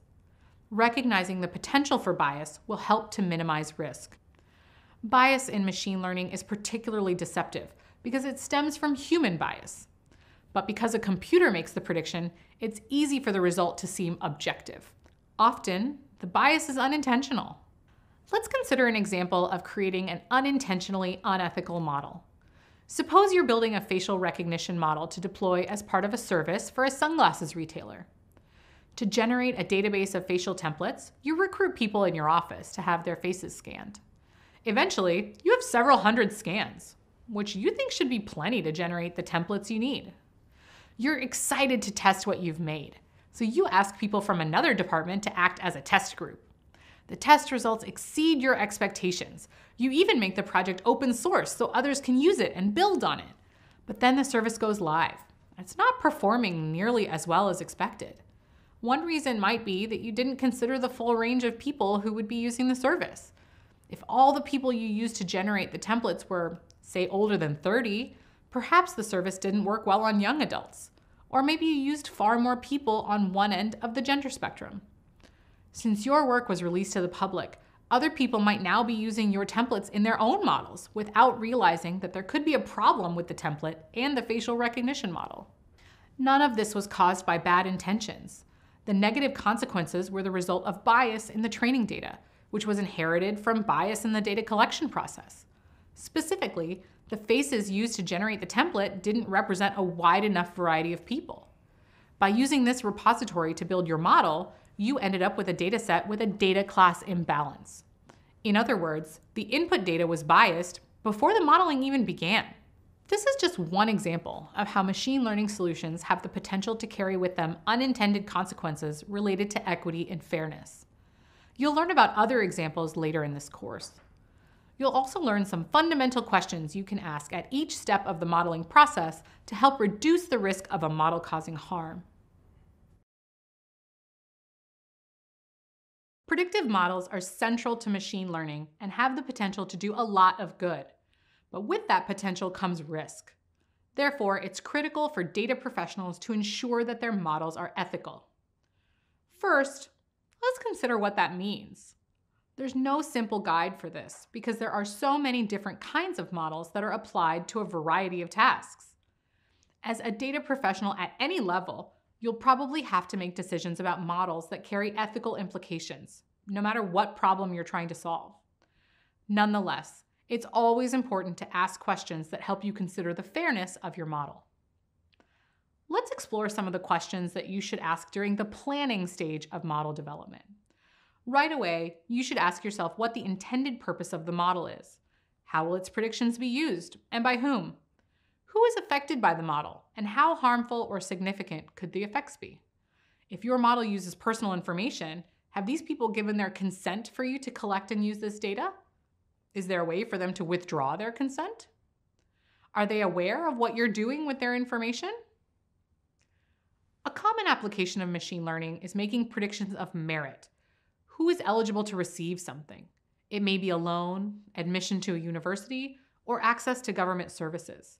These are ethically sensitive situations because models that make these predictions affect people's lives. If you're designing a model to predict whether a bank should issue someone a loan, who will use that information? What could happen if the model is wrong? What are the long term consequences if the loan is denied? Once you've considered these questions, the next step is to analyze the data. This step carries its own set of questions you must ask whether the data you intend to use to build your model is appropriate, well-sourced, and representative. To continue our example, does your loan data go back many years? If so, it's likely that marginalized and oppressed classes are underrepresented in the data because previous measurements were influenced by bias or prejudice. There's a common saying in data science, garbage in, garbage out. If there are problems with your data, then there will be problems with your predictions. After you've planned your process and analyzed the data, it's time to construct the model and ask additional questions. For instance, is it important that the model's predictions be explainable? With some modeling methodologies, it may be difficult to know where the predictions came from. This is sometimes known as a black box model. Neural networks are widely known for being difficult to explain, and therefore they're not appropriate for many applications where transparency is important. Algorithms like Random Forest, AdaBoost, and XGBoost aren't completely black box, but they may require additional efforts to explain and justify their predictions. At the other end of the spectrum, linear and logistic regression methods are highly explainable. So are single decision trees. Once you've planned everything out, analyzed the data, and built your model, there are more questions to ask before you complete the execute phase. First of all, Ask yourself if you understand your model and its predictions. Do they make sense? Are the predictions fair? One way of evaluating model fairness is by checking to see how the model's error is distributed over a population. If the model only makes errors in particular cases that are similar, it could carry higher ethical risk. Another question to ask is whether someone is assigned the responsibility of reviewing and monitoring the model both pre and post deployment to make sure it's performing well and to assess the potential for harm. Finally, make sure you're considering the issue of consent at each stage of the PACE process. As you can appreciate, there are a lot of questions to ask to ensure ethical model development. Few data professionals will be responsible for answering all of these questions themselves, but nearly every data professional must answer some of them. So it's important for you to always keep in mind. When you ask the right questions at each stage of the PACE workflow, you help to ensure your models are good for business and good for everyone involved. Today, there are many tools and programs that can help you perform data analytics and build machine learning models. Knowing what's available in your digital tool belt is important as you approach and solve problems as a data analytics professional. At YouTube, we need to wrangle vast quantities of data. Rather than reinventing the wheel each time, I use tools and libraries that other data professionals have already created to help me clean, validate, and visualize my data efficiently. You've been applying many of these tools throughout this program, but let's take a moment to review some of the software you've used, some that you haven't, and figure out how they relate. When creating any Python script or program, development is almost always done inside an integrated development environment, or IDE. An IDE is a piece of software with an interface to write, run, and test a piece of code. If you took the original Google Data Analytics certificate, you coded using the language R, and R's accompanying IDE, RStudio. It's possible to create and run scripts inside any standard text editor, but IDEs provide many tools to support the development of your code.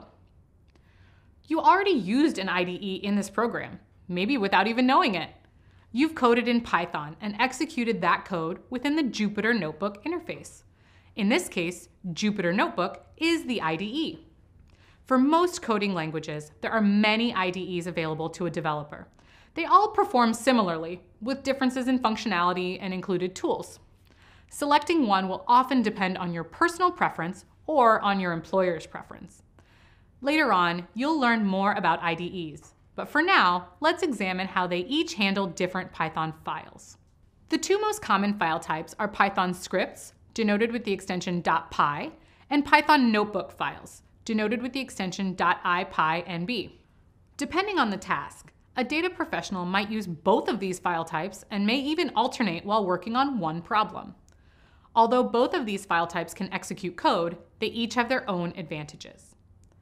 It's important to remember that Python is not just a language used in data science. It's a flexible, general purpose language that can be used for web development, automation, cryptography, and other tasks. Many times, all you'll need is a Python script. Python script is the Python code written in a plain text file, executed by the computer without the need for human supervision. In situations when it's not necessary for a human to check the code while it's running, data professionals generally prefer to use Python script. Scripts are especially useful when the program incorporates several files. Scripts are also helpful when there are many errors in the program that require debugging, since scripts can take advantage of additional functionality that notebooks cannot. However, Python scripts typically aren't ideal for data science. A data analytics professional, especially during EDA, needs to use Python to interactively explore a dataset and view the outputs of their code in near real time. Often, these results are shared with colleagues and must be in a human readable format. Python notebooks are preferable for data tasks that use code to tell a story. Notebooks can be really useful for pairing code with human readable descriptions and outputs. Non-code elements like images, links, and general text can be embedded directly into the file. They also have some nice functional advantages, such as the ability to export the file as a PDF. It might seem like .py files are preferable to .ipynb files, but that isn't necessarily true. Python notebooks are just another tool common in the data space, both for learners and industry professionals. Many employers seek candidates who have experience working with existing Python notebooks and know how to create new ones. You'll continue to use Jupyter Notebooks for this part of the course. However, all the code and concepts you've learned will work just as well in a standard .py file if you're ever in a situation that requires that file type. Python scripts, notebooks, and IDEs are just part of the tool belt. Think of them as the foundation for the rest of the projects you'll be working on in this program and as a data professional. Selecting the right combination of these tools will help you successfully complete any task you're given. Earlier, you explored integrated development environments. Keeping in mind the different types of Python files that are available to you, in this video, you'll learn more about specific options for IDEs that you might use as a data professional. Knowing whether or not you want to use a Python notebook or a Python script can help you visualize the overall workflow of your project. But when you start a project using one type, it doesn't mean you need to use it throughout the whole project. Data professionals change their development environment in the middle of their workflow more often than you might think. You can always switch if you realize that you need some functionality that is offered by a different IDE or file type. Jupyter Notebooks is one of the most commonly used IDEs that support Python notebooks. However, it only offers support for Python notebooks, not Python scripts. Other IDEs, such as Spyder, will only support Python scripts. Some IDEs, such as Visual Code Studio, can support both Python notebooks and scripts. Something else to consider when you're selecting your IDE is the tools that are built into the software. Many of them are relatively simple and make development more efficient. Code completion is a very common feature. It auto-completes what you type based on the functions and variables that are present in the code. Additionally, many IDEs include a file manager, which is helpful when you're managing a larger project. Debugging support and code testing are also available for many IDEs. However, they're more advanced and might not be something you use in your day-to-day -day work as a data professional. Sometimes you might start working in an IDE only to find that it's missing some tools you need or want. Once you figure out which features you need or which changes you'd like to make, you can then either customize the IDE you're using or use a different IDE that better fits your needs. Think of your IDE as a kitchen. There are various tools and utensils that are vital for cooking a meal. But the kitchen is the physical space where all the work is going to happen. If you're the person cooking, having a kitchen where you feel comfortable and find everything you need makes the process of cooking much easier. Applying the same logic to your tools and software will make you a better data professional throughout your career. Throughout this program, You've learned a lot about Python and its built-in functions. You've also used some Python packages and libraries for coding. If you recall, Python packages are a collection of modules that include functionality that is not necessarily present in the base Python language. Modules are used to organize functions, classes, and other data in a structured way. Libraries in Python are simply collections of packages.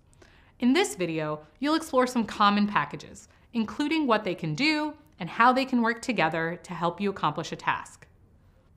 Generally, there are three types of Python packages that you'll be using as a data professional. They can be used to accomplish the same tasks. However, they often have small differences that can make one more useful depending on the situation. The first category we'll explore is operational packages. They're also the first packages you'll normally use in the analytical process. Operational packages load, structure, and prepare a dataset for further analysis. When creating a Python file for analysis, the first thing you have to do is read in your data. The pandas package is often the most useful for doing this. But the pandas read CSV function, which reads your data into a data frame, is only a tiny percentage of what's included in the package.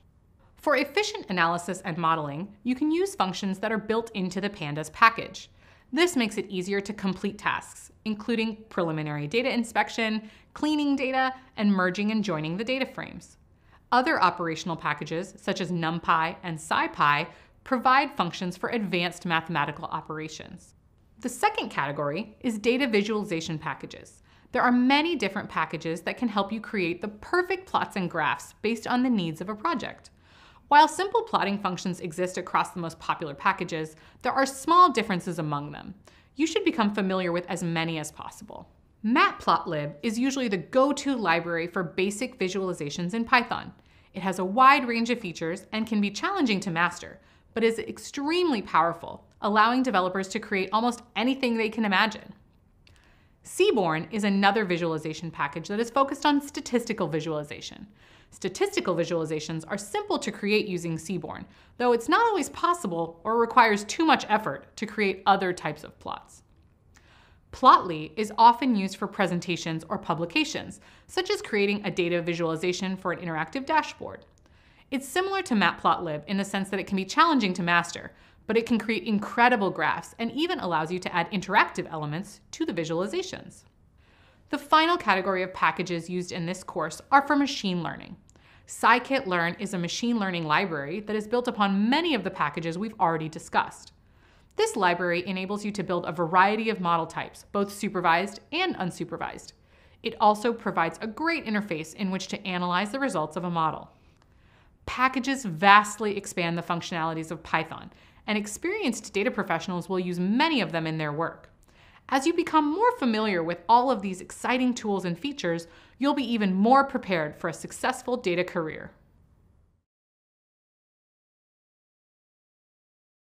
Here's a little secret about the data field. Almost no one knows what they're doing 100% of the time. Even the most experienced professionals encounter issues with their code or the data analysis process itself and need to search for answers. That's why it's so important to understand the available resources that can help you find the solutions you need. So, let's consider a situation. You just finished a piece of code and pressed the run button, but an error appears. It could be a problem with the way you imported your data or something not totally correct in the way you prepared the data for analysis. What can you do? The first step might be searching for the error, as most problems will have been encountered by other developers before. Python is particularly good at telling you where the error is, whether it's a simple syntax error or some other exception. Your IDE will often specifically identify the problem, along with the exact line number where it was caught. So take the error output and search for it online. This usually yields some pretty helpful results. In fact, you'll often find your exact same error in the first few search results. If you're not getting the help you need there, you can search on a public platform like Stack Overflow directly. Stack Overflow is a go-to resource for coding issues, considered by many data professionals to be the definitive collection of coding questions and answers. Not only that, but the community is very responsive and helpful, so you should feel comfortable posting your own questions. Another resource that can be great is the documentation for the package or module you're working with. Documentation is an in-depth guide written by the developers who created the package. Documentation features specific information about various functions and features and usually includes helpful examples. Kaggle is another resource that many data professionals use at some point in their journey. The online community features tens of thousands of public datasets, along with Python notebooks that provide examples of how to conquer a variety of analyses. Many people who are just starting out in the data science industry use Kaggle because it offers tutorials and datasets to learn and practice machine learning techniques. Data professionals who've been in the industry for many years also use Kaggle to learn about new advances in technology and keep their skills sharp. When you encounter an error message or other coding issue, it's also a best practice to consider whether your tools are up to date. Package updates can sometimes break pre-existing code or change the way a particular function is accessed and used. Your code will usually throw an error that tells you if a certain package or piece of software is out of date, but staying proactive can prevent the problems in the first place. So make sure you have correct versions of all your software and tools. These resources are just a few to consider when you need help with your programming. You'll find developers collaborating all over the internet, and the more you learn, the easier it will get to find solutions yourself.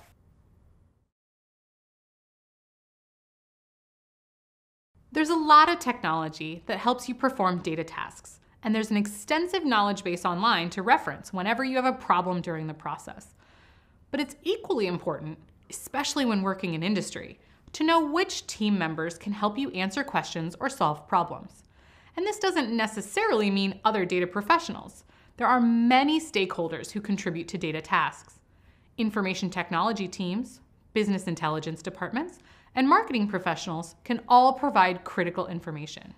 Companies often have their own specific tech, and the IT department can explain what's available for use. For example, if you realize you require a specific software or hardware to complete the problem you're working on, then the IT department can help you access what you need. Business intelligence teams take in raw data and make it accessible for further analysis. This could be in the form of dashboards for quick insights. Or they may provide preliminary information about a dataset, which you'll then use to inform your models. There are also marketing departments, sometimes known as sales, accounts, insights, or product management teams. They can give you more of the why behind a particular analysis from a final product perspective. If you want to confirm that your data project is headed in the right direction, checking in with marketing can give you a clearer target to work toward. In addition to those we've mentioned, there are many other teams you might consult. Knowing the professionals who work adjacent to your project can help you tremendously, so learning about them is valuable whenever you start a new job. Plus, the different teams at a workplace is something you can and should ask about in an interview situation. Questions such as, what other teams will I be working with? Or, what resources are available if I encounter this issue? Can give you a great perspective on what your day to day work environment will be like. Remember, data work is collaborative. Your projects will always have other stakeholders involved, and you should be taking advantage of these key resources as much as possible.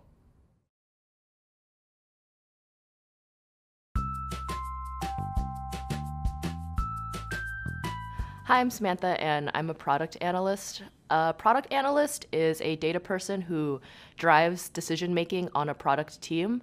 This can be working with the product managers to make sure that all of the decisions that they make are data driven and backed up by accurate data. I'm someone who's interested in a lot of things, and finding this role in product analytics was perfect for me because it combines my interest in wanting to have a technical background with my interest in people.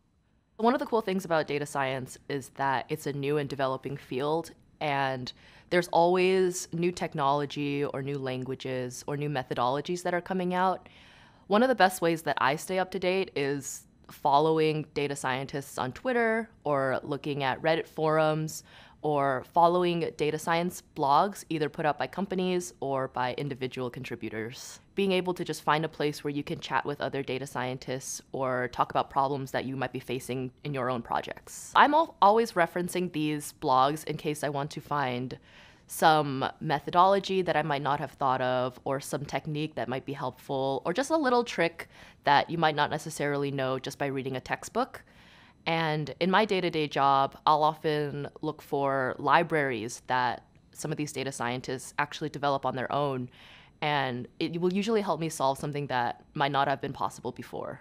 Data science is traditionally a very academic field, and there's a lot of academic conferences that one can attend. But one I think that was great for those in the industry is the Open Data Science Conference. Here you'll find analysts, scientists, engineers from companies all around the world that will come together to learn about the latest technologies and network and get to know each other. This is a great opportunity to really meet other data scientists in the field, especially those that don't have the traditional backgrounds or titles of data scientists that you might see on a job posting. One of the things for me that really helped when I was learning data science and starting out for my career is finding a community that was interested in the same things that I was interested in and that could provide advice and consultation when I was working on my job. This can be anything from helping with recruiting and data science questions to answering uh, coding problems that I might not have been able to find on the internet, or even just finding people to work on projects with having others to collaborate with can only help when completing your very first data science project. Take a moment to reflect on how far you've come. We covered quite a few new and complex concepts. Let's review what you've learned. You identified and differentiated the main types of machine learning, including supervised, unsupervised, reinforcement, and deep learning. We discussed the difference between continuous and discrete features. You also learned about categorical features, which are finite sets of discrete features. Then we provided an overview of recommendation systems and how they're useful for suggesting content, from music to ice cream flavors. You're now familiar with how recommendation systems work, and you can identify the differences between content based and collaborative filtering, as well as their benefits and drawbacks. Finally, you learned why it's important to be a responsible steward of data and how to ask essential questions at each step of model development. By thinking through the ethical implications, you learned how to reduce the potential for your model to cause unintended or harmful consequences. All these concepts and skills are essential to a career as a data professional. Having this knowledge will be especially helpful as you continue in this course. Coming up, you'll select machine learning models, learn ways to measure them, and build the models in Python. These important skills will enable you to be a data driven storyteller, a powerful influencer of change wherever you work. Congratulations! Meet you in the next part of the program.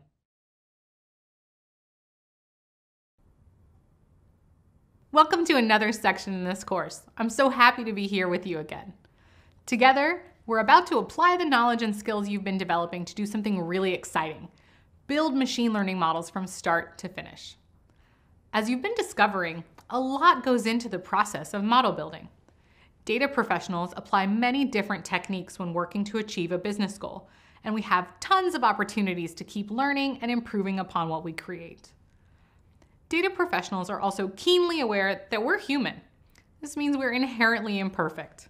Well, just like us, the models and the datasets we build are also imperfect. But that doesn't mean they're not useful. It just means we need to be aware of their limitations. In fact, expecting imperfection can be an advantage. Plus, there are many tools to help us better understand data limitations and even turn them into effective data solutions. Coming up, we're going to explore these benefits as we build and refine our models. This will be a valuable proficiency for you as you move forward into the data career space. I can't wait to begin. Join me in the next video to get started. Welcome back. In this video, we're going to focus on the PACE workflow for building effective models. As a refresher, PACE consists of four stages, plan, analyze, construct, and execute.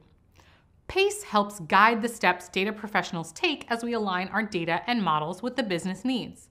Soon, we'll use it to gain a more comprehensive understanding of the data and prepare it for modeling using feature engineering and techniques to manage class imbalances.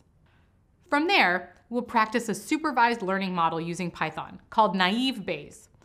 The goal will be to model bank customer churn rate to predict whether a customer will close their bank account. In this context, churn is the rate at which customers stop doing business with a company over a given period of time. And for continuous improvement, we'll create different model iterations. Finally, we'll use performance metrics to evaluate how successfully the model addressed the business need. Using the PACE workflow not only provides a good baseline for approaching the problem, but also helps data professionals stay focused throughout the process. By applying and referencing this framework, you'll have the skills to manage data-driven problems in your career. Ready? Let's go!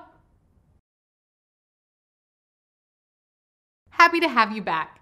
I have a plan for this video, and the first part is discussing the plan step in PACE.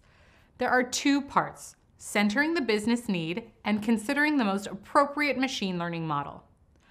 When using PACE, it's essential to align your plan with the business and data teams. For machine learning, this means ensuring that the machine learning model you plan to construct meets the actual business needs. This may seem a bit obvious, but given the potential complexity of the problem, multiple departments will likely be involved in the output you also have to consider the data that's available to you before getting into the rest of the process of building the model. Remember that you will most often be building models for a company or an organization. Because of that, you'll need to ensure that throughout the other stages of PACE that your data, modeling, metrics, and optimizing strategies stay focused on what you developed during the plan stage. Let's explore an example. Suppose that you're working in the finance industry and your firm is trying to predict housing prices. You have a massive data set about houses in a certain area. This data set contains information about the houses, such as square footage, the number of bedrooms and bathrooms, and location. Most importantly, the dataset also contains the most recent sale price for each house. As the second part of the plan stage of your PACE workflow, you use the context and requirements of the business need to consider what type of machine learning model would be best suited for the problem of predicting housing prices. Based on what you know of machine learning models so far, you need to create a supervised, continuous model to get the desired numerical result. Continuous models are the only ones that can help you predict housing prices for this example. Now that you have your plan for the business problem and the scope for the machine learning model, you're ready for the next step, analyze. See you soon.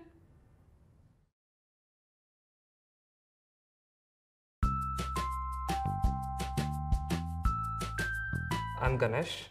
I'm a group data science manager at Waymo. So Waymo is the self-driving car part uh, of Alphabet. Our goal is to automate driving for users so that they can just hail a car from anywhere, we come pick them up and go them drop off wherever we want to. Uh, I manage a team of data scientists whose main goal is to figure out opportunities for optimization in improving the processes at Waymo. Every day is a new challenge because today you're working on one problem, tomorrow it's completely different. And part of the charter that my team does is run experiments for Waymo.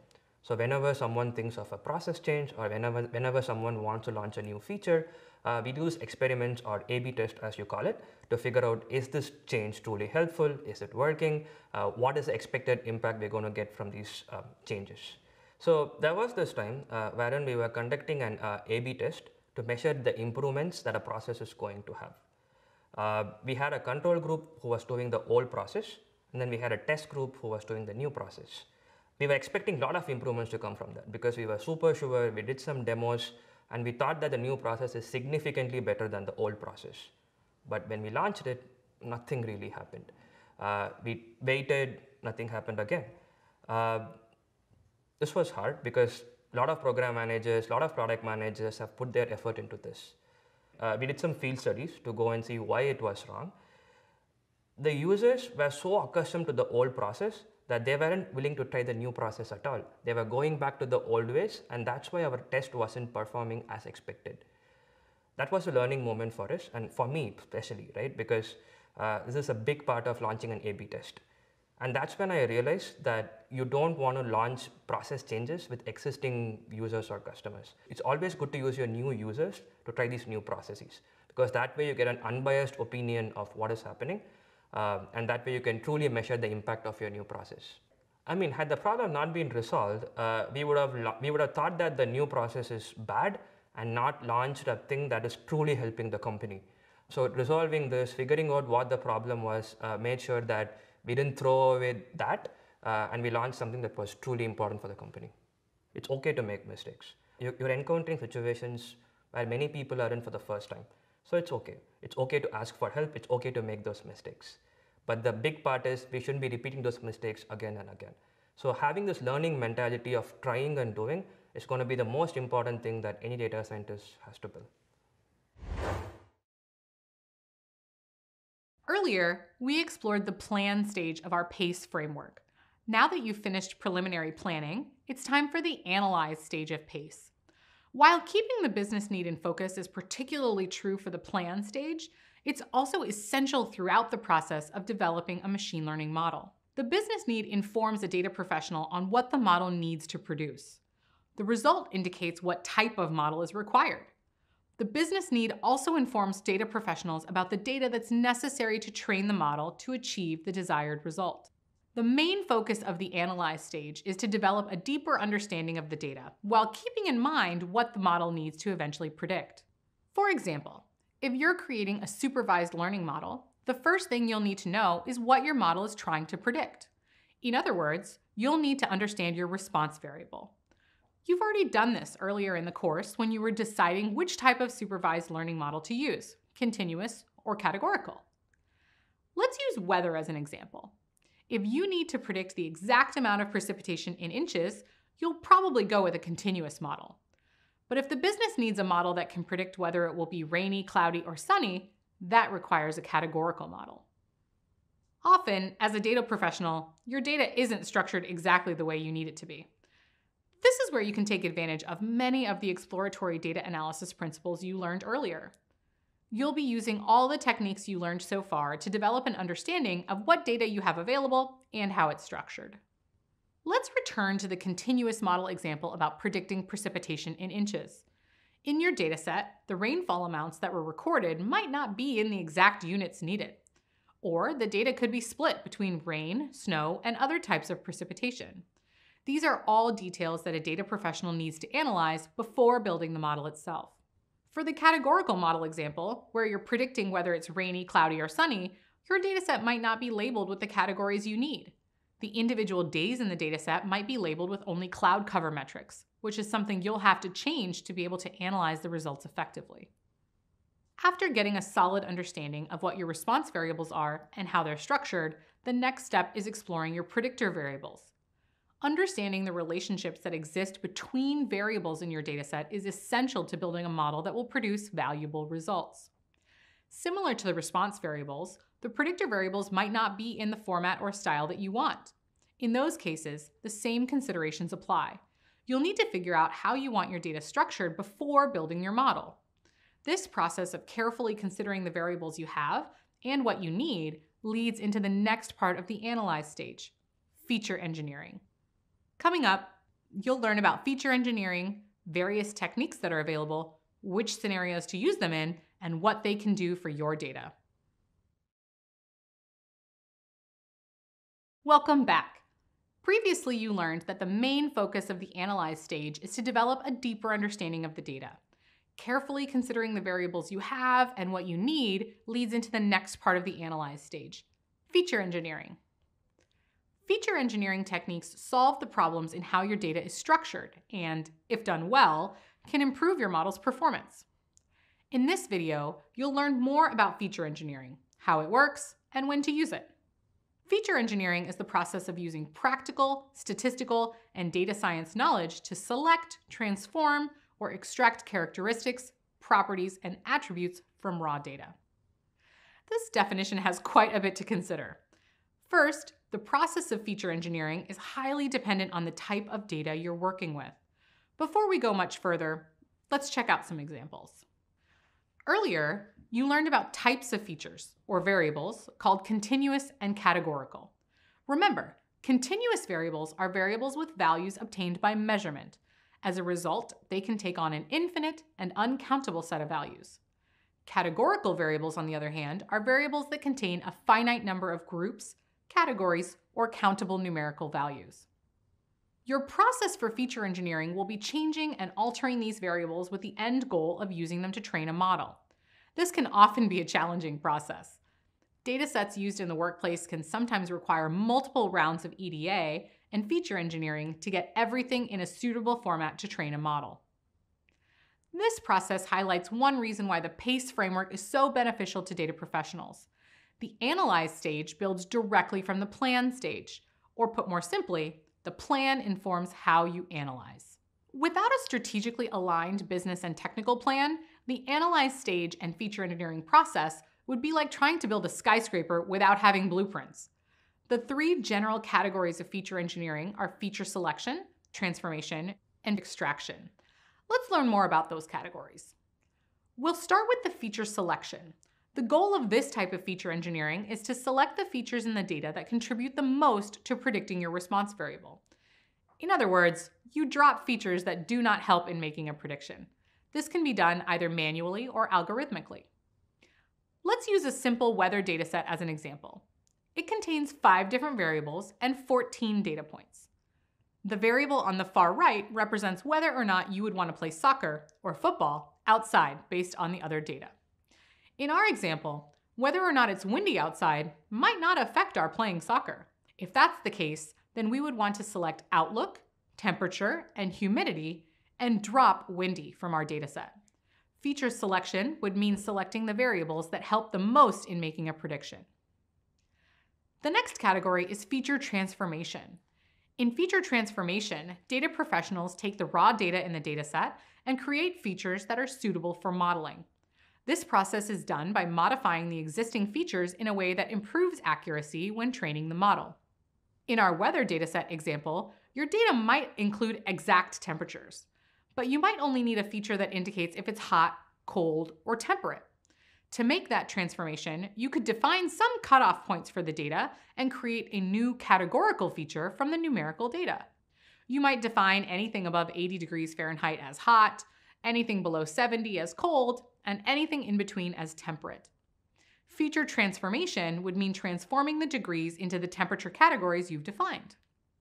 Finally, let's discuss feature extraction. This type of feature engineering involves taking multiple features to create a new one that would improve the accuracy of the algorithm. For example, imagine we want to create a new variable called muggy that could be used to model whether or not we play soccer. If the temperature is warm and the humidity is high, the variable muggy would be true. If either temperature or humidity is low, then muggy would be false. Remember, the feature engineering techniques are designed to improve your model's performance. While you can make a lot of improvements by tweaking and optimizing the model, the most sizable performance increases often come from developing your variables into a format that will best work for the model. In my work, this often appears as needing to make an outcome variable binary. For example, we may get survey ratings from users that are on a scale of 1 to 5 stars, but we need to predict whether a piece of content is good or bad. In this case, we need to change our response variable by mapping the star ratings to either the good or bad label. This is one example of how data professionals better understand their data in the analyze stage. During EDA, you are just beginning to develop an understanding of your data. Feature engineering is a step beyond EDA. You're selecting, extracting, or transforming variables or features from datasets for the construction of machine learning models. Now that you have a better idea of the concept of feature engineering, you're ready to perform some of your own feature engineering in Python, which you'll do in a later video.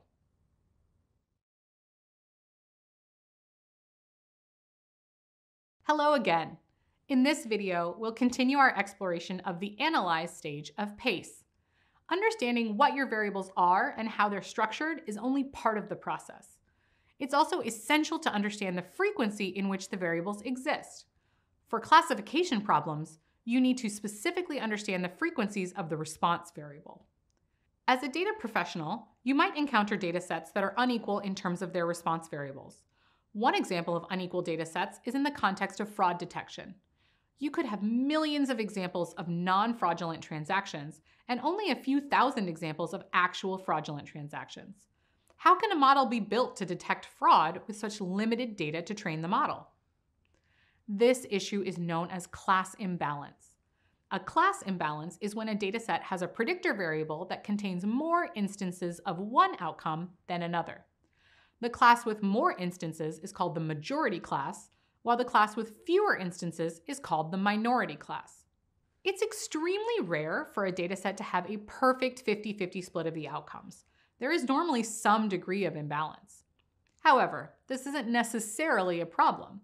Believe it or not, a 70-30 or an 80-20 split can be fine.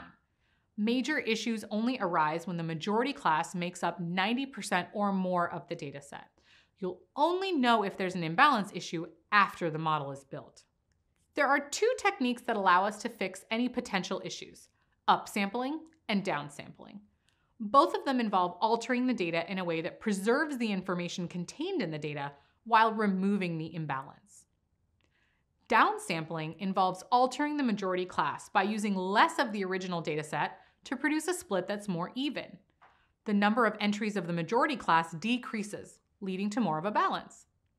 You can use different techniques to achieve this, but generally they are all based on this concept. One technique is to do this randomly by selecting entries to remove. Or you can follow a formula. For example, you can take the mean of two data points in the majority class, remove those data points, and add the average data point. Upsampling is the opposite of downsampling. Instead of reducing the frequency of the majority class, you artificially increase the frequency of the minority class. Similar to downsampling, there are multiple ways you can achieve this.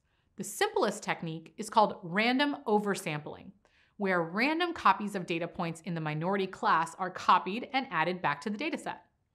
Or mathematical techniques can be used to generate non-identical copies, which are then also added to the dataset. So, if both upsampling and downsampling achieve the same result, you might be wondering which one to use. Most of the time, you won't know which one is preferred until you've built the model and observed how it performs. However, there are some general rules you can follow regarding when to upsample and when to downsample. Downsampling is normally more effective when working with extremely large data sets. If you have a data set that has 100 million points, but has a class imbalance, you don't need all of that data to build a good model. You definitely don't need the additional data that would come from upsampling. Alternatively, upsampling can be better when working with a small data set. If you're working with a data set that only has 10,000 entries, removing any of that data will more than likely have a negative impact on the model's performance. Keep in mind, class balancing is a fickle process and may require some trial and error. Building models with both upsampled data and downsampled data will determine which technique is better in any given situation. Additionally, you'll have to experiment with what sort of split your rebalancing achieves. Balancing the data so the classes are split 50-50 might not always be optimal. On the other hand, turning a 99-1 split into a 70-30 split might be fine, and that is something to consider as you develop your model. Welcome back. In this video, you'll code in Python to wrap up the analyze stage of the PACE framework. In the analyze stage, you gain a deeper understanding of your data. This is the stage where you prepare your data so it can be used to train the model. Then you'll move on to the construct stage of the PACE workflow.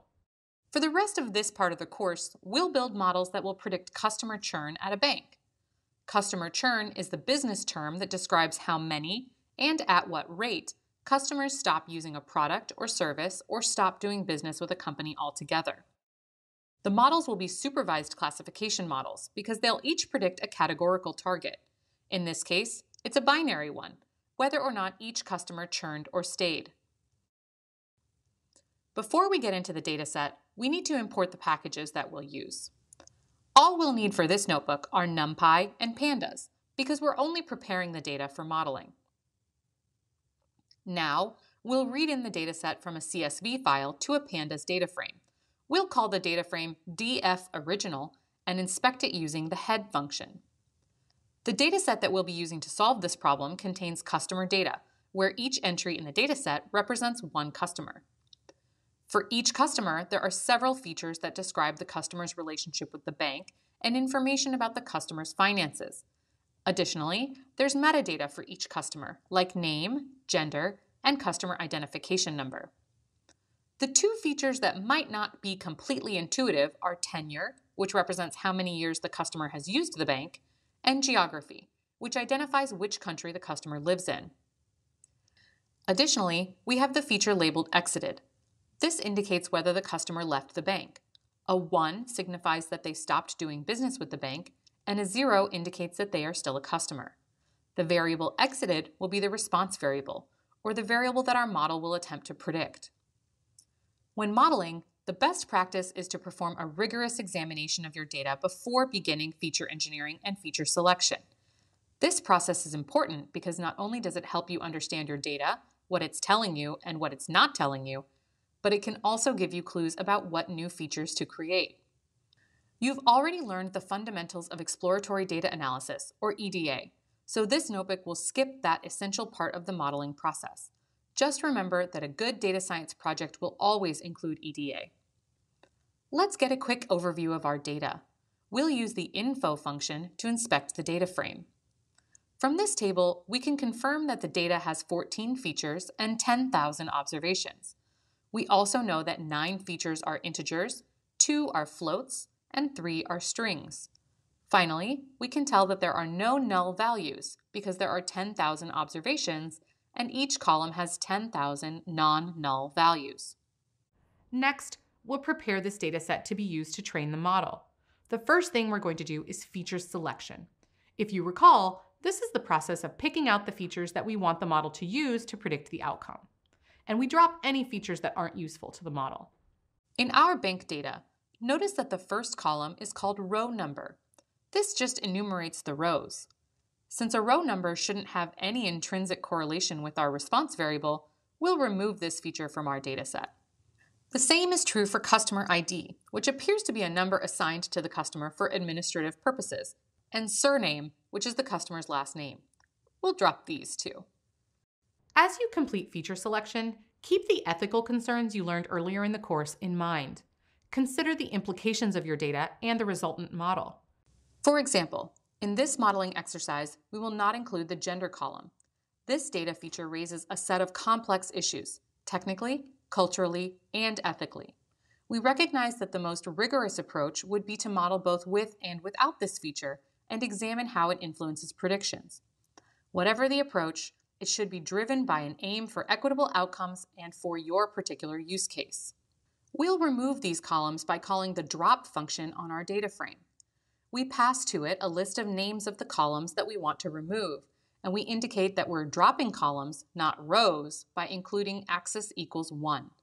We'll assign the results to a new data frame called churn_df. The resultant data frame is shown by calling the head method. However, there's still more to do before we start training the model. Next, let's practice feature extraction. This is the process of taking two or more features and using them to create a brand new feature that will make the model more accurate. Normally, feature extraction is done using statistics to analyze how predictive each variable is and whether the new feature that is extracted is more predictive than the original variables on their own. For now, we're going to extract a feature as an example, without conducting the analysis we would normally perform if we were trying to build a production-ready model. Let's create a new variable and call it loyalty. We'll do this by taking the tenure of a customer and dividing it by their age. The logic behind using tenure and dividing it by the customer's age is that it represents the percentage of a person's life that they've been customers of the bank. People with greater percentages may be more loyal customers. Now we have a new column called loyalty, which we can verify by inspecting the data frame. Let's move on to feature transformation. There are some features in this dataset that need to be transformed. Remember, feature transformation is the process of changing how a single feature is represented in the dataset with the goal of improving the accuracy of the model. Many classification models require you to convert categorical features to make them numeric. Our dataset has one categorical feature called geography. Let's check how many classes appear in the data for this feature by using the unique function on the series. There are three unique values, France, Spain, and Germany. Let's encode this data so it can be represented using Boolean features. We'll use a pandas function called getDummies to do this. When we call pd.getDummies on this feature, it will replace the geography column with three new Boolean columns, one for each possible category contained in the column being dummied. When we specify drop first equals true in the function call, it means that instead of replacing geography with three new columns, it will instead replace it with two columns. We can do this because no information is lost, and the dataset is shorter and simpler. In this case, we end up with two new columns called Geography Germany and Geography Spain. We don't need a Geography France column. Why not? Because if a customer's values in Geography Germany and Geography Spain are both zero, we'll know they're from France. After feature selection, extraction, and transformation, the next step is modeling. We'll be using this dataset for most of the modeling you'll do in the remainder of this part of the course. And you now have a solid foundation for the construct and execute stages of PACE. Hello again. You're now about halfway through the PACE workflow. During the planning stage, you developed a better understanding of the business need and the data available. And in the analyze stage, you investigated the data using exploratory data analysis practices. You applied feature engineering techniques to select, transform, and extract data into a format that was suitable for training. This video continues on to the construct stage, where you'll bring the model to life. You'll do this by building a model called Naive Bayes. Naive Bayes is a supervised classification technique based on Bayes' theorem, with an assumption of independence among predictors the effect of the value of a predictor variable on a given class is not affected by the values of other predictors. Let's break it down. Bayes' theorem gives us a method of calculating the posterior probability, which is the likelihood of an event occurring after taking into consideration new information. In other words, when you calculate the probability of something happening, you take relevant observations into account. It can be represented with this equation, which calculates the posterior probability of C given X. Probability of x given c is the probability of the predictor given the class, which is multiplied by p of c, the prior probability of the class.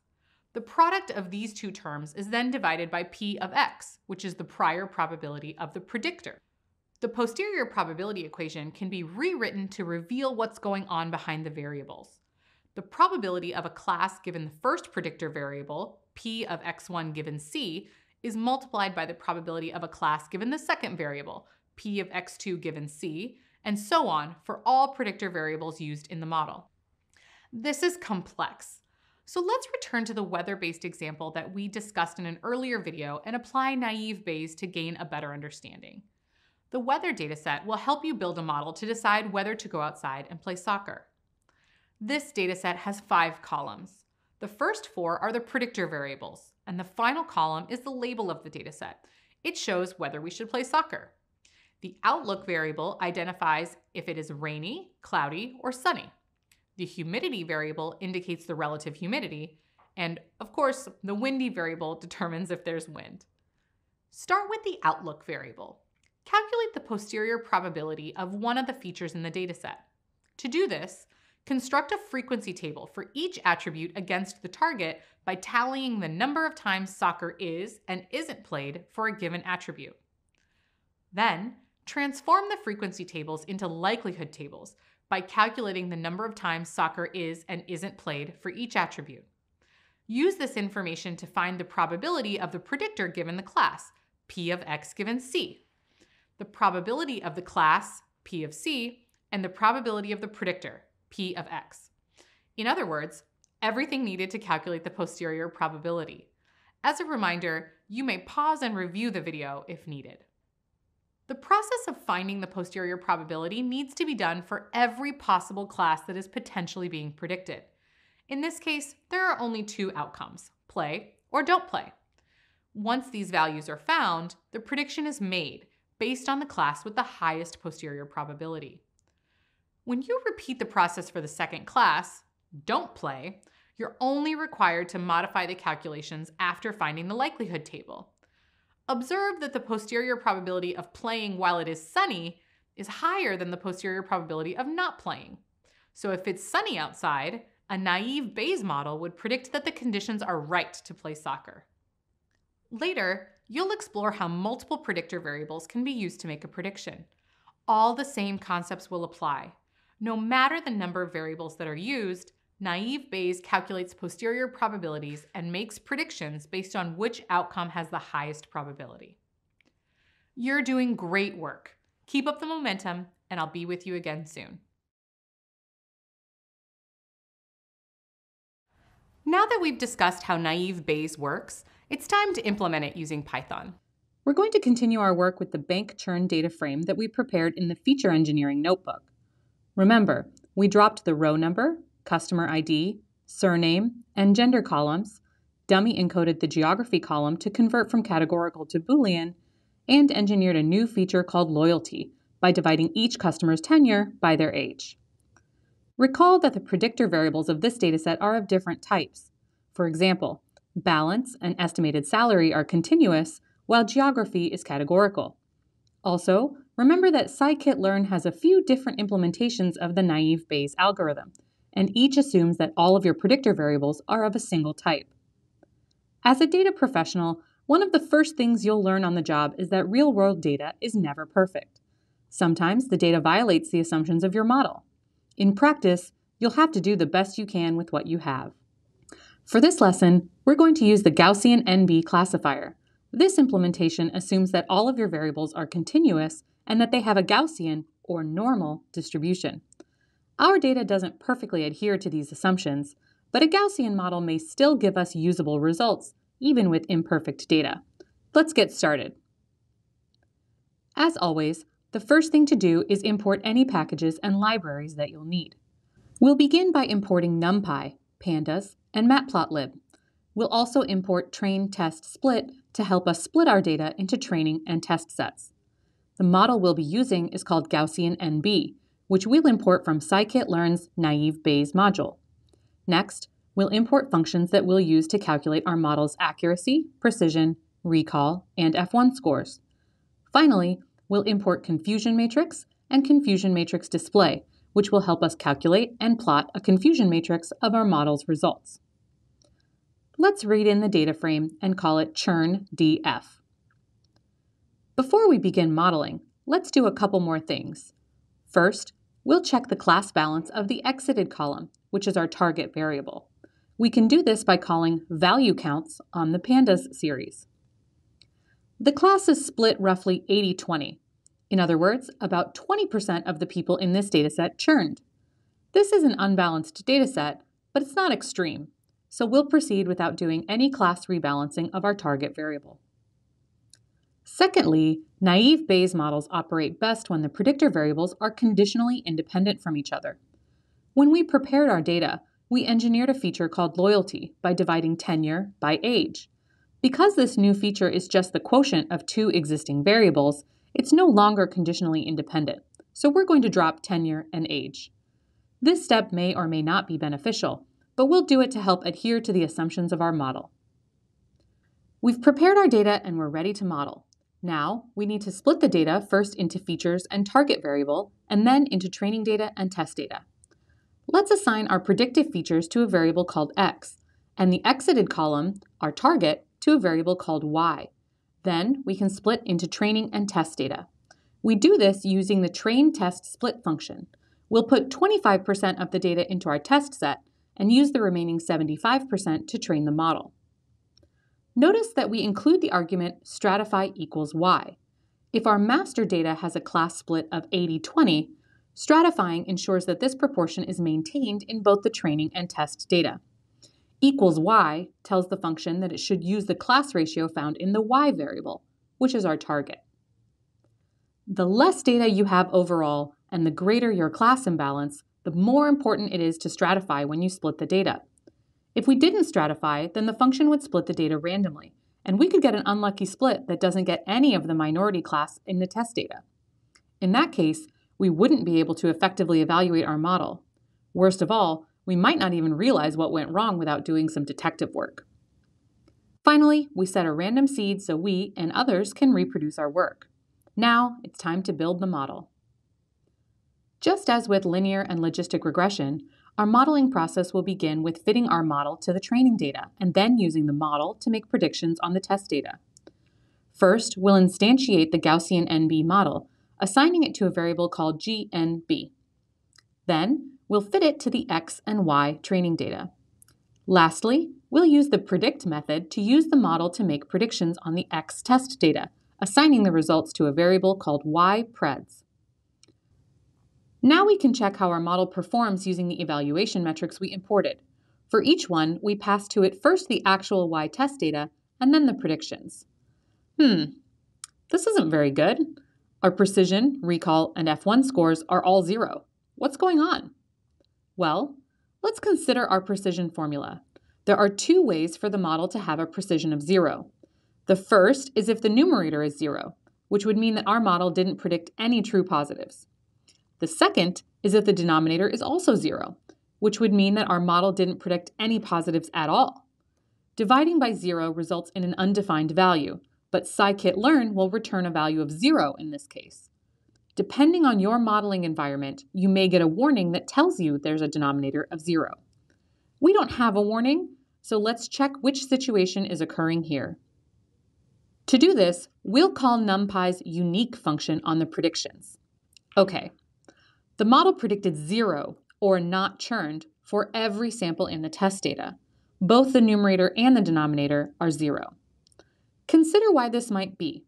Perhaps we did something wrong in our modeling process, or maybe using Gaussian NB on predictor variables of different types and distributions just doesn't make a good model. Maybe there were problems with the data. Before we give up, maybe the data can give us some insight into what might be happening or what further steps we can take. Let's use describe to inspect the X data. Something that stands out is that the loyalty variable we created is on a vastly different scale than some of the other variables we have, such as balance or estimated salary. The maximum value of loyalty is 0.56, while the maximum value for balance is over 250,000, almost six orders of magnitude greater. One thing that you can try when modeling is scaling your predictor variables. Some models require you to scale the data in order for them to operate as expected, while others don't. Naive Bayes does not require data scaling. However, sometimes packages and libraries need to make assumptions and approximations in their calculations. We're already breaking some of these assumptions by using the Gaussian NB classifier on this dataset, and it may not be helping that some of our predictor variables are on very different scales. In general, scaling might not improve the model, but it probably won't make it worse. Let's try it. We'll use a function called min-max scaler, which we'll import from the sklearn pre-processing module. Min-max scaler normalizes each column so every value falls in the range of 0 to 1. The column's maximum value would scale to 1, and its minimum value would scale to 0. Everything else would fall somewhere in between. This is the formula. To use a scaler, you must fit it to the training data and transform both the training data and the test data using that same scaler. Let's apply this and retrain the model. First, import the scaler. Then, we'll instantiate it and assign it to a variable called scaler. Now, we fit the scaler by passing our xtrain data to it. Next, we use the transform method to scale the xtraining data. Finally, we transform the x test data. Now, we'll repeat the steps to fit a model, only this time we'll fit it to our new scaled data. When we calculate the performance metrics for this model, we don't get an error. The model isn't perfect, but at least it's now predicting customers who churn. Let's examine more closely how our model classified the test data. We'll do this with a confusion matrix. Remember that a confusion matrix is a graphic that shows you your model's true and false positives and true and false negatives. We can plot this using the confusion matrix display and confusion matrix functions that we imported. Here's a helper function that will allow us to plot a confusion matrix for our model. All of our model metrics can be derived from the confusion matrix, and each metric tells its own part of the story. What stands out most in the confusion matrix is that the model misses a lot of customers who will churn. In other words, there are a lot of false negatives, 355 to be exact. This is why our recall score is only 0.303. Coming up, you'll investigate the various model evaluation metrics and when to use them. You'll explore the use of several metrics to evaluate model performance. Then, you will determine which of the models best satisfies the business requirements for the data project. Meet you there! Wow, you've reached the last stage of the PACE workflow, execute. This is where model analysis happens and it's finally production ready. You've already learned a lot about model metrics, the options available to you, and what they can demonstrate to a data professional about the model that has been built. And you've built supervised learning models, including a categorical model in the form of logistic regression. The metrics you used to evaluate those models will also make it possible to evaluate a naive Bayes model. As a review, accuracy reflects the number of correct predictions divided by the total number of predictions. However, accuracy doesn't always tell the full story. Some datasets will feature a strong class imbalance, which occurs when the majority of items belong to only one class. Then, the dataset is considered imbalanced. Here's an example using a binary classification problem. An IT professional wants to use a model to detect malware in the computers at their company. Perhaps there are 5,000 instances in their dataset, but only 500 positive instances where malware was actually present in a computer. This person would have an imbalanced dataset, as the chances of finding malware among all the checks that happen is actually comparatively low. This is where the precision and recall metrics can help.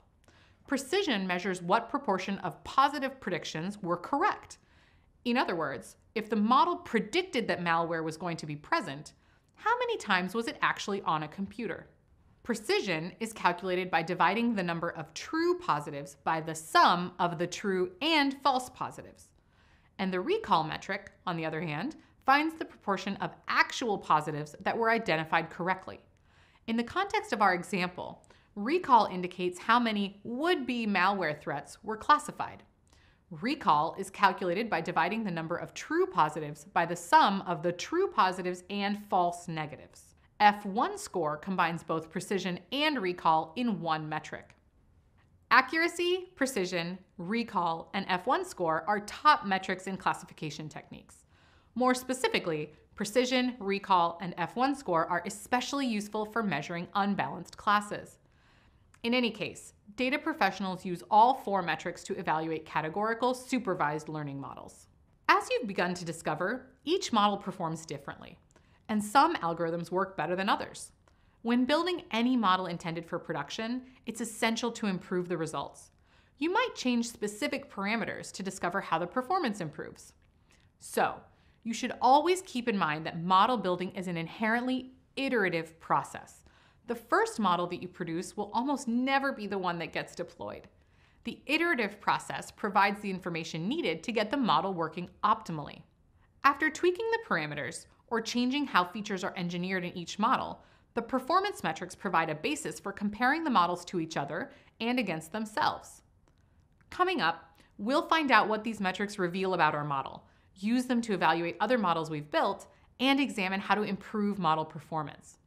Continuous improvement is a key part of being a data professional, so these exercises are preparing you to keep advancing all kinds of data processes. Developing a machine learning model is a complex process, but having a solid framework to rely on helps set you up for success, no matter the business need. In this part of the course, the PACE workflow provided support to help you navigate the different stages of addressing an example business scenario. During the plan stage, you assessed the business need to determine what type of model is best suited for predicting bank customer churn. This decision was based on the available data. Next, in the analyze stage, you examined the data using EDA practices and feature engineering techniques. This process revealed more details about the data to help inform your plans for building the model. From there, you went on to construct the first iteration of your naive Bayes model. You then tested the model with preliminary evaluation metrics to determine its performance against the test data. And finally, in the execute stage, you closely evaluated the model's performance and considered how it could be improved. And that is the PACE workflow for machine learning models. Having this process in your tool belt will allow you to solve many business problems. While the models may very well get more complex as you continue your journey, sticking within the framework will help you achieve the results you need. You've come a long way on your journey into the world of data, and you've been building a strong foundation for data modeling.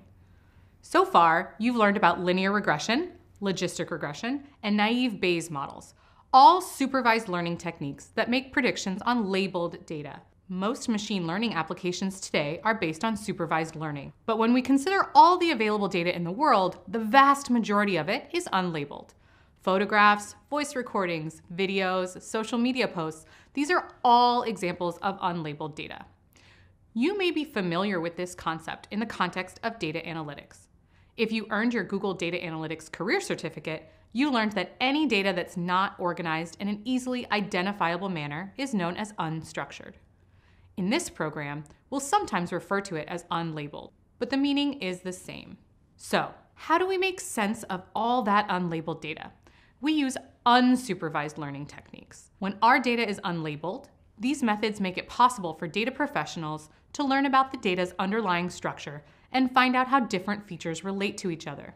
Earlier in the course, you explored one very common type of unsupervised learning, recommendation systems.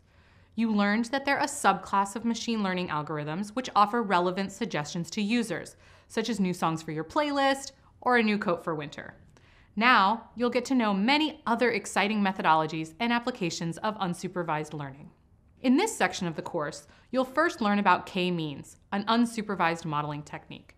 You'll investigate how it clusters data based on each observation's similarity to others in the data. You'll also build a k-means model and learn how to evaluate it using metrics called inertia and silhouette score. I'm thrilled to have you with me as we explore unsupervised learning. There's so much great potential for future development. We've only just begun tapping into the vast amount of unstructured data in the world. Let's start modeling. In this video, we'll introduce you to the k-means algorithm. K-means is an unsupervised partitioning algorithm. It's used to organize unlabeled data into groups or clusters. It does this by creating a logical scheme to make sense of the data. With k-means, each cluster is defined by a central point, or a centroid. Its position represents the center of the cluster, also known as the mathematical mean, hence the name k-means. There are four steps to building a k-means model. Let's examine them one at a time. In step one, you choose the number of centroids and place them in the data space. K represents the number of centroids in your model, which is how many clusters you'll have. This is a decision that you make. Sometimes you'll have an idea about the number of clusters necessary for a project. For example, if your company manufactures five different products, you might want to set your K value to five. Other times, you won't know how many clusters your data should be split into. So try different values for K and determine what provides the best results. Here, it's apparent that our data is grouped into two clusters, one on top and the other on bottom. At step one, we'll randomly initiate two centroids, represented by the blue and red X's. Step two is to assign each data point to its nearest centroid. The nearest centroid is the one that's closest in space. In this example, the top two observations are assigned to the blue centroid, and the bottom two observations are assigned to the red centroid. As a quick refresher, in this context, an observation is simply any data point being observed. Step three is to recalculate the centroid of each cluster. Again, the centroid's location is calculated by taking the mean of all of the points in its cluster. Note that the centroids move to the midpoint of their clusters. This will happen each iteration until the algorithm reaches convergence. This is the stable point found at the end of a sequence of solutions. Step four is to repeat steps two and three until the algorithm converges. In this case, we have very little data, so the model is simple and has already converged. If you had a lot more data, the centroids would get increasingly closer to their related clusters. You also might find that the cluster assignment of each data point changes as the centroid locations move within each iteration. Something to be mindful of is that it's important to run the model with different starting positions for the centroids. This helps avoid poor clustering caused by local minima. In other words, not having an appropriate distance between clusters. Let's explore this concept using our example. What if this had been the initial positions of our centroids? Notice what happens. In step two, we assign the points to their nearest centroid. With these particular starting positions, the two observations on the left are assigned to the red cluster, and the two observations on the right are assigned to the blue cluster. For step three, we recalculate the position of each cluster's centroid. The model has converged, but the clusters aren't what we'd expect. We know that the most intuitive clustering would be for the top two observations to be in one cluster and the bottom two in another. But that's not what happened, and further iterations will not change this. This is why it's important to run the model with different centroid initializations and to avoid poor clustering due to the model converging in local minima. Note that this clustering isn't wrong. It's still a valid resolution of the model. It just doesn't make much sense in this context. After all, the goal is to find a clustering scheme that makes sense of your data. Finally, note that even though k-means is a partitioning algorithm, Data professionals typically talk about it as a clustering algorithm.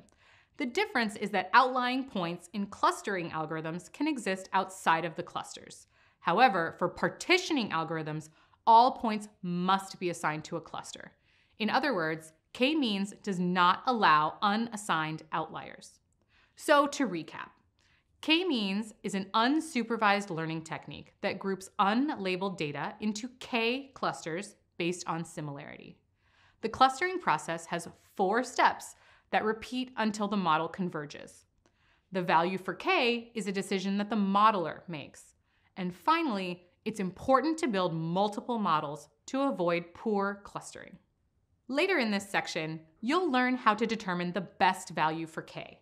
You'll also discover some of the limitations of k-means models. Lots more coming up. At this point, you're familiar with the basic intuition behind the k-means algorithm. In this video, we're going to demonstrate how to apply your knowledge of k-means to an actual example. we'll use the k-means algorithm to compress colors in a photographic image. This demonstration is intended to lead you through an application of the k-means theory to give you a deeper understanding of how it works. So for this video, focus less on the mechanics of the code itself and more on the results. Let's get started. We're going to use a photograph of some tulips as our data, which we'll read in as an array using matplotlib's imRead function and display using its imShow function. This is the image that we're going to manipulate using k-means. When we check the shape of the image in pixels, we're told that it's 320 by 240 by 3. We can interpret these numbers as pixel information. Each dot on the screen is a pixel. This photograph has 320 vertical pixels and 240 horizontal pixels. But what is the dimension of 3? This dimension refers to the values that encode the color of each pixel. Each pixel has three parameters, red, or R, green, or G, and blue, or B. Together, these values are known as RGB values. The value for each color, R, G, and B, can range from 0 to 255. This means that there are 256 cubed, or more than 16 million different possible combinations of RGB, each resulting in a unique color. To prepare this data for modeling, we'll reshape it into an array where each row represents a single pixel's RGB color values. Now we have an array that is 76,800 by 3. Each row is a single pixel's color values. Let's create a pandas data frame to help us understand and visualize this data. Each row of the data frame represents a single pixel, and the three columns are its R, G, and B values. Because we have only three columns, we can visualize this data in three-dimensional space. This graph plots each of the photograph's pixels in a 3D coordinate space. Each axis ranges from 0 to 255, just like each value in RGB. And each dot in the graph is the color specified by its RGB values, just like in the original photograph. The more intense the color, the more dots are concentrated in that area. The most represented colors here are the most abundant colors in the photograph, mostly reds, greens, and yellows. We can examine this graph from different angles and even zoom in and out. We can also train a k-means model on this data. The algorithm would create k clusters by minimizing the squared distances from each point to its nearest centroid. Here's an experiment. What do you expect to happen if we built a k-means model with just a single centroid? In other words, with k equal to 1. Let's find out. We'll first instantiate the model. As a refresher, instantiation involves creating a copy of the class, which inherits all class variables and methods. So let's set the number of clusters to 1 and fit it to our data. Now, we're going to copy the original image, replace each of its rows with the values of its closest cluster center, and reshape the image so we can display it. The image we get back doesn't resemble tulips at all. So what happened? Well, let's run through the k-means steps. First, the algorithm randomly placed a centroid in the 255 by 255 by 255 color space. Then, it assigned each point to its nearest centroid. Because there was only one centroid, all points were assigned to it, and therefore to the same cluster. Next, the algorithm updated the centroid's location to the mean location of all of its points. Again, there's only a single centroid, so it updated to the mean location of every point in the image.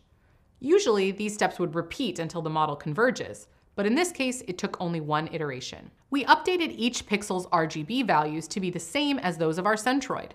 The result is the image of our tulips where every pixel is replaced with the average color.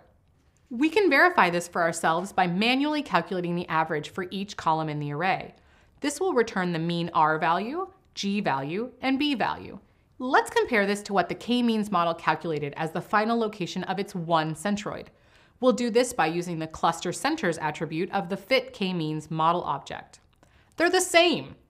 Now let's return to the 3D rendering of our color space, only this time we'll add the centroid.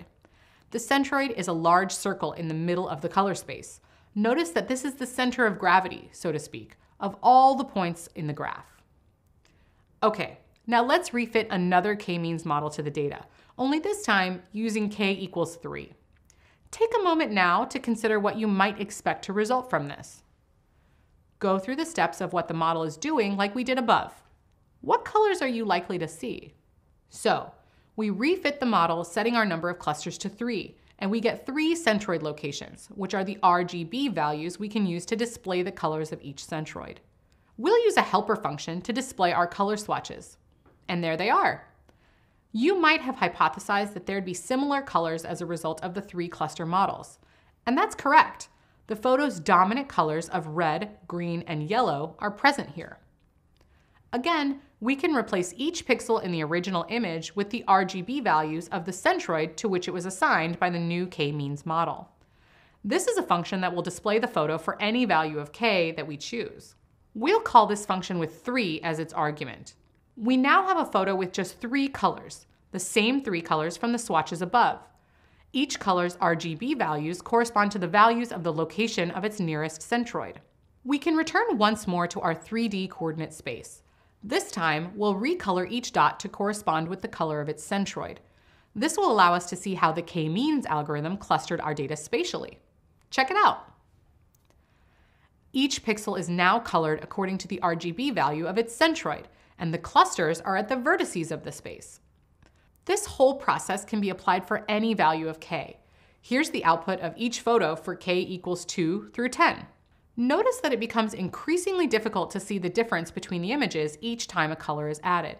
This is a visual example of something that happens with all clustering models, even if the data is not an image that you can see.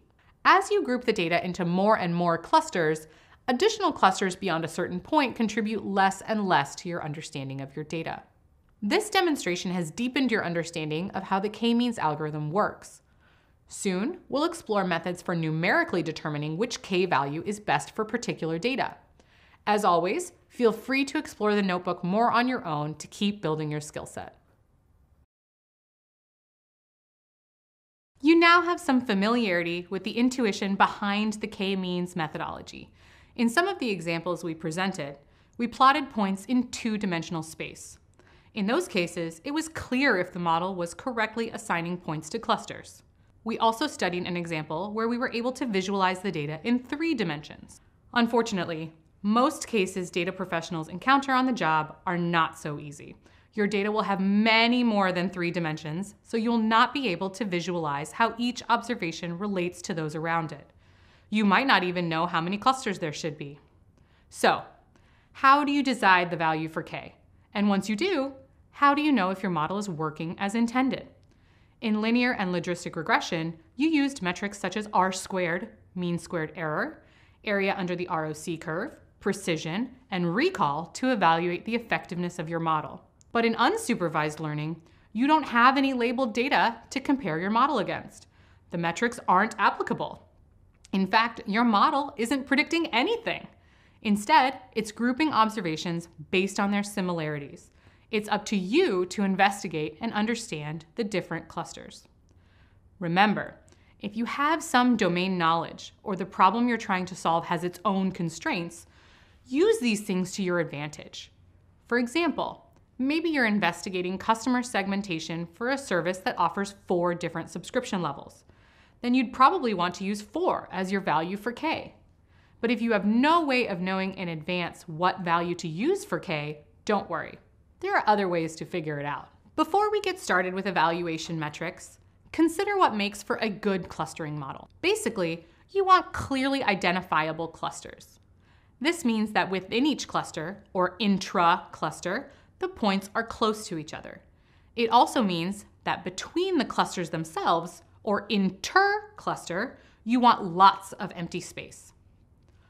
One way to evaluate the intra-cluster space in a k-means model is to identify its inertia.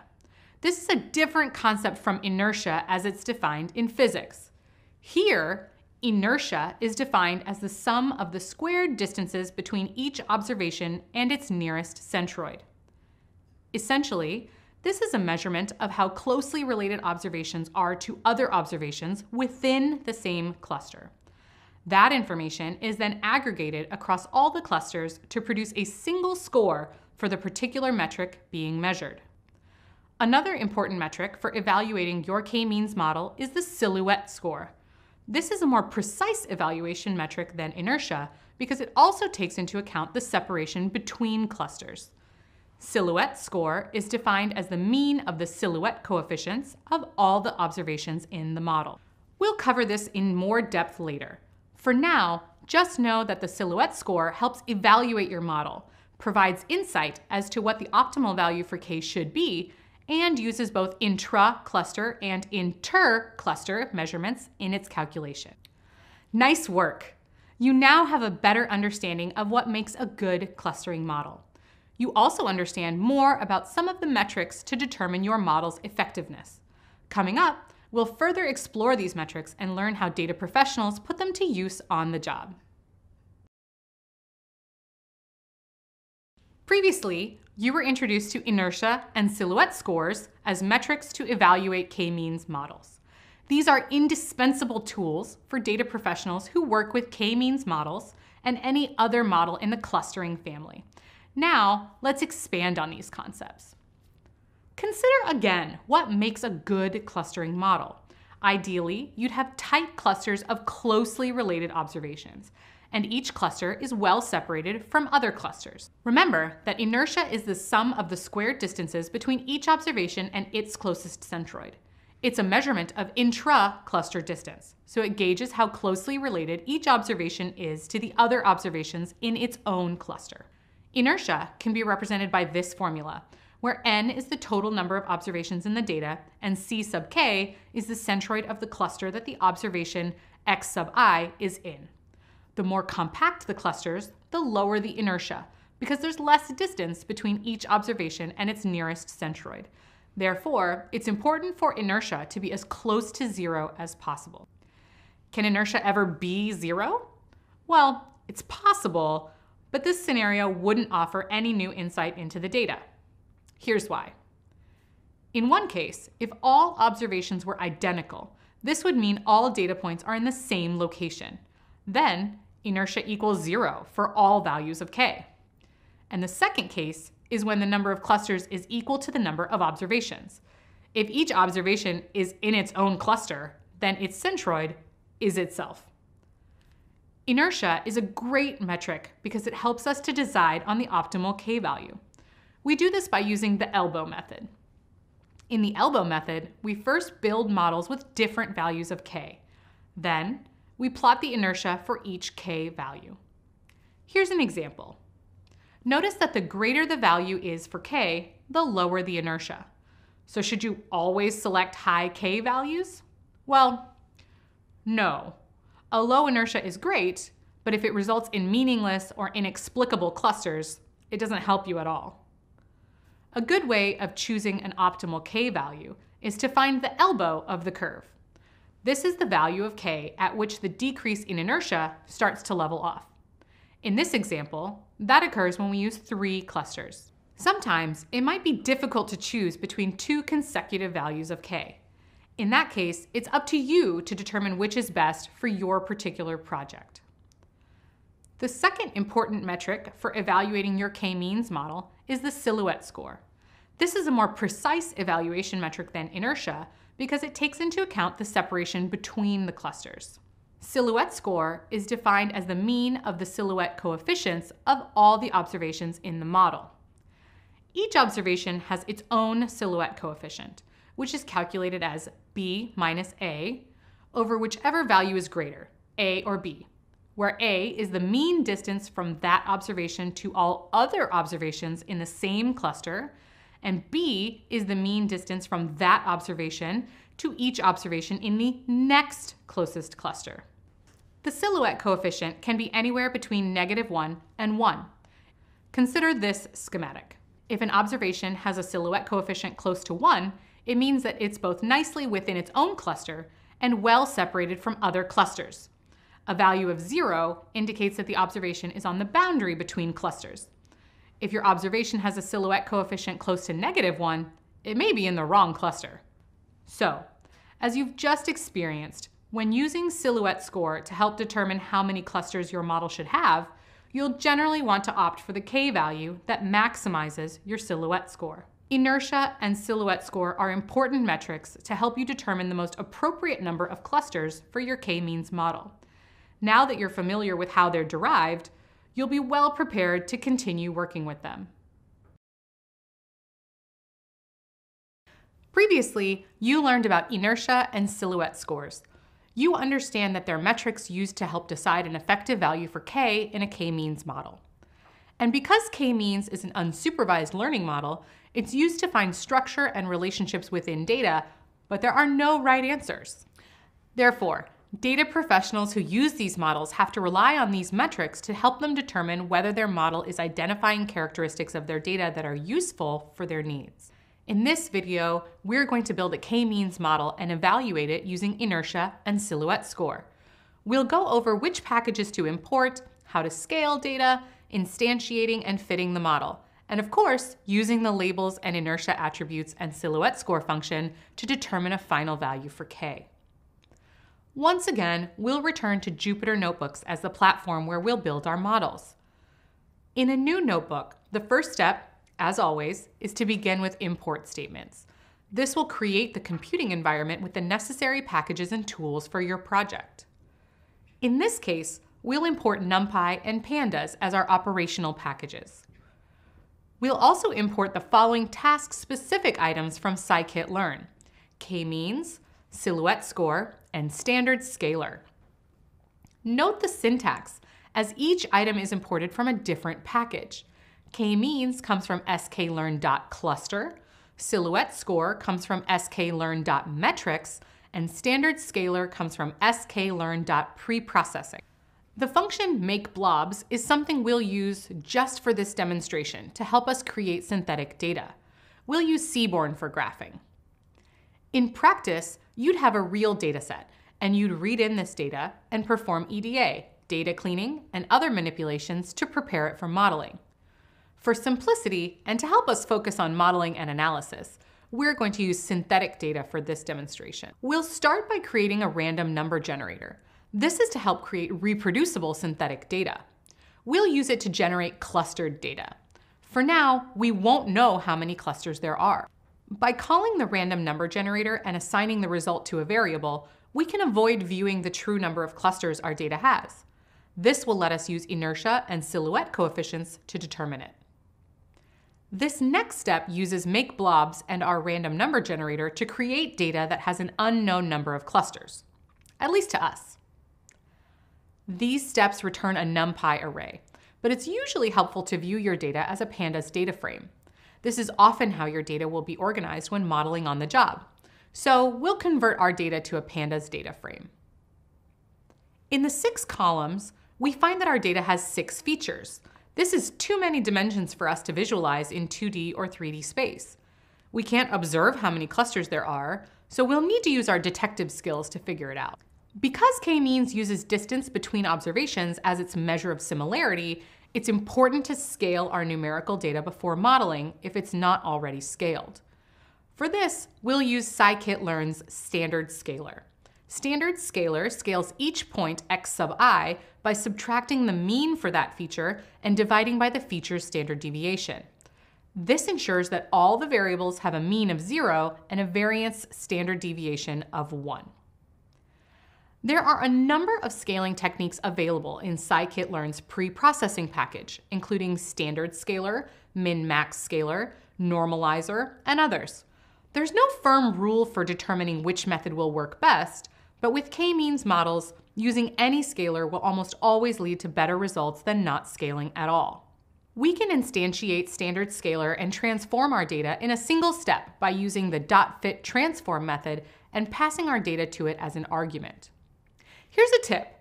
If your computer has enough memory, it's helpful to keep an unscaled copy of your data to use later. So we'll assign the scaled data to a new variable called x underscore scaled. Now that the data is scaled, we can start modeling. Because we don't know how many clusters exist in the data, we'll begin by examining the inertia values for different values of k. Let's start with k equals 3, an arbitrary number in this case. One thing to note is that by default, scikit-learn implements an optimized version of the k-means algorithm called k-means++. This helps ensure optimal model convergence by initializing centroids far away from each other. Because we're using k-means we will not rerun the model multiple times. Now, let's instantiate the model. Because we want to build a model that puts our data into three clusters, we set the n underscore clusters parameter to three. We'll also set the random underscore state to an arbitrary number. This is only so others can reproduce our results. If we left this value blank, it's possible others could replicate our code exactly and still get different results due to the random initial placement of centroids. The next step is to fit the model to the data. We do this by using the fit method and passing in our scaled data. This returns a model object that has learned your data. You can now call its different attributes to view inertia, location of centroids, and class labels, among others. We can get the cluster assignments by using the labels attribute. Similarly, find the inertia by using the inertia attribute. Let's find out what happens when we check the cluster assignments and inertia for this model. The labels attribute returns a list of values that is the same length as the training data. Each value corresponds to the number of the cluster to which that point is assigned. Because our k-means model clustered the data into three clusters, the value assigned to each observation will be 0, 1, or 2. The inertia attribute returns the sum of the squared distances from each sample to its closest cluster center. This inertia value isn't helpful by itself. We need to compare the inertias of multiple k values. To do this, create a function called k-means inertia that fits a k-means model for multiple values of k, in our case, 2 through 10. The function calculates the inertia for each value, appends it to a list, and returns that list. Then we plot it. The x-axis is the number of clusters, and the y-axis is the inertia. This plot contains an unambiguous elbow at five clusters. Models with more than five clusters don't appear to reduce inertia at all. Right now, it seems like a five cluster model might be optimal. But let's check the silhouette scores. Hopefully the results will corroborate our findings. To get a silhouette score, we call the function and pass to it two required parameters, the training data and its assigned labels. Let's check this out for the k-means 3 model we created earlier. It worked!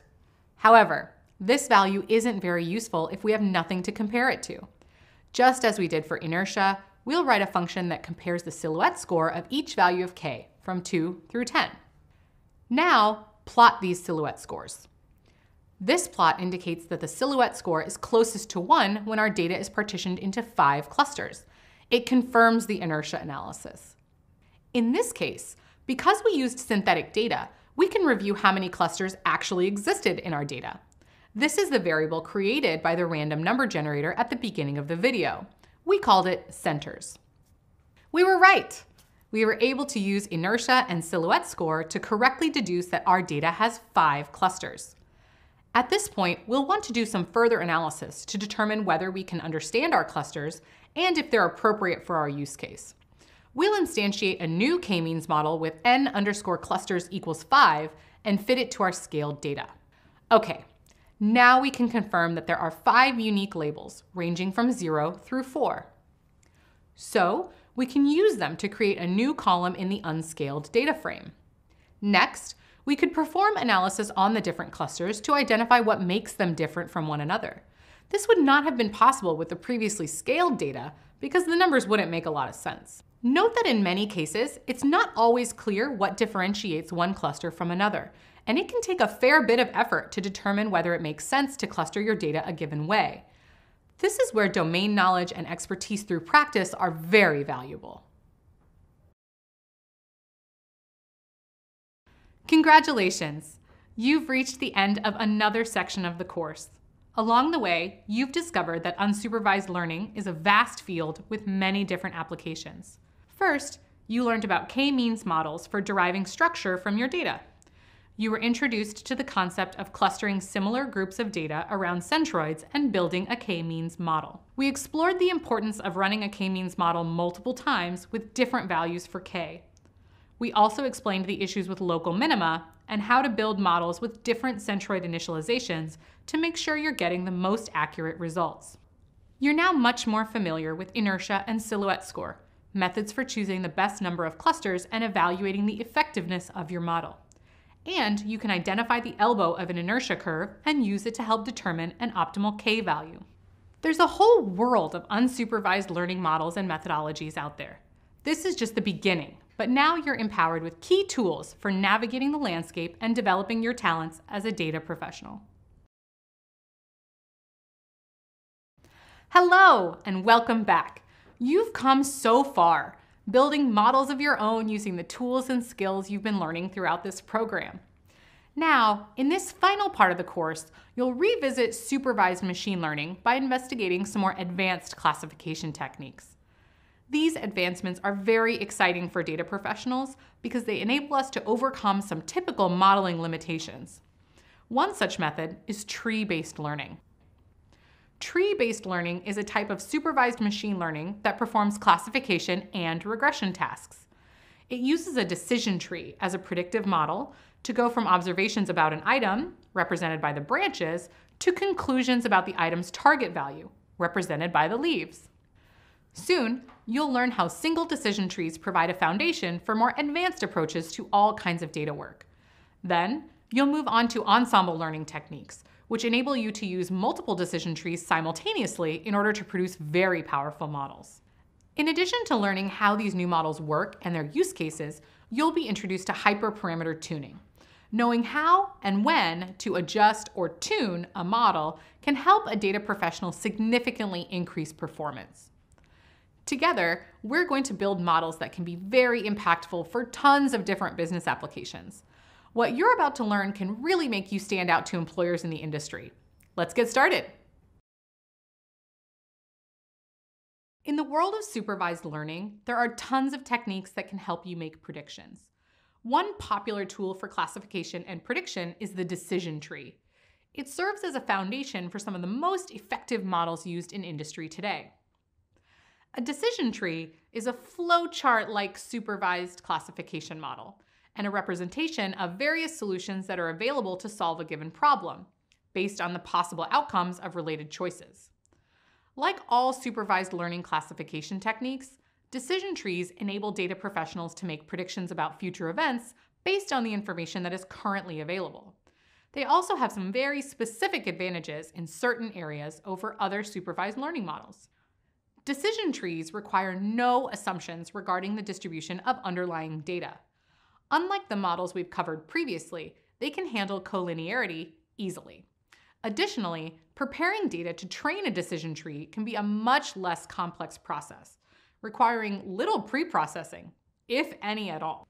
However, decision trees are not perfect. No model is.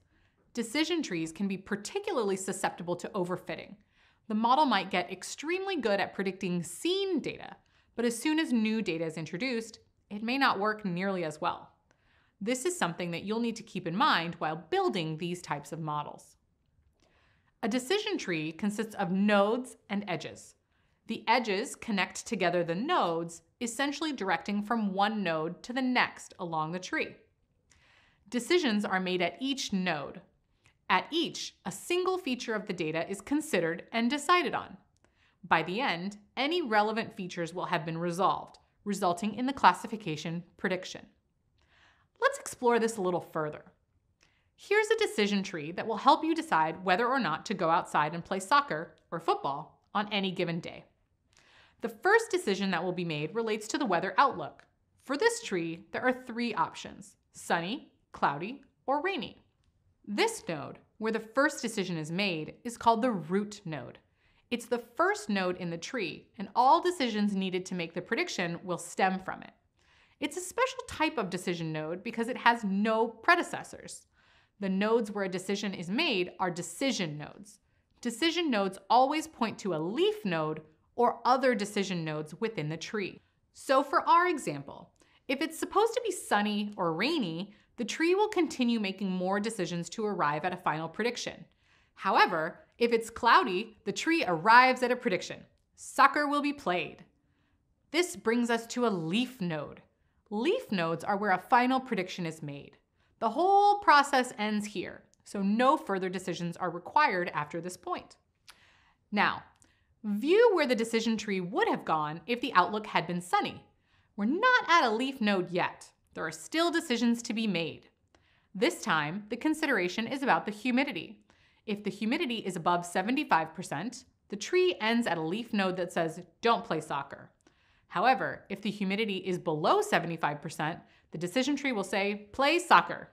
The nodes that are pointed to, whether leaf nodes or other decision nodes, are child nodes. The node that is pointing to them is a parent node. The algorithm decides what and where variables are split based on what will provide the most predictive power. So, for example, if 90% of the time that it rains, soccer is not played, this variable would be very predictive.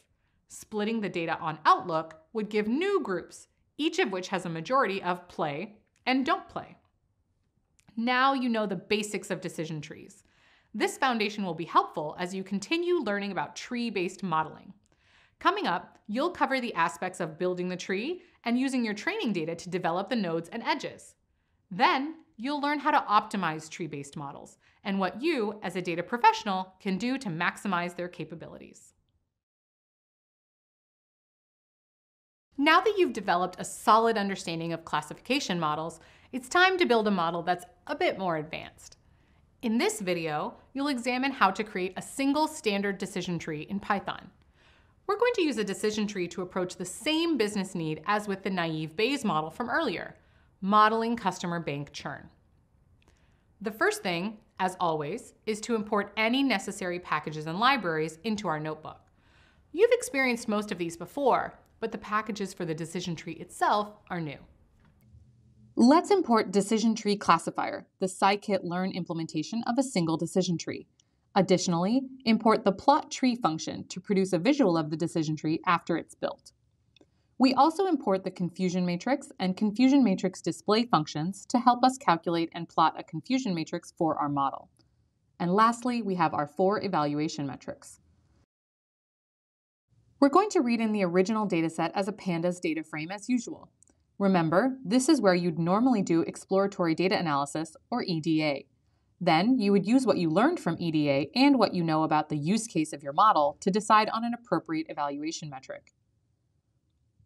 For our bank churn models, we're going to assume that a metric that balances precision and recall is best. The metric that helps us achieve this balance is F1 score, which is defined as the harmonic mean of precision and recall, or their product divided by their sum. Again, there are many metrics to choose from. The important thing is that you make an informed decision that is based on your use case. Now that we've decided on an evaluation metric, let's prepare the data for modeling. Just as before, we'll drop the unpredictive features and the gender column so our model doesn't predict based on gender. Then, we'll dummy encode the geography column, creating Boolean columns from the categorical column. Our last preparation is to separate our target variable from the rest of the data, and then split the data into training and test sets using the train test split function. Don't forget to stratify based on the target. The first thing we'll do is train a baseline decision tree model. We won't tune it. It's just to give us scores that we can use as points of reference. We do this by instantiating the classifier and setting the random state. We'll assign it to a variable called decision tree. Next, we'll fit it to the training data. This grows a decision tree on our data. It all happens behind the scenes. Finally, we'll use the predict method to use the tree we just grew to make predictions on the X test data assigning the results to a variable called dtpred. Now we can get the results by using the different evaluation metric functions we imported. This model's F1 score is better than what we got from the naive Bayes model we built. Let's inspect the confusion matrix of our decision tree's predictions. First, we'll write a short helper function to help us display the matrix. Notice from this confusion matrix that the model correctly predicts many true negatives. This is to be expected because the dataset is imbalanced in favor of negatives. When the model makes an error, it appears slightly more likely to predict a false positive than a false negative, but it's generally balanced. This is reflected in the precision and recall scores both being very close to each other. Next, let's examine the splits of the tree. We'll do this by using the plot tree function that we imported. We pass to it our fit model as well as some additional parameters. Note that if we did not set max depth equals 2, the function would return a plot of the entire tree, all the way down to the leaf nodes. But we are most interested in the splits nearest the root, because these tell us the most predictive features. Class names displays what the majority class of each node is, and filled colors the nodes according to their majority class. How do we read this plot? The first line of information in each node is the feature and split point that the model identified as being the most predictive. In other words, this is the question that's being asked at that split. For our root node, the question was, is the customer less than or equal to 42 and a half years old? At each node, if the answer to the question it asks is yes, the sample would move to the child node on the left. If the answer is no, the sample would go to the child node on the right.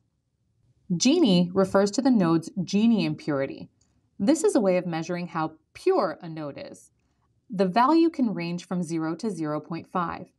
A Gini score of 0 means there's no impurity. The node is a leaf, and all of its samples are of a single class. A score of 0.5 means the classes are all equally represented in that node. Samples is how many samples are in that node, and value indicates how many of each class are in the node. Returning to the root node, we have value equals 5,972 and 1,528. Notice that these numbers sum to 7,500, which is the number of samples in the node. This tells us that 5,972 customers in this node stayed and 1,528 customers churned. Lastly, we have class.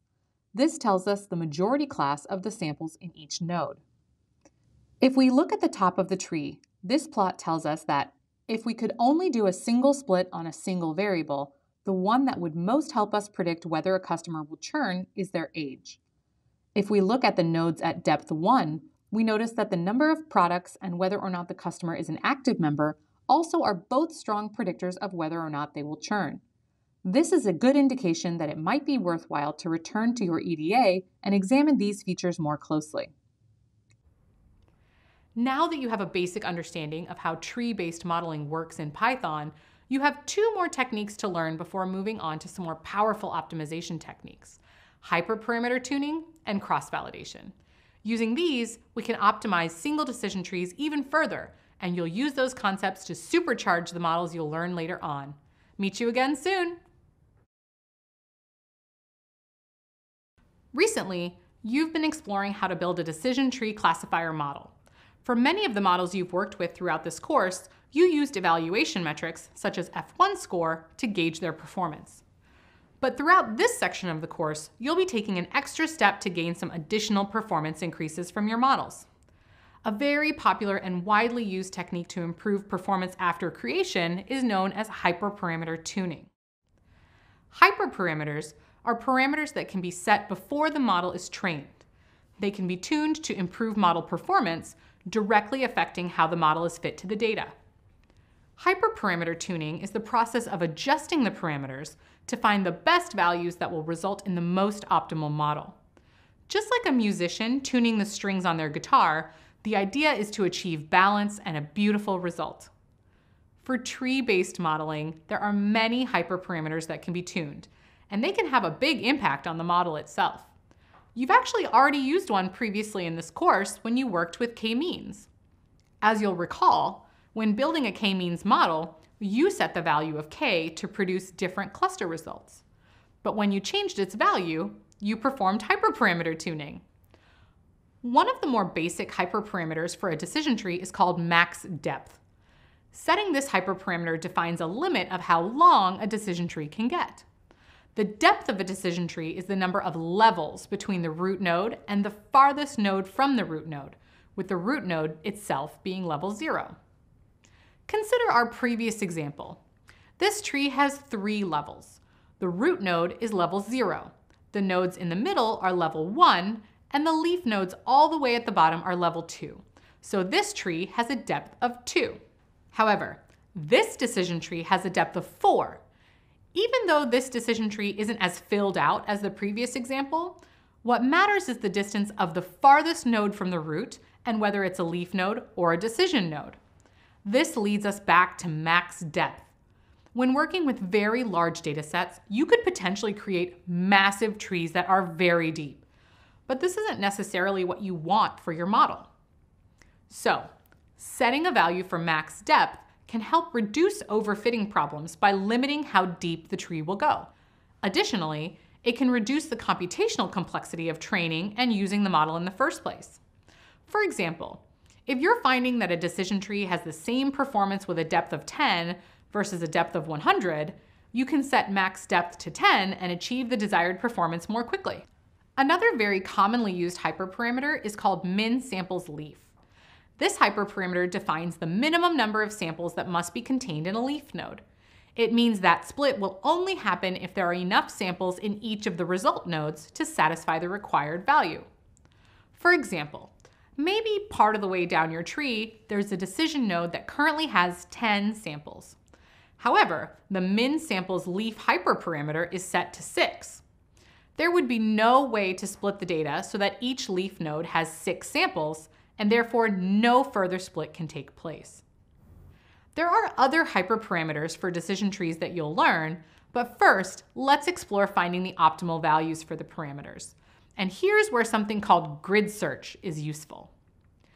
Grid search is a tool to confirm that a model achieves its intended purpose by systematically checking every combination of hyperparameters to identify which set produces the best results based on the selected metric. So at the end, you'll have values that produce optimal results for your model.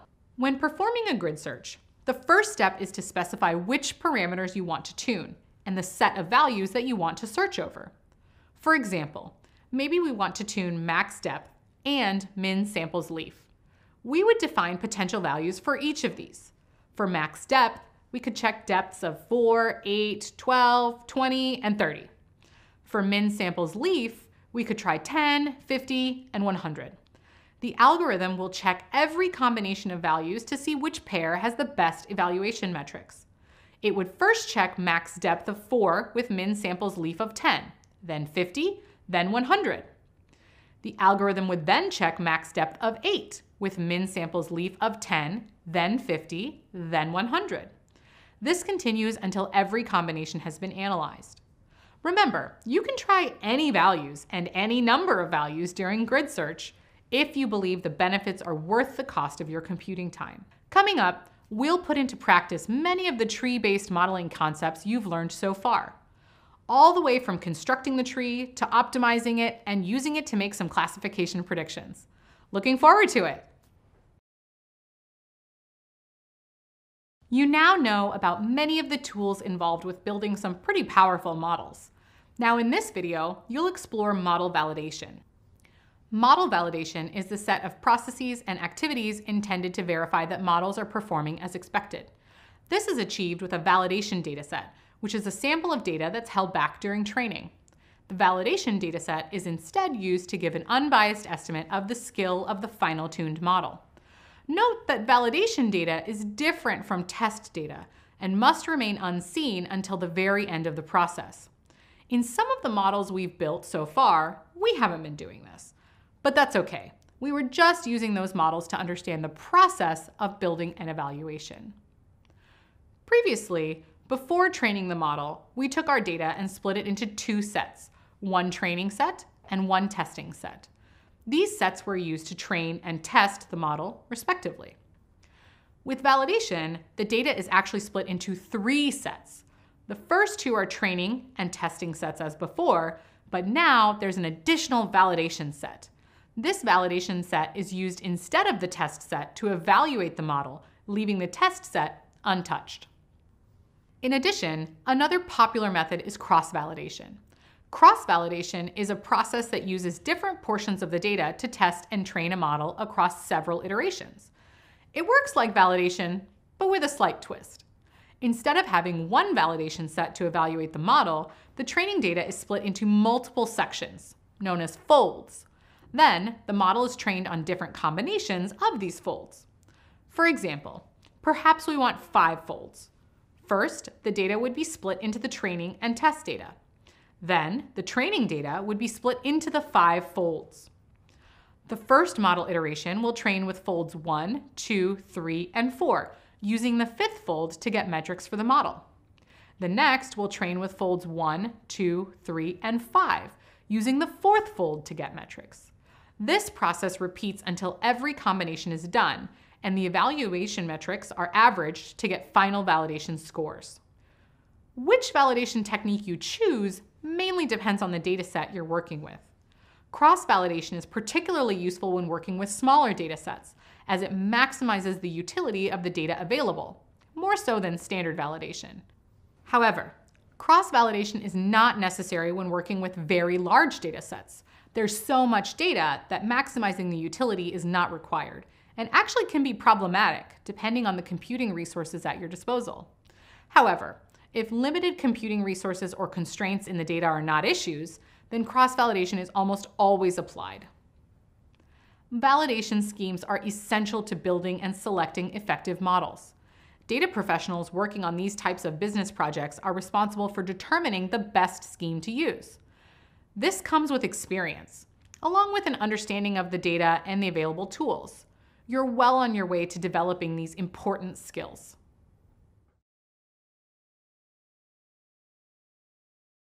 Hello, and welcome back. In this video, we'll be taking the foundation we built when creating a decision tree classifier in Python and expanding on it to fine-tune our models. If you recall, hyperparameter tuning involves changing parameters that directly affect how the model trains before the learning process begins. Different models have different types of hyperparameters that are available for you to adjust. You've learned about two that apply to tree-based models, max depth and min samples leaf. As a reminder, max depth defines how long a decision tree can get and min samples leaf defines the minimum number of samples for a leaf node. These are the hyperparameters that will be tuned on a single decision tree. When originally exploring hyperparameter tuning, we also considered the steps for finding the optimal values for hyperparameters. Randomly entering values won't produce the best results, which is why we use grid search. As a refresher, grid search specifies a series of values for each hyperparameter to be tuned. It systematically checks every combination of those values to determine which set produces the best results, based on the selected metric. Think of it as brute forcing the different hyperparameter values. Imagine forgetting your PIN and trying every single number between 0000 and 9999. Sure, it would take time, but eventually you'd find it. This is how grid search works. Okay, now let's get into the code. You'll work within the same framework as the other classification models you've created. We'll begin where we left off in the decision tree notebook. Remember, we've already performed feature engineering, and the data has already been split into X and Y data, as well as training and test sets. But now, we're going to add a new function.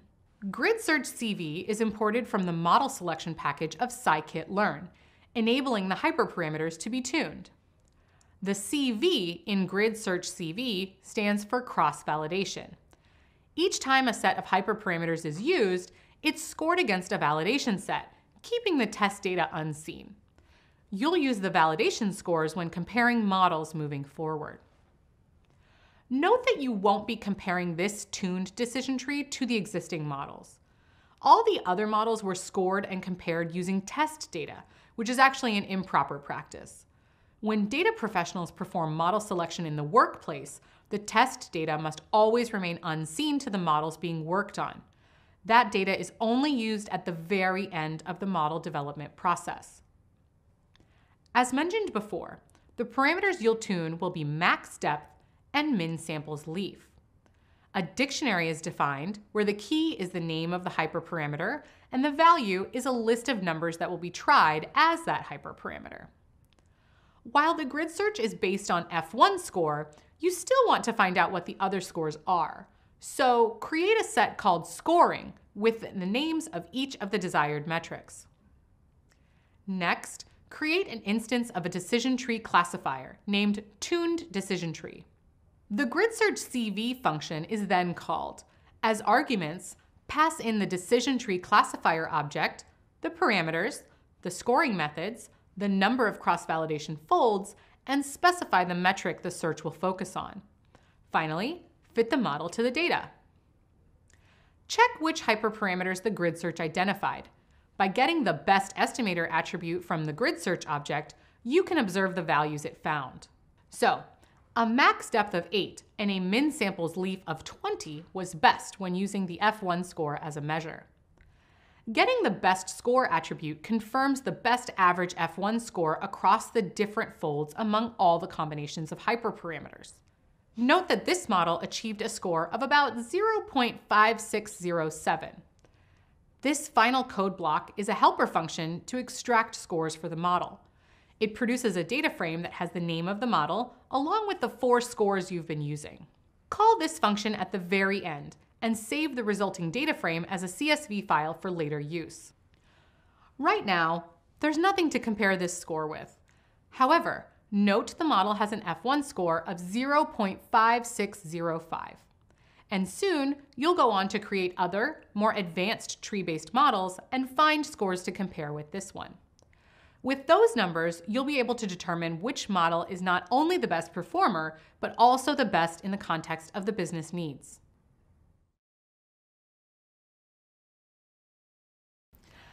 At this point, you've learned that decision trees are useful because they're easy to understand and interpret, flexible with regard to the data they use, and highly versatile. Decision trees can be good predictors, but you also know that they're prone to overfitting and they're very sensitive to variations in the training data. How do we solve these problems? The answer is by using the wisdom of the crowd. Perhaps you're familiar with this concept because it can apply to everyday situations as well. If I have a jar filled with jelly beans, and I ask a spatial math expert to examine it and guess how many jelly beans there are, their estimate will typically be less accurate than if I ask a thousand ordinary people to do the same thing and then take the average of their guesses. We can apply this same concept to modeling using a process called ensemble learning, or simply ensembling. Ensemble learning involves building multiple models and then aggregating their outputs to make a final prediction. Just like in our jelly bean example, predictions using an ensemble of models are very accurate, even when the individual models themselves are barely more accurate than a random guess. A best practice when building an ensemble is to use very different methodologies for each model it contains, such as a logistic regression, a naive Bayes model, and a decision tree classifier. In this way, when the models make errors, and they always will, the errors will be uncorrelated. The goal is for them to not all make the same errors for the same reasons. You could build an ensemble using the three models I just mentioned. You'd train each model on the same data, then use each model's individual predictions to make a final prediction, say by taking the majority vote if it's a classification task, or averaging the results if it's a regression task. But there's another way to build an ensemble, a way that uses the same methodology for every contributing model. In this kind of ensemble, each individual model that comprises it is called a base learner. For this method to work, you usually need a lot of base learners, and each is trained on a unique, random subset of the training data. If the base learners were all trained on the exact same data, there would be too much correlation between the errors. This would affect the strength of the base learners. And if a base learner's prediction is only slightly better than a random guess, it becomes a weak learner. So, to address this, data professionals do something called bagging in order to ensure random subsets of the data and strong learners. The word bagging comes from bootstrap aggregating. Let's break this down. Remember from statistics that bootstrapping refers to sampling with replacement. That's what happens during bagging too. Each base learner samples from the data with replacement. For bagging, this means the various base learners all sample the same observation, and a single learner can sample that observation multiple times during training. The aggregation part of bagging refers to the fact that the predictions of all the individual models are aggregated to produce a final prediction. For regression models, this is typically the average of all the predictions. For classification models, it's often whichever class receives the most predictions, which is the mode. When bagging is used with decision trees, we get a random forest. A random forest is an ensemble of decision tree based learners that are trained on bootstrapped data. The base learners' predictions are all aggregated to determine a final prediction. Random forest takes the randomization from bagging one step further. A regular decision tree model will seek the best feature to use to split a node. A random forest model will grow each of its trees by taking a random subset of the available features in the training data, and then splitting each node at the best feature available to that tree. This means that each base learner in a random forest model has different combinations of features available to it, which helps to prevent the problem of correlated errors between learners in the ensemble. Each individual base learner is a decision tree. It may be fully grown, so each leaf is a single observation, or it may be very shallow, depending on how you choose to tune your model. Ensembling many base learners helps reduce the high variance that you typically get from a single decision tree. Ensemble learning is powerful because it combines the results of many models to help make more reliable final predictions. Plus, these predictions have less bias and lower variance than other standalone models. Coming up, we'll explore random forests in more detail. Lots to come! Now that you've been introduced to random forests, let's examine a little more closely what they are and how they function. It's important to understand this methodology because it's commonly used in data work, and many of its component steps are used by other, more advanced modeling strategies. As a refresher, a random forest is an ensemble of learning trees whose predictions are all aggregated to determine a final prediction. Each tree in a random forest model uses bootstrapping to randomly sample the observations in the training data with replacement. Remember, this means that any tree in the model can use the same observation, and the same observation can be sampled more than once by the same tree. Bootstrapping is a critical component of random forest models.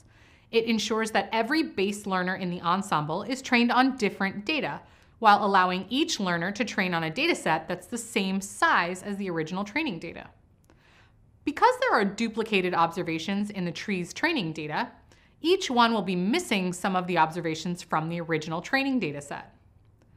One more important principle of random forest models is that all trees in the ensemble are trained on a random subset of the available features in the dataset. No single tree sees all the features. Again, this is to introduce another element of randomness and ensure that each tree is as different from the others as possible. You learned that one of the main weaknesses of decision trees is that they are very sensitive to new data, so they're prone to overfitting. Therefore, randomizing both the data and the features used by each base learner means that no single tree can overfit all the data. This is because no single tree sees all the data. In fact, the trees underfit the data. They are high bias, but together they can be very powerful predictors that are more stable than a regular single decision tree. In addition, random forests are very scalable. All the base learners they rely on can be trained in parallel using different processing units, even across many different servers. Finally, just like decision trees, random forest models need to be tuned to find the combination of hyperparameter settings that results in the best predictions. After all, random forests are made up of many decision trees, and data professionals want them all to be as effective as possible. Hey, welcome back. In this video, we'll build on your understanding of how decision trees grow. This will be the basis on which we'll tune a random forest model. You've learned that random forests make predictions by sampling features and observations to grow trees. With decision trees, splits are decided by which variables and which cutoff values offer the most predictive power. Now, let's consider that decision trees continue to split until one of a certain set of conditions is met. The first condition has to do with the observations that a leaf contains. When all of the observations belong to the same class, this means the leaf node is pure. The second condition affecting where a tree splits is whether the minimum leaf size or maximum depth is reached. Also, a decision tree may stop growing if it achieves a certain performance threshold. The value and metric for this threshold can both be specified by the modeler. You'll recall that settings such as these are known as hyperparameters, and they can be tuned to improve model performance, directly affecting how the model is fit to the data. We demonstrated that one of the most important hyperparameters in a decision tree is its max depth. This specifies how many levels the tree can have and ultimately determines how many splits it can make. Remember, every time a node splits, your data gets separated into smaller subsets. The model is drawing another decision boundary. We also introduced you to min samples leaf, which defines the minimum number of samples for a leaf node. With min samples leaf, a split can only occur if it guarantees a minimum number of observations in the resulting nodes. Now, a new concept, min samples split, can be used to control the threshold below which nodes become leaves. Random forest models have these same hyperparameters because they are ensembles of decision trees. These hyperparameters control how the learner trees are grown. But random forests also have some other hyperparameters which control the ensemble itself. This first hyperparameter controls the randomness of the trees, and it's called max features. This setting specifies the number of features that each tree selects randomly from the training data to determine its splits. For example, if you have a dataset with features A, B, C, D, and E, and you build a random forest model with max features set to 3, your first tree might use features A, C, and E to determine its splits, and the next tree might use features B, D, and E, and so on. The second hyperparameter, number of estimators, controls how many decision trees your model will build for its ensemble. For example, if you set your number of estimators to 300, your model will train 300 individual trees. If you're building regression trees, then the model's final prediction would average the predictions of all 300 trees. If you're building classification trees, the final prediction would be determined by whichever class received the majority vote from the 300 individual trees. For random forest models, performance will typically increase as trees are added to the ensemble, but only to a certain point. After this point, improvement will level off, and adding new trees will only increase your computing time. This happens because the new trees will become very similar to existing trees, so they won't contribute anything new to the model. As a final point, many data professionals build models without hand setting each hyperparameter. In fact, when using scikit-learn, the model might perform well with no hyperparameters at all. That's because it has an effective default setting. And remember to make the most of grid search to help you iterate. Data professionals know how to experiment with combinations of hyperparameters in order to build the model that makes the very best predictions. Now that you're familiar with the logic behind random forests and some of its most important hyperparameters, you're ready to build a model. In this video, we'll build a random forest model that uses grid search to cross-validate and tune the hyperparameters. Let's open up a Jupyter Notebook and get started. Recall that in this scenario, we're trying to predict which customers will close their bank accounts. Import NumPy and Pandas, Matplotlib, Grid Search CV, and Train Test Split. Then, all the evaluation metrics. Also import Random Forest Classifier. Note that we're using the classifier because we're trying to solve a classification problem. But we could also import the Random Forest Regressor if we were predicting on continuous data. Remember that we've prepared our data by dropping the row number, customer ID, and surname columns because they don't have predictive value. We've also dropped the gender column because we don't want the model to predict on the basis of gender. Then we dummy encoded our categorical variables to prepare for modeling. The last step before modeling is to split the data into the training and test sets using train test split. We're going to compare our model's F1 score to what we got from our naive Bayes and decision tree models. So it's important to split the data in the same exact way to ensure that all models train and test on the same data. Therefore, we'll make sure that our test data is 25% of all the data. We'll also stratify based on our target column and set the random seed to 42, just as we did previously. This splits our X and Y data into X-train, X-test, Y-train, and Y test. Okay, we're ready to model. Let's find out what happens if we tune our model using cross-validation. One thing you'll notice when we build ensemble models is that the training time will usually be much longer than what you've experienced so far. That's because instead of building a single tree, we're now building from 75 up to 150 trees for each combination of hyperparameters we specify. It's useful to know how long it takes a model to train. You can get a cell's runtime by entering percent percent time at the top. This is called a magic command. Magic commands, often just called magics, are commands that are built into IPython to simplify common tasks. They always begin with either percent or percent percent. Now, define the hyperparameter grid.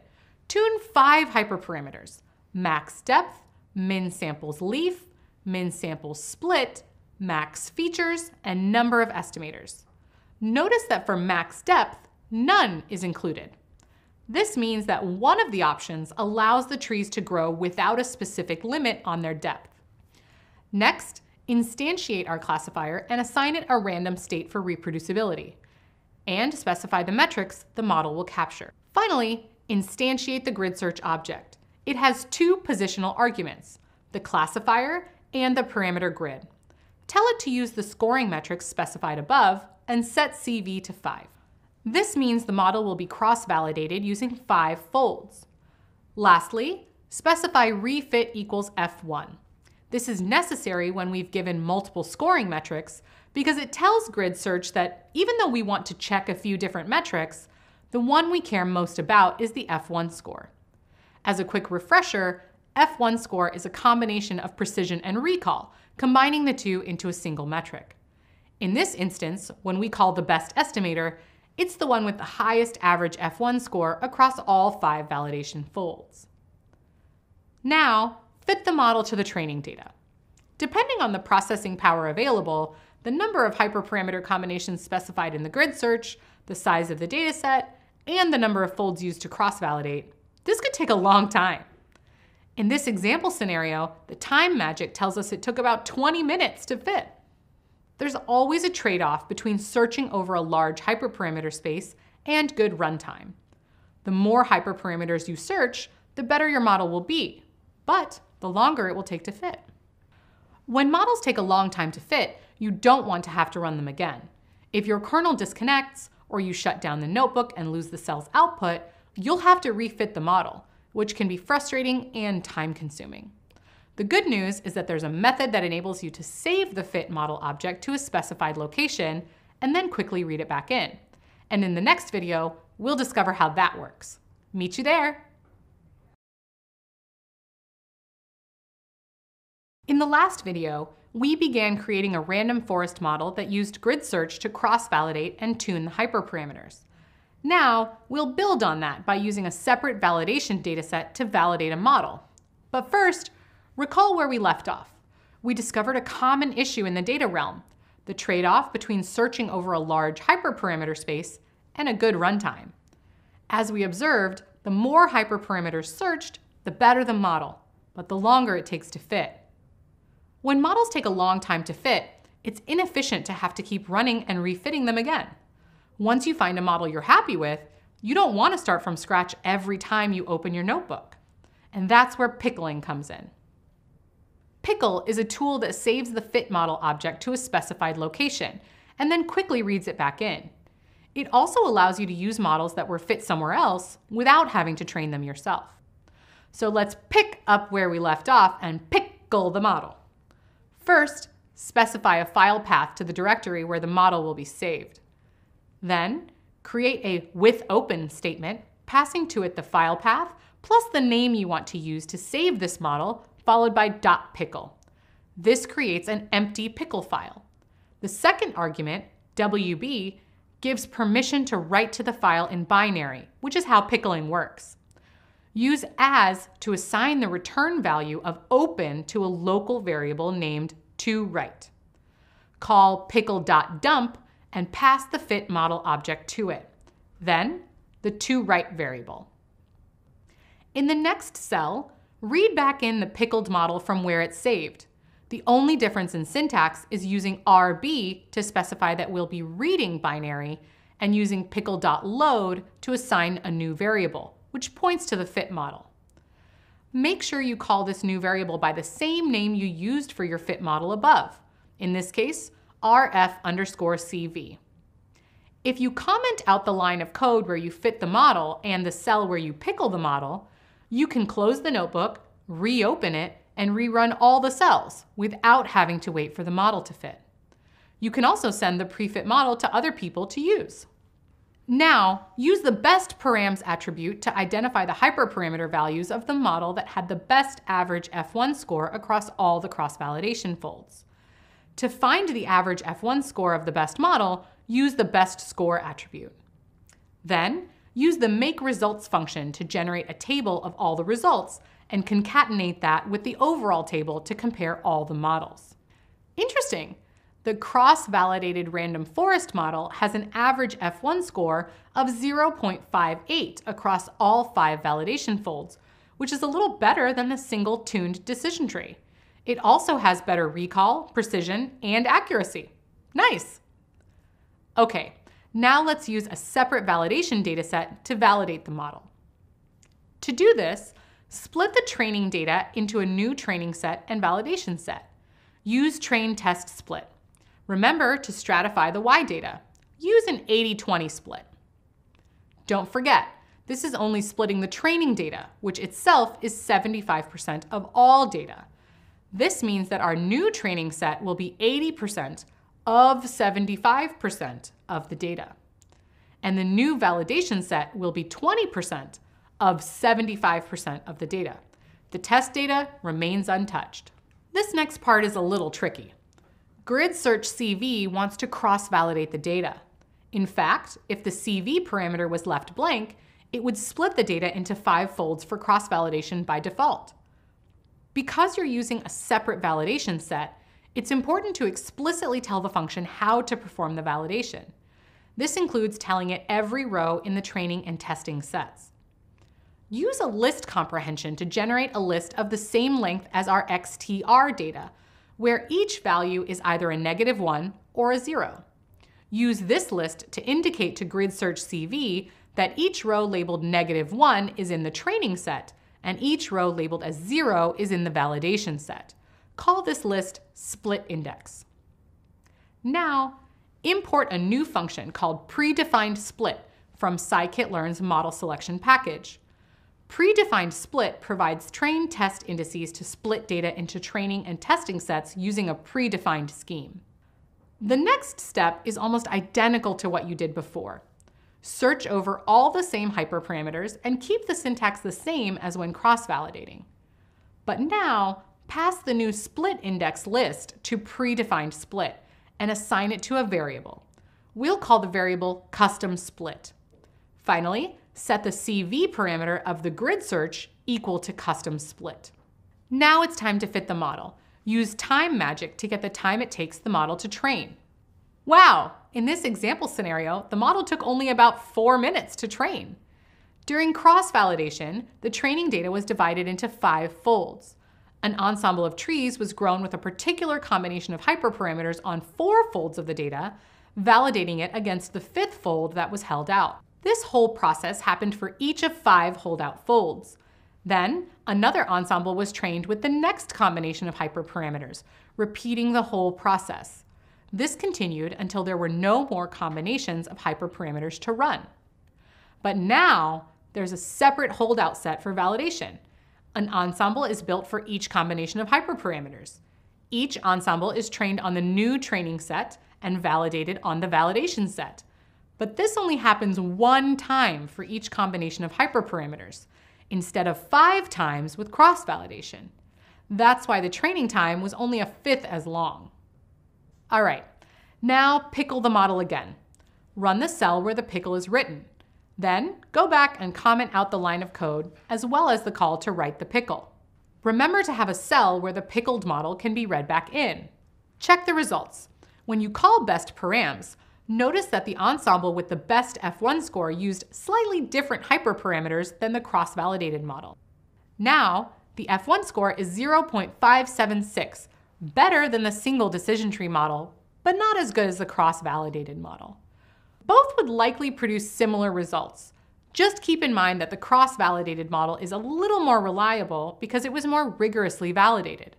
In fact, if a different random seed had been used to create the validation set, it's possible that we might have gotten lucky and even had a model that performed a little better than our cross-validated model. But note that this doesn't mean it would be expected to perform better on the test data. This notebook's purpose was to demonstrate the different processes involved in validating a random forest model using cross-validation and validation with a separate dataset. In practice, it's unlikely that you'd do both. Instead, it would be more effective to choose an approach based on time requirements, the amount of data, and the number of different hyperparameter combinations to be explored. As always, the work that data professionals do requires thoughtful trade-offs and adaptability.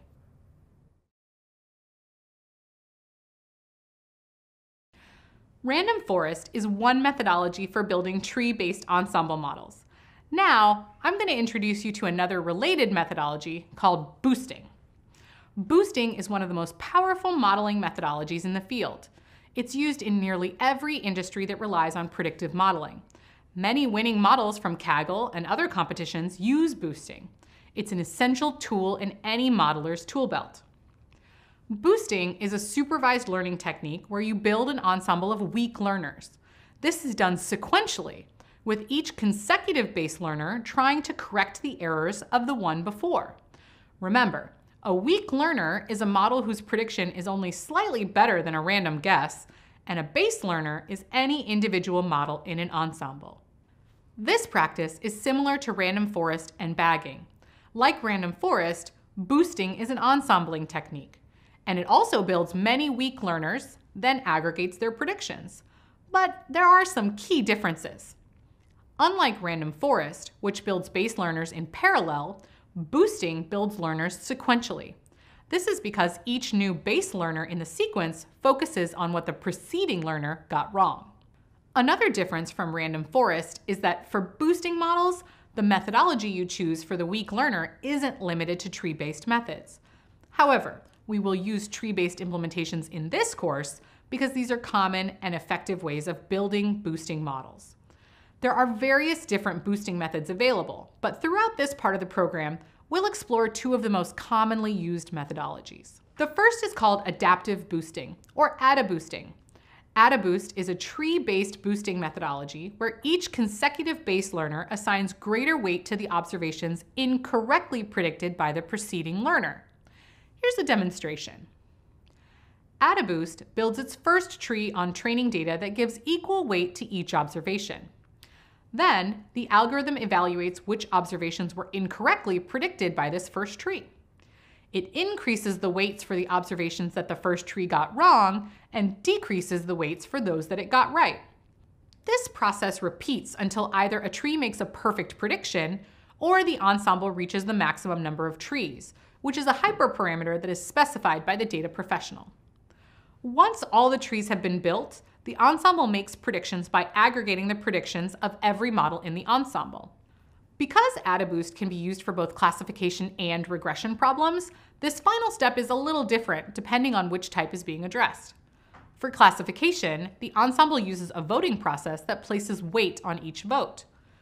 Base learners that make more accurate predictions are weighted more heavily in the final aggregation. For regression, the model calculates a weighted mean prediction for all the trees in the ensemble. There is one disadvantage to note about boosting. You can't train your model in parallel across many different servers because each model in the ensemble is dependent on the one that preceded it. This means that in terms of computational efficiency, it doesn't scale well to very large datasets when compared to bagging. However, this generally isn't a concern unless you're working with particularly large datasets. But there are many noteworthy advantages, including being one of the more accurate methodologies available today. Also, just like random forest, the fact that it's based on an ensemble of weak learners means that the problem of high variance is reduced. This is because no single tree weighs too heavily in the ensemble. Boosting has a few key advantages. First, unlike random forest, it reduces bias. It's also easy to understand and doesn't require the data to be scaled or normalized. Boosting can handle both numeric and categorical features, and it can still function well, even with multicollinearity among the features. Plus, it's robust to outliers. Now, note that resilience to outliers is a major strength of all tree-based methodologies. This is because the model splits the data the same way regardless of how extreme a value is. Here's an example. Suppose you have six elephants. Three are females that weigh 2,000, 2,500, and 3,000 kilograms. And three are males that weigh 4,000, 4,500, and 5,000 kilograms. If you grew a decision tree using this data, it would draw a decision boundary between males and females at 3,500 kilos, the midpoint between the weights of the heaviest female and the lightest male. Now, suppose that instead of weighing 5,000 kilos, the last male elephant weighed 10,000 kilos. Your model would still divide males and females at 3,500 kilos. It doesn't matter that the last elephant doubled in size. Speaking of doubling in size, your experience and skills are growing at an enormous rate. I'm really proud to be taking this journey with you and can't wait to keep it up.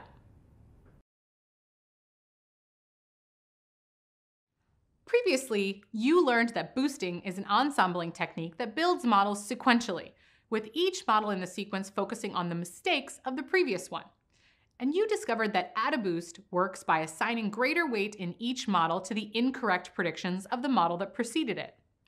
Now we're going to explore gradient boosting. Gradient boosting is different from adaptive boosting because instead of assigning weights to incorrect predictions, each base learner in the sequence is built to predict the residual errors of the model that preceded it. Here's a demonstration. This example uses a decision tree regressor, so imagine that the target is a continuous variable. Let's start with a set of features, x, and a target variable, y. We'll train the first base learner decision tree on this data and call it learner 1. Learner 1 makes its predictions, which we'll call y hat sub 1. The residual errors of learner 1's prediction are found by subtracting the predicted values from the actual values. Call the set of residual errors error 1. Now, train a new base learner using the same x data, but instead of the original y data, use error 1 as the target. That's because this learner is predicting the error made by learner 1. Call this new base learner learner 2. Learner 2's predictions are assigned to y hat sub 2. Then compare learner 2's predictions to the actual values and assign the difference to error 2. In this case, the actual values are the errors made by learner 1. This process will continue for as many base learners as we specify. For now, repeat it just once more. Stopping here results in an ensemble that contains three base learners. To get the final prediction for any new x, add together the predictions of all three learners. If you like, pause the video now and repeat the process to review how it works. Ensembles that use gradient boosting are called gradient boosting machines, or GBMs. GBMs are among the most widely used modeling techniques today because of their many advantages. One of these is high accuracy. As we mentioned earlier, many machine learning competition winners succeeded largely because of the accuracy of their boosting models. Another advantage is that GBMs are scalable. Even though they can't be trained in parallel, like random forests, because their base learners are developed sequentially, they still scale well to large data sets. GBMs also work well with missing data. The fact that a value is missing is viewed as valuable information. So GBMs treat missing values just like any other value when determining how to split a feature. This makes gradient boosting relatively easy to use with messy data. Also, because they're tree-based, GBMs don't require the data to be scaled, and they can handle outliers easily. Gradient boosting also has its drawbacks. One is that GBMs have a lot of hyperparameters, and tuning them can be a time-consuming process. Another drawback is that they can be difficult to interpret. GBMs can provide feature importance, but unlike linear models, they do not have coefficients or directionality. They only show how important each feature is relative to the other features. Because of this, they're often called black box models. This is a model whose predictions cannot be precisely explained. In some industries, such as medicine and banking, it's essential that your model's predictions be explainable. Therefore, GBMs are not well suited for some applications. GBMs can also have difficulty with extrapolation. Extrapolation is a model's ability to predict new values that fall outside of the range of values in the training data. For instance, if one loaf of bread costs $1, two loaves of bread cost $2, and three loaves cost $3, A linear regression model would have no trouble predicting that 10 loaves cost $10. But a GBM wouldn't be able to unless it saw the cost of 10 loaves in the training data. Finally, GBMs are prone to overfitting if not trained carefully. Usually, this is caused by tuning too many hyperparameters, which can result in the trees growing to fit the training data but not generalizing well to unseen data. You're doing a wonderful job filling up your data toolkit. Everything we're exploring together is priming you for an exciting career. Keep up the great work. There are numerous machine learning packages that include implementations of the boosting models we examined earlier.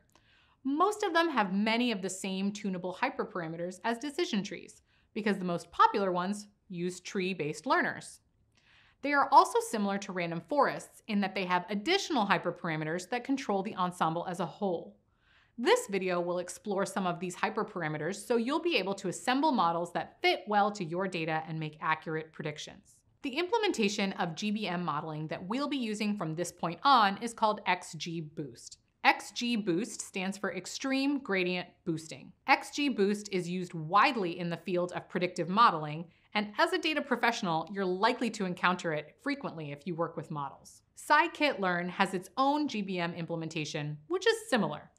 But XGBoost is a commonly used gradient boosting package that has many useful optimizations. These optimizations include fast training, effective regularization of features, and tunable hyperparameters, which can improve model predictions. Let's return to max depth. As you'll recall, this was used both in decision trees and random forests. It has the same functionality in XGBoost, which is that it controls how deep each base learner tree will grow.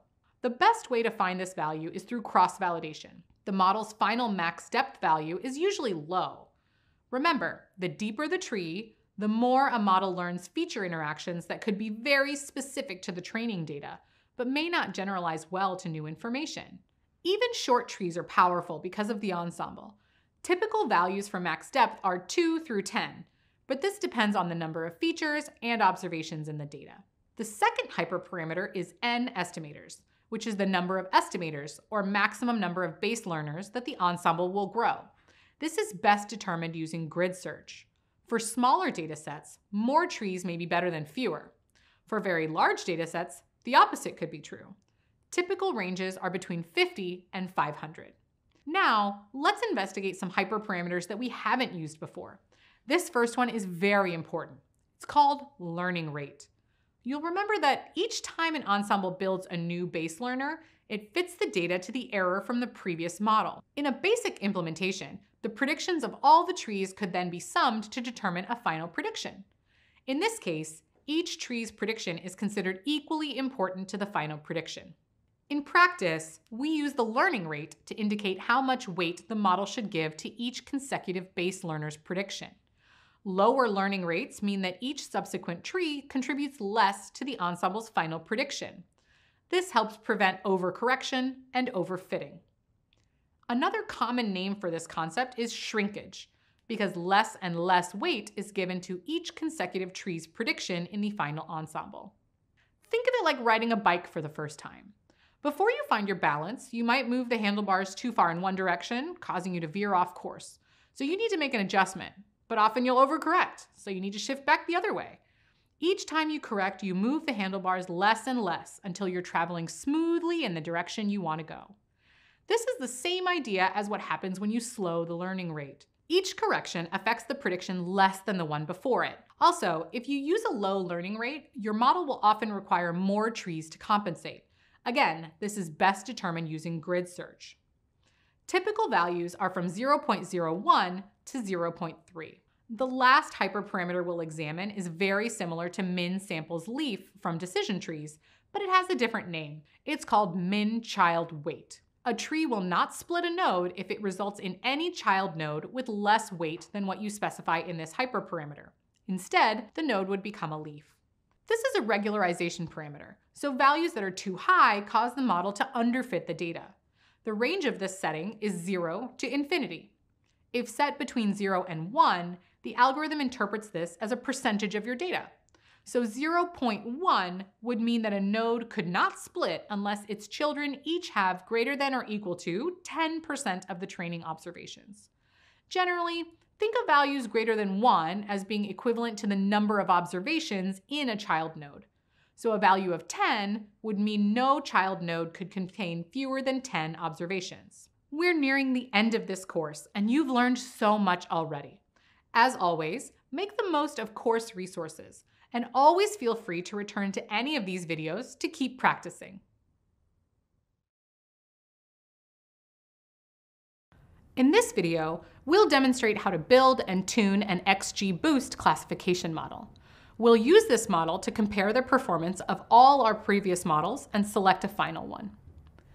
Let's return to the bank churn data.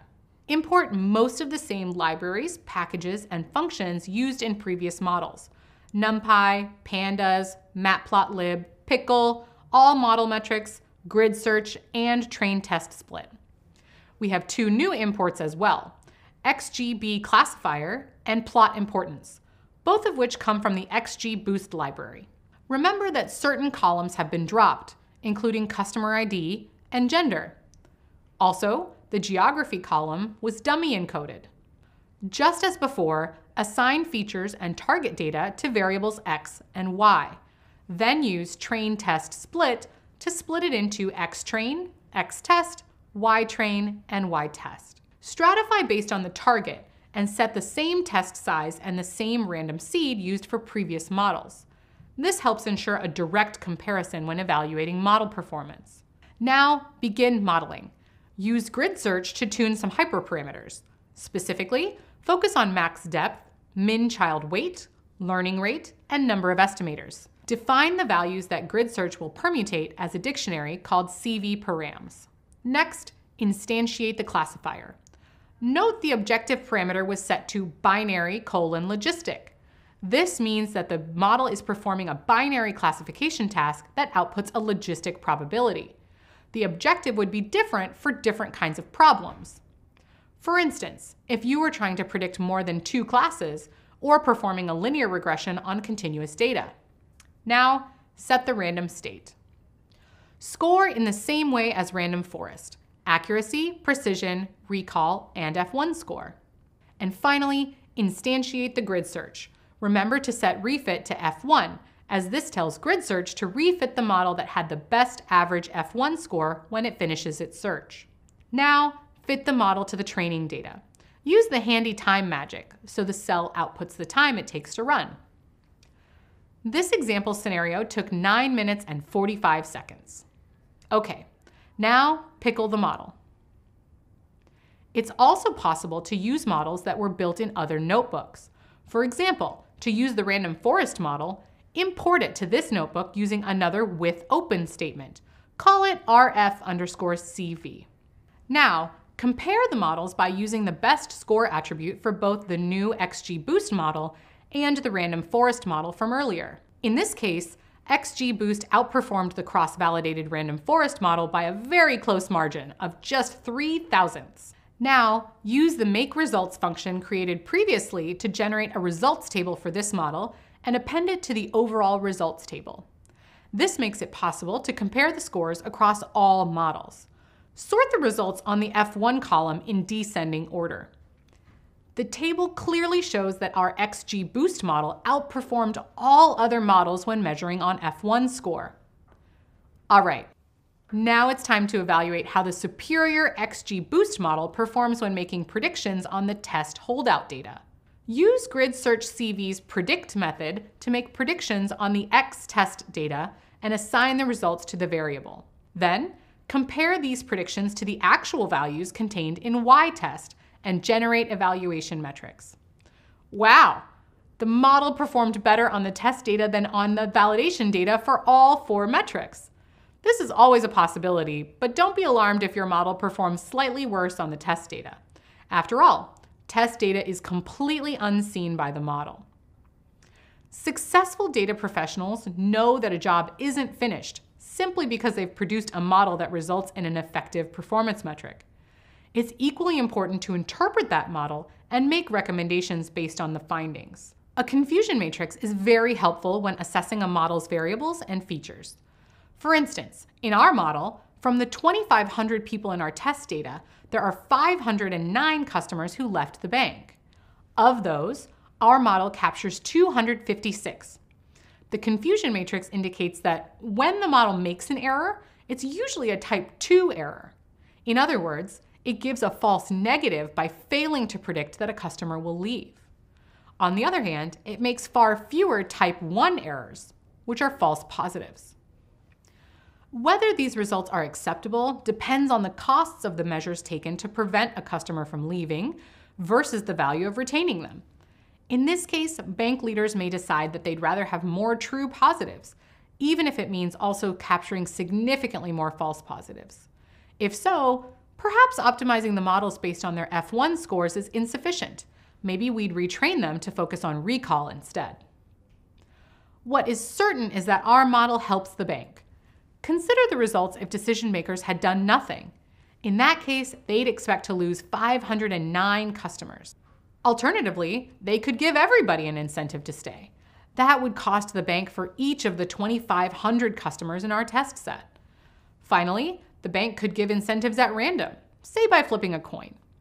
Doing this would incentivize about the same number of true responders as our model selects. But the bank would lose a lot of money offering the incentives to people who aren't likely to leave.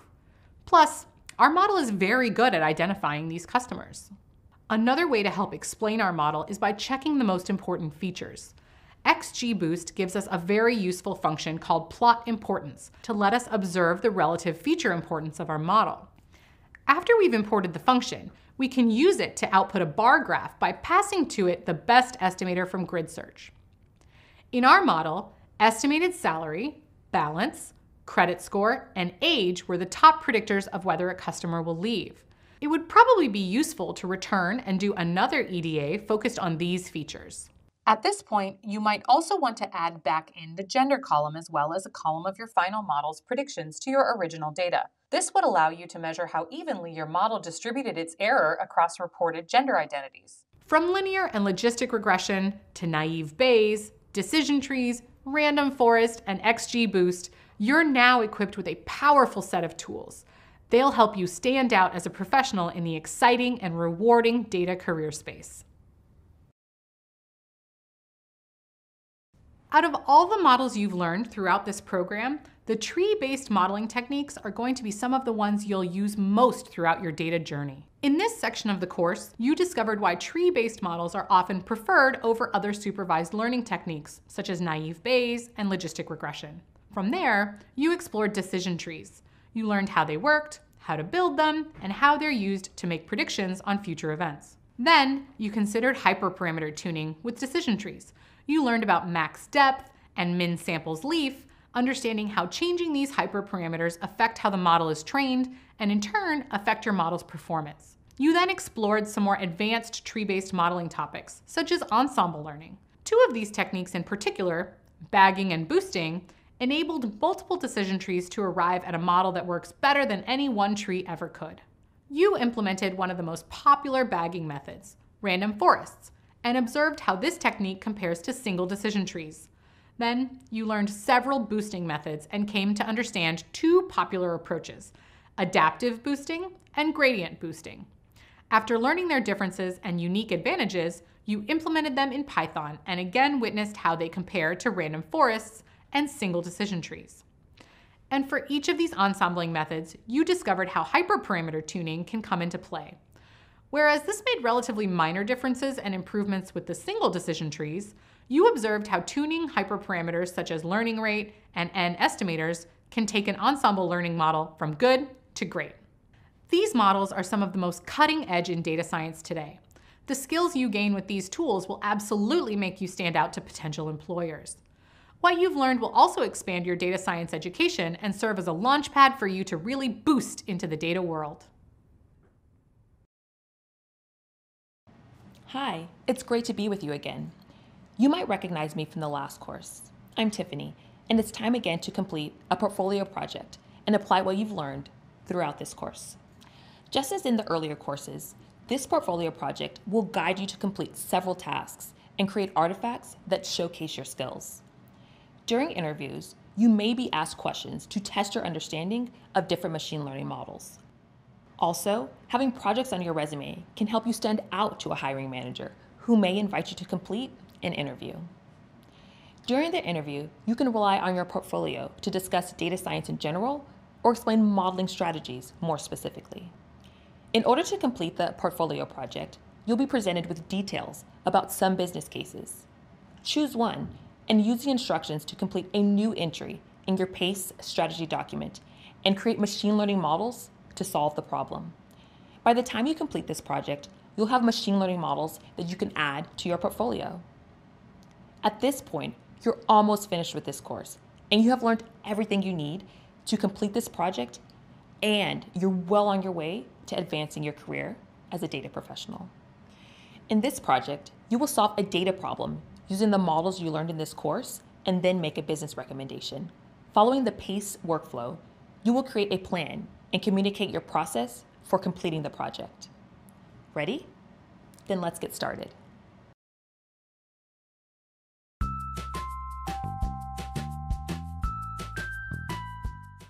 I'm Uri. I lead uh, analytical teams in Google, uh, leading data scientists and product analysts. So I've interviewed north of 500 people over the years. Always what I look for is problem solving. Often I'll ask you about a project you did. And I, um, you know, we're gonna drill down. I'm gonna ask you details. And it's gonna be something you've spent time with, right? You've went back and forth, you look at it from different angle. And I always wanna see that I thinking about it as a few seconds as you tell me about it cannot come up with better answer than you. So always pick the ones that you know very well and you can almost teach me, give me some new insight about it that is not obvious. If you can teach me something new, that's a magical moment for me. What you really want to show is that um, you can solve problems, right? You took something, you kind of thought it through and you come up with something that is original and you can communicate it outward. I want to see you framing a problem.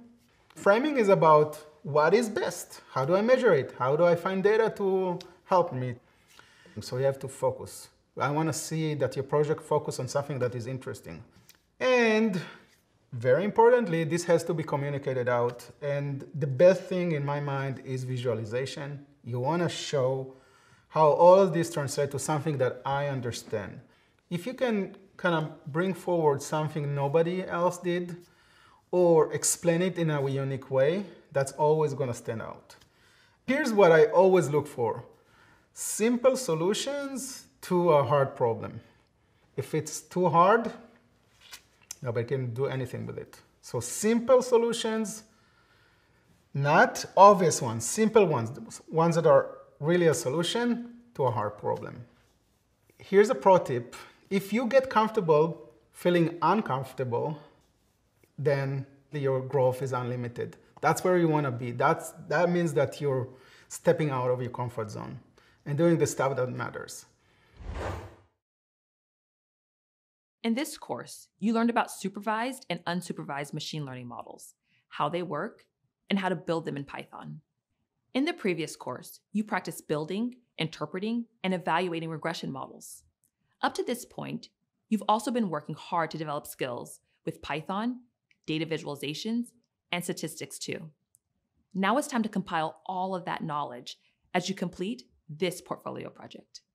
Here, you'll be presented with a business problem and a dataset.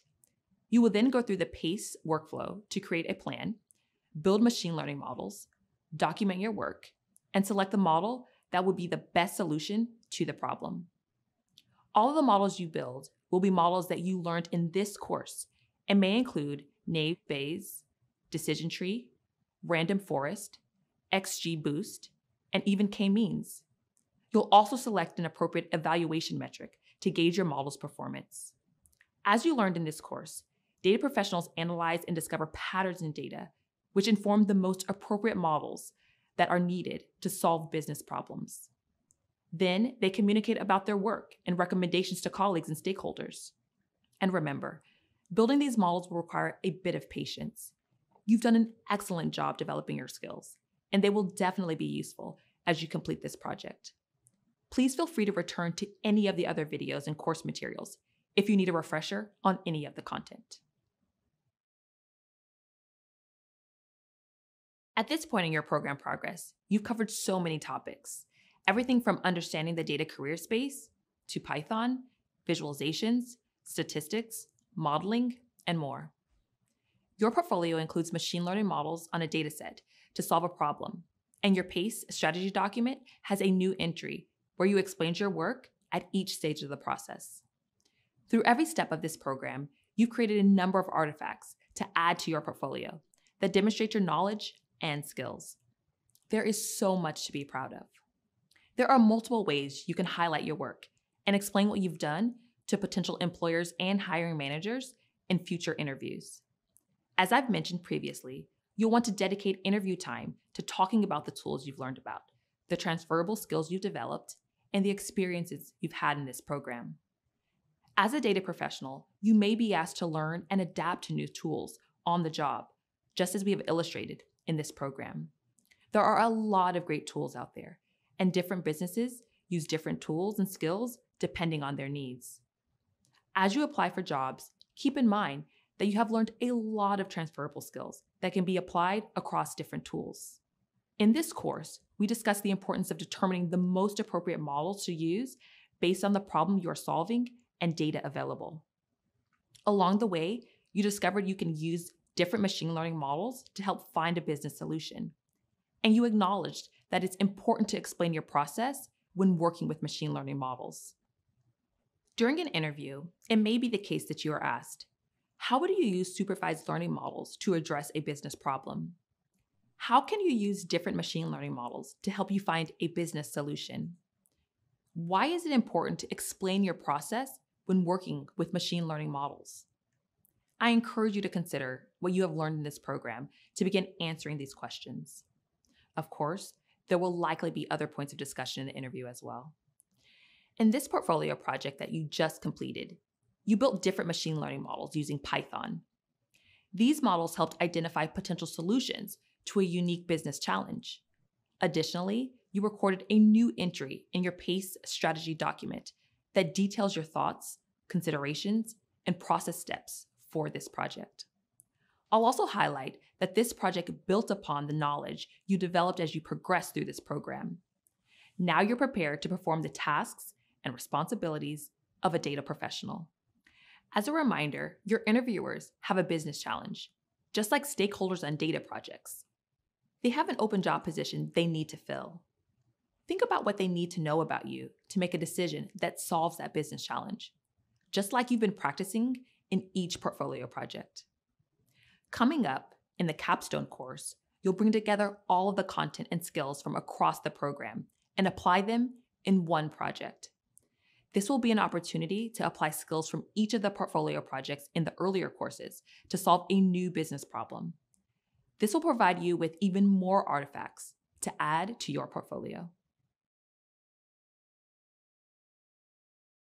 Congratulations! You just finished the final instructive portion of the program and you're ready to move on to your capstone project. You've learned a whole lot throughout this final section, and you're now ready to take this new knowledge and move on in your data journey. Whether your next steps are to continue your education or take what you've learned into industry, you now have a comprehensive foundation to build on or use. We started this section learning about the foundations of machine learning with a focus on the different types of models that are available to a data professional. You saw how different types of business needs require different types of models.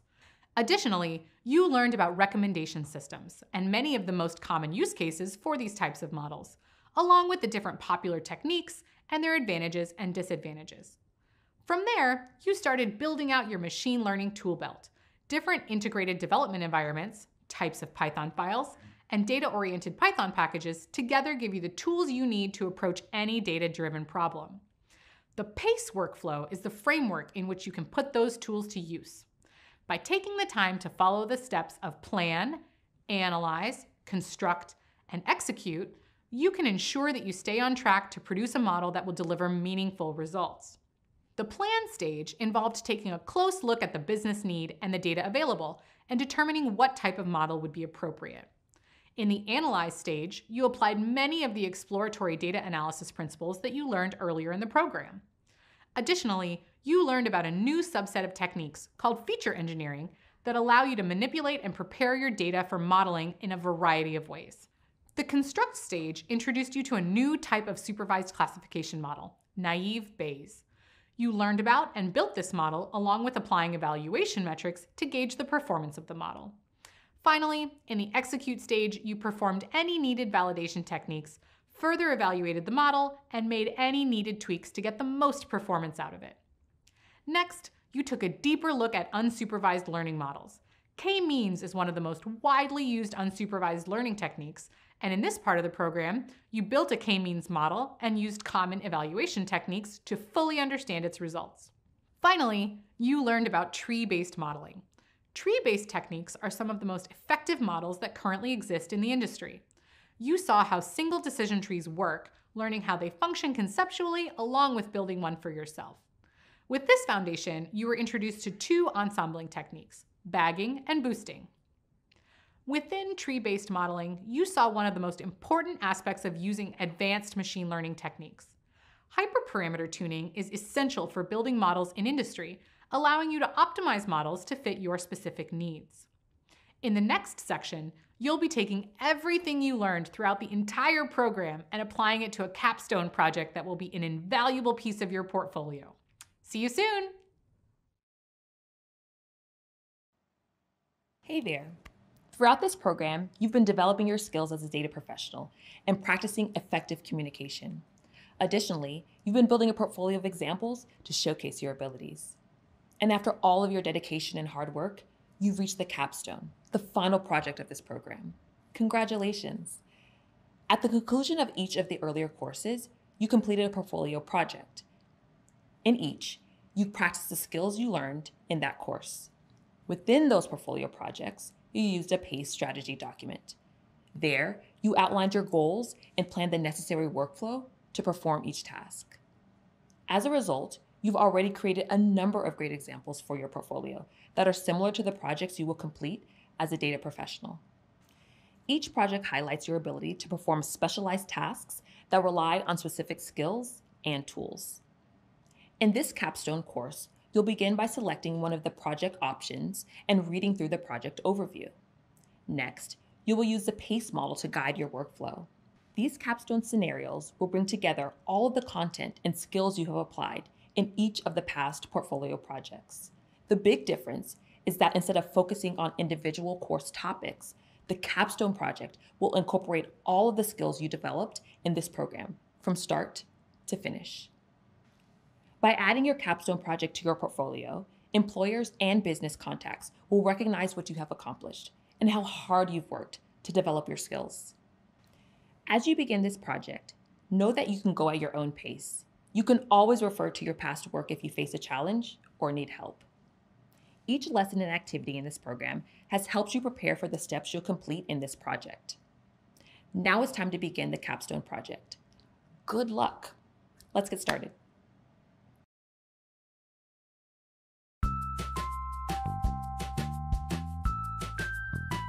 Hi, I'm Daisy, Data Science Manager at Google. I lead a team of data scientists we focus on delivery insight and machine learning solution to improve financial analysts their productivities. In the past three years, I conduct about 200 interviews.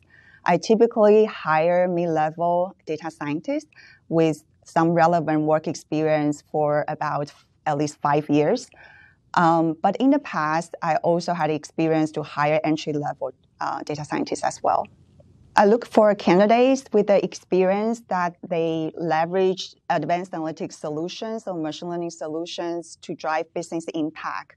Um, having those evidence on the resume or demonstrate those um, experience throughout the interview is quite critical. Um, and I don't really emphasize um, on certain experience from specific industry. And the reason is I, I see a good data scientist can actually leverage their knowledge and then adapt into a different business environment. The successful candidates are those that are able to relate their past projects or their schoolwork to any type of problems. Our interview questions normally cover two parts. One is focused on um, understand the candidates, their technical knowledge. Um, in that aspect, we usually will want to understand their coding skill, particularly in R or Python and SQL. Um, in addition, we also want to understand their knowledge in machine learning or statistics as well. And the second part would be related more on the soft skill.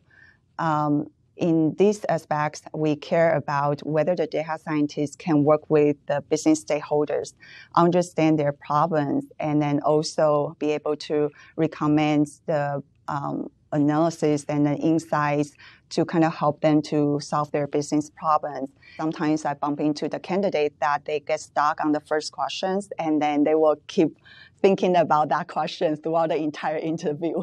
So um, that's also something I would definitely encourage the candidates. I give your best, but also know when to stop.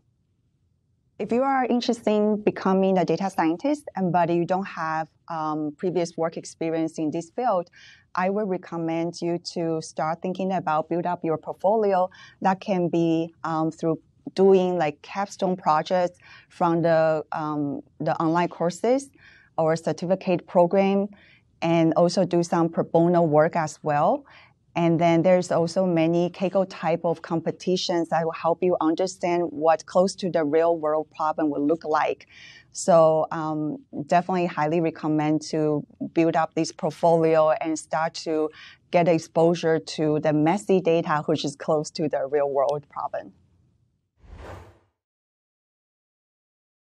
Welcome back.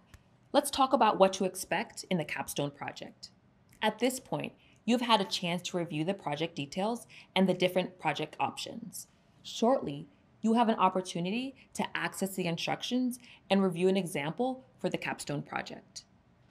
Once you have reviewed the instructions, you'll start by selecting one of the project options. Here, you will be given access to all of the necessary data and project information. Next, use the PACE model to organize your approach and outline the necessary steps you will need to take. The capstone project follows a similar structure to each of the portfolio projects. By this point in the program, none of the tasks needed to complete the capstone will be new to you. And if you get stuck, you can review previous projects. There is one major difference between the capstone project and the portfolio projects you've done so far. The capstone project is comprehensive because it requires skills and knowledge developed across the whole program, including Python, EDA, data visualizations, stats, modeling, and PACE. Now it's time to get started. At the end of the project, you'll have a set of artifacts that you can add to your portfolio to showcase your skills to prospective employers. Good luck on your capstone. Congratulations, you completed the capstone project. This is a huge accomplishment that demonstrates all your hard work in this course. You applied your knowledge of data science and effective communication, creating a dynamic representation of your professional skills. You can now include the capstone project in your portfolio, share it with potential employers, and discuss it during interviews. You can also share any of the materials you generated during the process, including your models and any elements of your PACE strategy document. These can help explain your workflow, thought processes, and ultimately, the choices you made. Ideally, you'll share all of the above. Each component illustrates a step in your progression as a data professional. Let me be the first to congratulate you on completing the capstone project. Your commitment to this program has been impressive, and I can't wait to have you share your passion for data science with prospective employers. Before that, we're going to get you ready for the job market. First, we'll refine your resume and prepare you for the interview process. Then, before you leave the program, we'll take a moment to celebrate your incredible accomplishment. Hello again. It's great to be back with you. Let's turn our attention to a discussion of the ways you can use everything you've learned in this program to have a successful experience on the job market. As you progress through this course, there have been many opportunities to familiarize yourself with what is expected of a data professional. Not to mention, you've also been working on your PACE strategy document, which is the foundation of your portfolio. Let's continue to discuss even more ways to promote your career advancement, like refining your resume and preparing for interviews. The job search is an important part of your learning journey. The good news is that you've already begun preparing for this experience by enhancing your skills. An important first step is learning what organizations expect of data professionals. This program has emphasized that data is everywhere due to the pervasive nature of technology. In every industry, companies need data professionals to make informed decisions. Whether you have a passion for healthcare, finance, human resources, retail, education, construction, or anything else, there's a data related job for you. You might also recall that there are many roles for data professionals across the field at large and within industries more specifically. A search for a data position might include terms such as data scientist or data analyst, among others. Job opportunities with these titles may require anywhere from zero to three years of experience. However, if a job asks for more years of experience than you have, you should apply anyway. As long as the skills you have match the job description, it's worth applying. A solid portfolio and resume can give you a chance even if you don't have a lot of experience. If you're looking for a job in a specific industry, the job listing may ask for skills or knowledge relating to that field. You can research job offers in your industry of interest to find which additional skills you should develop. But where should you apply to data jobs? You can send your applications on any job searching site, such as LinkedIn, Indeed, or Glassdoor. Even a quick Google search can help you find some recent job opportunities. On each of these sites, you'll be able to fill out job applications and share your resume and portfolio. If you do get a response to your application, you may interact with a recruiter or hiring manager. They may reach out to you with an email or phone call to set up an interview. If so, congratulations. You'll then prepare by researching the company, if you haven't already, and rehearsing for your interview. Some companies may contact you for multiple rounds of interviews, especially if they received a lot of applicants. If this is the case, your recruiter will prepare you for each round and tell you what to expect. You may be asked to describe the projects in your portfolio or complete a short data related exercise. Once you complete your final interview, you may not get an immediate response. At this point, you should follow up with a message thanking the interviewer for their time. You can also apply to more jobs work on your data skills, or continue developing your portfolio. Arguably, this waiting period is the hardest part, but hopefully, it leads to an interesting new opportunity. If you don't receive contact for a while after your interview, reach out to the recruiter or the hiring manager to check on your application status. Now that you know what to expect from the data career hiring process, it's time to prepare your application materials. This includes your projects, portfolio, and resume. Then you'll learn more about interview techniques to help you land a position as a data professional. If you've earned your Google Data Analytics certificate or completed any data projects in general, you may already have an online portfolio. As a reminder, our portfolio is a collection of materials that can be shared with potential employers. It's a part of your job application with evidence of your accomplishments. If you don't have a portfolio yet, it's time to make one. A portfolio is a shareable, accessible way to showcase your work. Potential employers will be interested in the skills you've gained through this program and other skills you may have through previous experiences. Having tangible artifacts in a portfolio to demonstrate these skills for prospective employers should set you up well for the interview process. You can also use it to demonstrate your background in non data industries, so it's important to create a well rounded portfolio. Portfolios enable you to share PACE model documents GitHub repositories, links to presentation slide decks, and other assets that will help demonstrate your skills. You can host your portfolio on your own custom website or use an existing data sharing platform. Sites like GitHub or Kaggle that you may have used for sharing data can be used to link out to your project artifacts. Tableau also has a social platform and sharing capabilities. Once you pick a platform or multiple platforms to host your portfolio, you can add your projects. Choose whether to represent your projects by including your data, screenshots of your visualizations, embedding the code, or all of the above. If embedding isn't possible on the platform you choose, you can always include links to allow access to your projects. When you've included all of the relevant parts from your project in your portfolio, you should also explain your process. Describe what work you did, why you made the choice, and what you could have done differently. It also helps to include a short biography. By describing your professional goals and interests, you can personalize your portfolio and make it stand out against other applicants. Going forward, it's important to update your portfolio as you complete projects through educational experiences, online courses, or on the job. Some projects you work on may deal with private data, so make sure that you follow your employer's rules and regulations for data sharing. In cases where you cannot share any data or visuals from a project, you can still include a summary of what you did in your portfolio. Which details you share may be determined by your employer, but it's important to document the roles you had on each project you were a part of. Now it's time to create or update your portfolio. You can do this now or make time to update your portfolio later. This will be a process you go through periodically throughout your career. Demonstrating your accomplishments in a portfolio will get you ready for new opportunities now and for years to come. Earlier in the course, you learned about creating a portfolio. Before you apply for a job, it's also important that you prepare a resume. A good resume can directly impact your chances of becoming a candidate for a position. If you completed the Google Data Analytics program, you learned a lot about creating an effective resume. If you need a refresher, feel free to revisit those resources.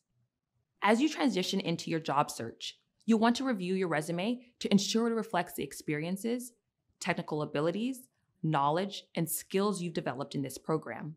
Let's discuss what organizations expect in a data professional's resume and what you can do to help yours stand out.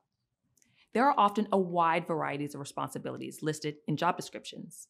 So, one of the first things you can do to improve your chances of getting noticed by recruiters and hiring managers is to refocus your resume for the specific job you are applying for.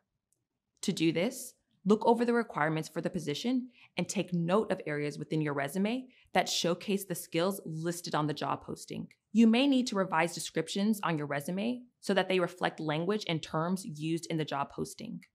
Since many of the jobs in the data career field are specialized, your resume should be as well. Most employers expect a resume to include technical and software proficiencies. This is where you'll list the languages, platforms, and software that you have used to analyze data. After completing this program, I encourage you to add Python and Tableau. As you revise your resume, you can also include previous work and educational experiences you have with other data related software. It might be the case that you encounter job descriptions listing programming languages, software, and skills you are less familiar with. In those instances, consider which tools and skills you have on your existing resume that may be transferable to the position you're applying for. In this program, you learned many valuable skills that transfer across roles in the data space. Don't forget to list your newly developed skills, including EDA, statistics, modeling, and communication. Keep in mind that hiring managers want to see examples of past work. As we discussed previously in the program, this is most often demonstrated through an online resume or a portfolio. Portfolios and resumes work together to help potential employers and hiring managers better understand how you'll be an asset to their team. Because of your hard work throughout this program, you've created a portfolio full of PACE strategy entries and data projects. All of these are strong evidence of your proficiency as a data professional. There may even be places in your resume where you can briefly describe what you've learned in the program. As you begin the process of applying for positions, take time to revise and update your resume. With your completed portfolio and resume, you'll be ready to move into the final part of the application process interviews.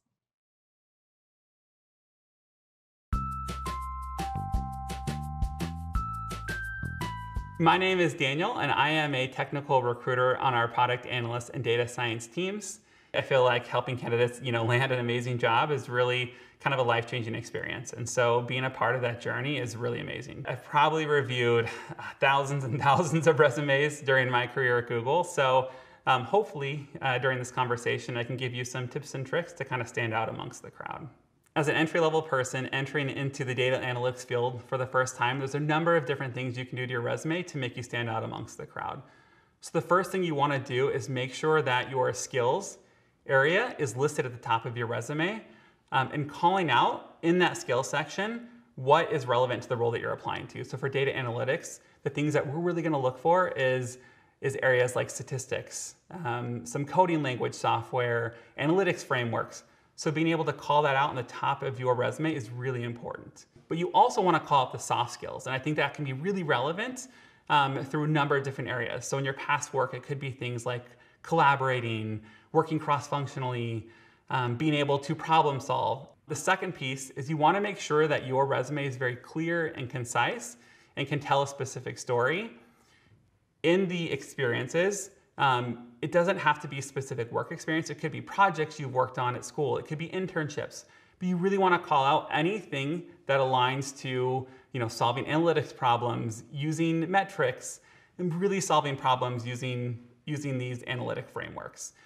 And then the last piece I'll say is keep it to one page at most and make sure that in your experience that it's in reverse chronological order and you're really telling a story about what you've done in analytics. If you're looking to come into a field and you don't have experience, there's a lot of your past experience that could be really relevant to what they're looking for.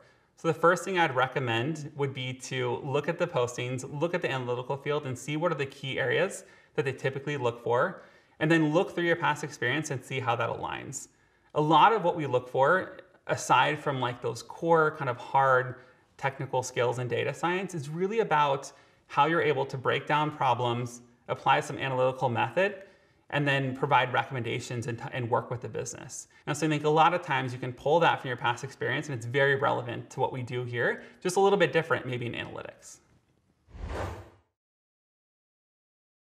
Throughout the program, you've learned how the PACE model can help guide you through a variety of tasks within a project. Although we have used the model in the context of data oriented work, you can apply PACE in a number of different ways, including to the interview process. Let's discuss this further. As you learned earlier, the P in PACE is all about planning. As you plan for an interview, there will be some general questions you'll want to be prepared to answer. Potential employers are interested in how you might approach different situations that commonly occur in their work environment. For example, they may ask you to describe how you approach a data project or how you might communicate with stakeholders. As you progress through this program, you use PACE to provide structure and guide your workflow. As a result, you now have within your portfolio examples of how you approach a variety of tasks common within data projects. Looking back at these PACE strategy document entries, you may notice that your thought process evolved. Consider how your approach changed from the first to the last entry, with more practice, you developed ingrained habits for thinking like a data professional. Sharing some of these insights into your personal workflow during an interview will help showcase skills that you have refined in this program, like your ability to thoughtfully plan, analyze, construct, and execute. In an interview, you can use the PACE strategy document that you composed to showcase your capacity for growth and your ability to adapt since you completed projects that increase complexity throughout this program. Let's take a look at the A in PACE for a moment. Analysis can be a repetitive process within data projects. Through your coursework, you often encounter the need to undertake analysis at various stages. In preparation for an interview, you will want to conduct some form of analysis about the company and the position they are trying to fill.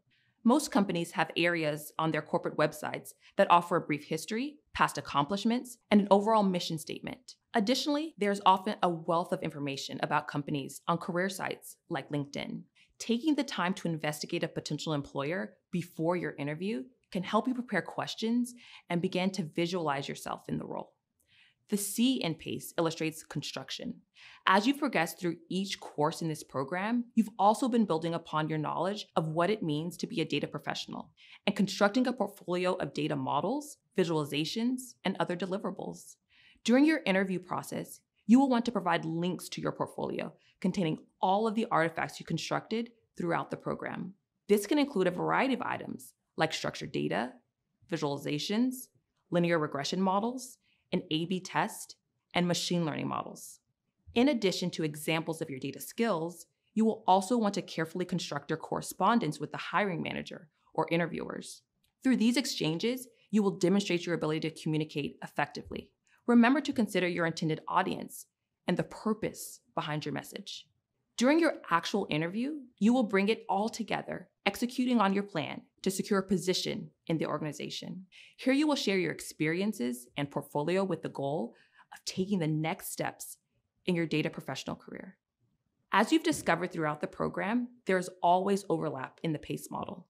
Each stage requires a degree of execution, whether you're developing a plan of action, analyzing data, or sharing findings.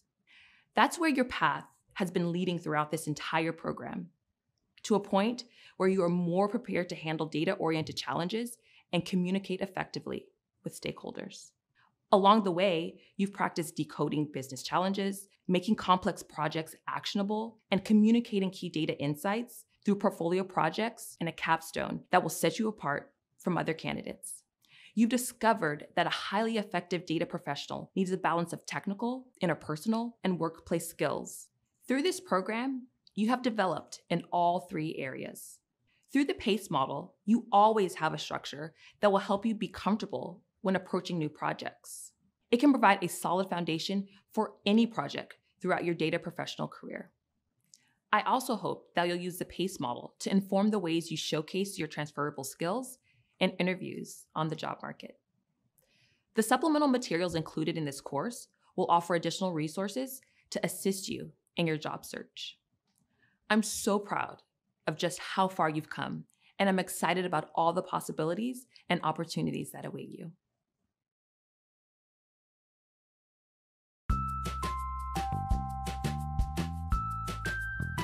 Hi, I'm Eva. I'm a product analytics lead here at Google. I manage a team of analysts, and together we help our product managers and our engineering partners answer business questions so that they can help advertisers better optimize their accounts on Google Ads.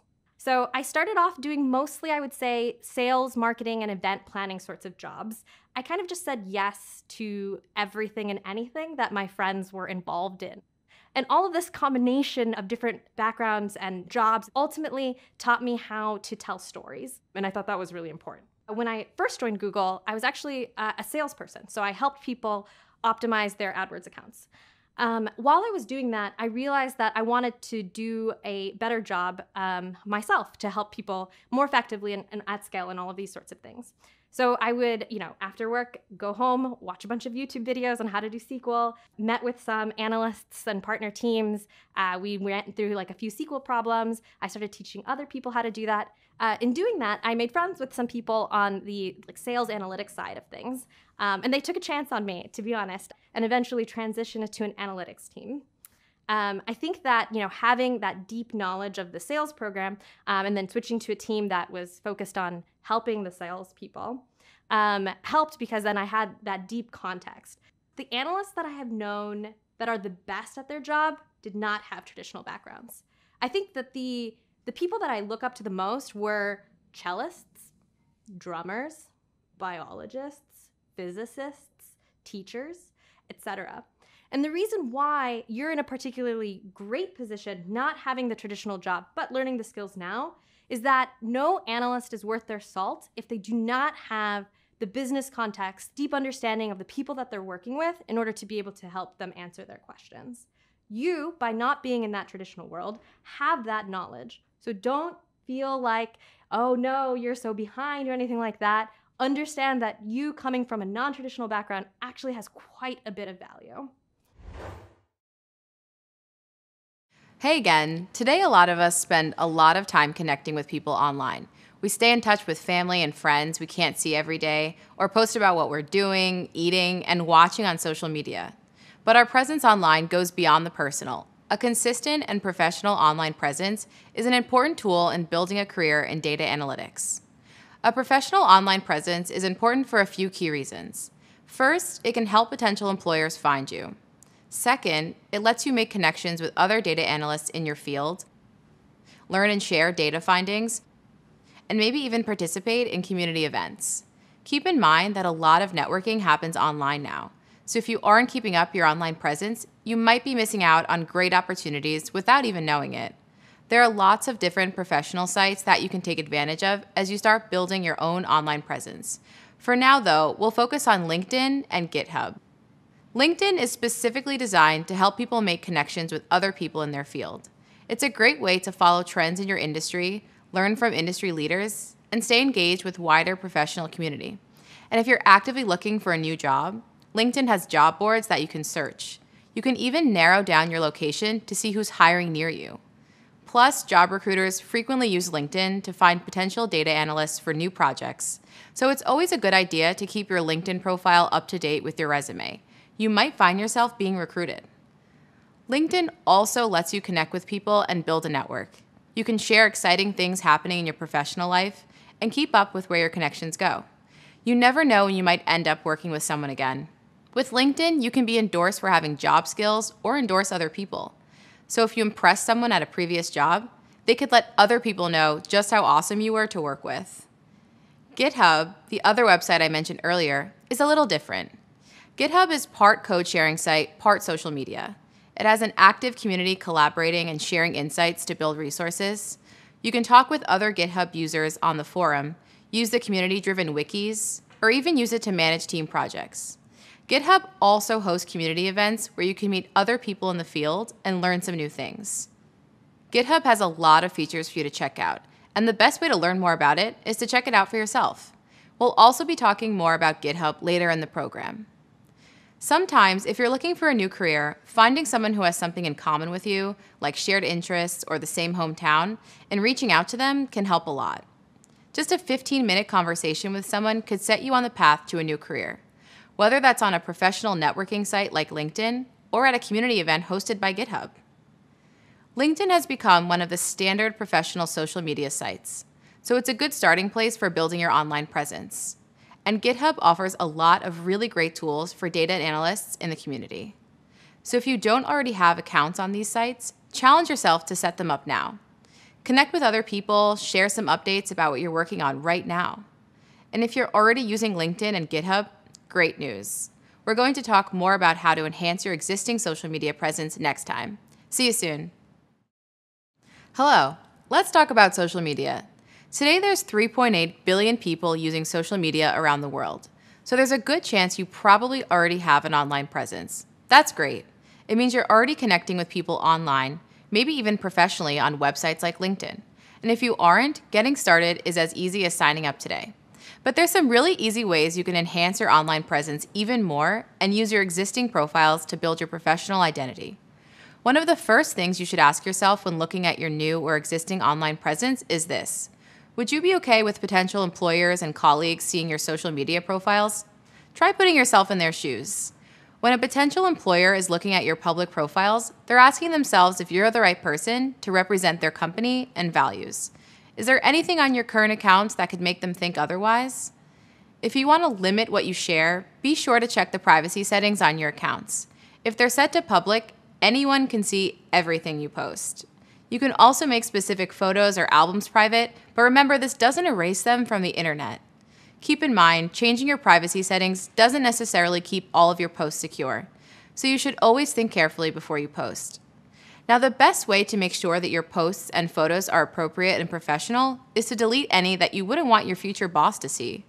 And if you're getting ready to upload photos for the first time, think about how those pictures represent you before posting them. Feel free to back up these photos for your personal files, but maybe don't put them on Facebook or Instagram. Speaking of Facebook and Instagram, there's some easy options for deleting posts on these platforms. Both Facebook and Instagram have an archive function that allows you to remove posts from your profile. You can even mass delete posts on Facebook. And while you're at it, check your Twitter. Your social media profiles are probably connected, so it's important to make sure that they're all representing you the way you want to be seen professionally. A good rule of thumb your posts should be family friendly. This goes for photos and text posts. Check to make sure your content and language is appropriate for the whole family. And while we're working on enhancing your online persona, a professional profile picture is a great touch. Even if your account is set to private, recruiters will likely still be able to see your profile picture. Having a photo for your LinkedIn profile is important because it significantly increases your chances of being contacted. So make your profile picture one that represents your professional side in the best way possible. Once you've gotten your profiles up and running, post mindfully. Think about the professional image you're trying to create and stick to it. This means curating posts for different platforms. Decide which platform you want to use for family and friends, like Facebook and Instagram, and keep updates about your personal life on those platforms. Use professional platforms like LinkedIn for posts related to your work life and building professional relationships. A huge number of companies and hiring managers use online sources to identify and pick candidates.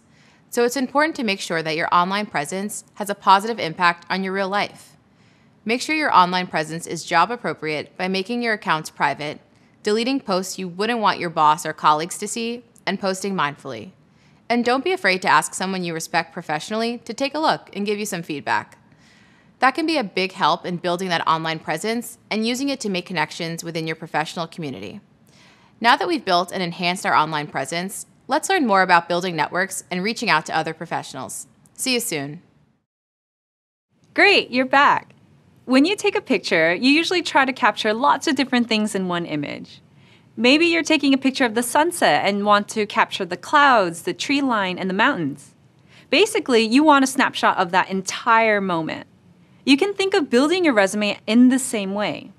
You want your resume to be a snapshot of all that you've done both in school and professionally. In this video, we'll go through the process of building a resume, which you'll be able to add your own details to. Keep in mind this is a snapshot. So when managers and recruiters look at what you've included in your resume, they should be able to tell right away what you can offer their company. The key here is to be brief.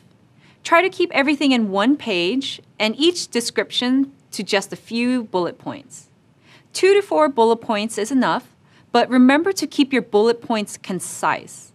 Sticking to one page will help you stay focused on the details that best reflect who you are or who you want to be professionally. One page might also be all that hiring managers and recruiters have time to look at.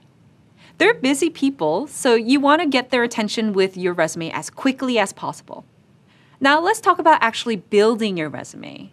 This is where templates come in. They're a great way to build a brand new resume or reformat one you already have. Programs like Microsoft Word or Google Docs, and even some job search websites, all have templates you can use. A template has placeholders for the information you'll need to enter and its own design elements to make your resume look inviting. You'll have a chance to explore this option a little later. For now, we'll go through the steps you can take to make your resume professional, easy to read, and error free. If you already have a resume document, you can use these steps to tweak it. Now, there's more than one way to build a resume, but most have contact information at the top of the document. This includes your name, address, phone number, and email address. If you have multiple email addresses or phone numbers, Use the ones that are most reliable and sound professional.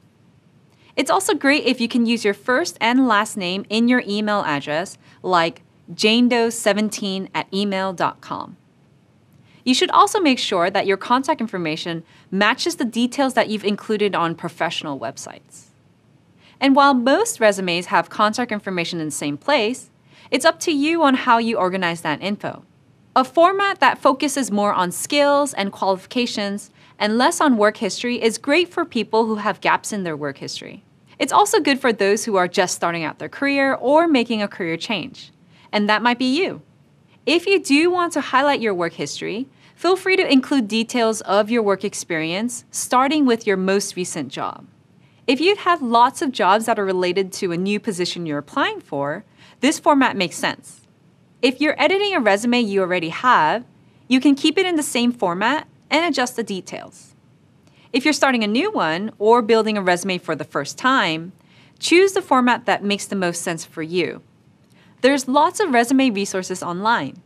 You should browse through a bunch of different resumes to get an idea of the formats you think works best for you. Once you've decided on your format, you can start adding your details. Some resumes begin with the summary, but this is optional. A summary can be helpful if you have experience that is not traditional for a data analyst, or if you're making a career transition. If you decide to include a summary, keep it to one or two sentences that highlight your strengths and how you can help the company you're applying to.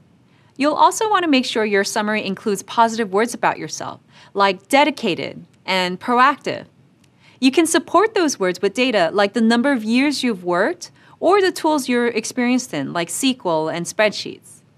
A summary might start off with something like hardworking customer service representative with over five years of experience. And once you've completed this program and have your certificate, you'll be able to include that too, which could sound like this Entry level data analytics professional. Recently completed the Google Data Analytics Professional Certificate. Sounds pretty good, doesn't it?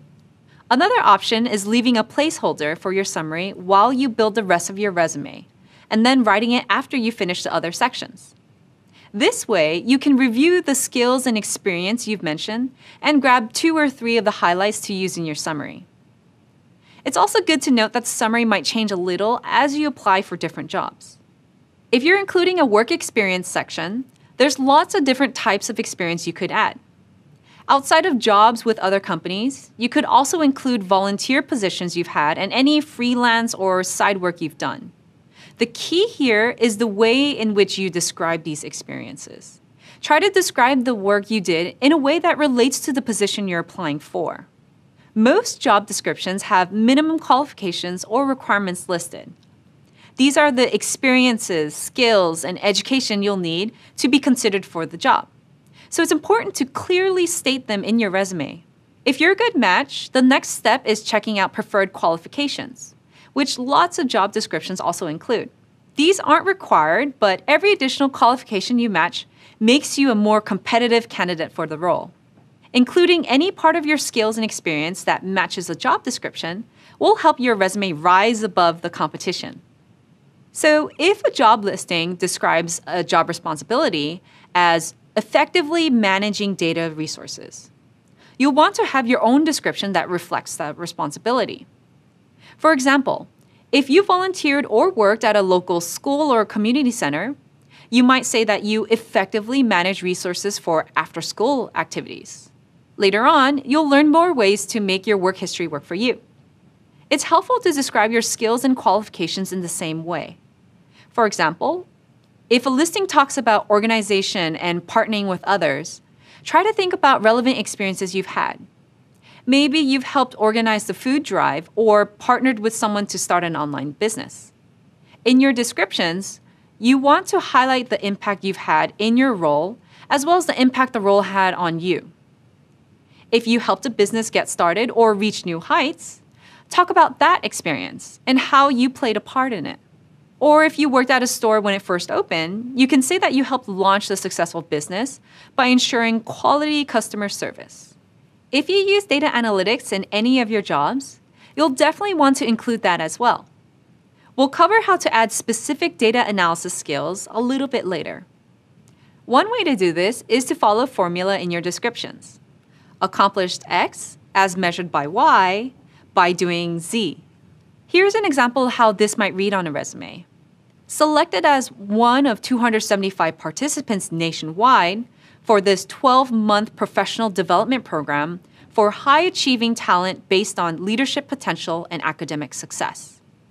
And if you've gained new skills in one of your experiences, be sure to highlight them all and how they helped.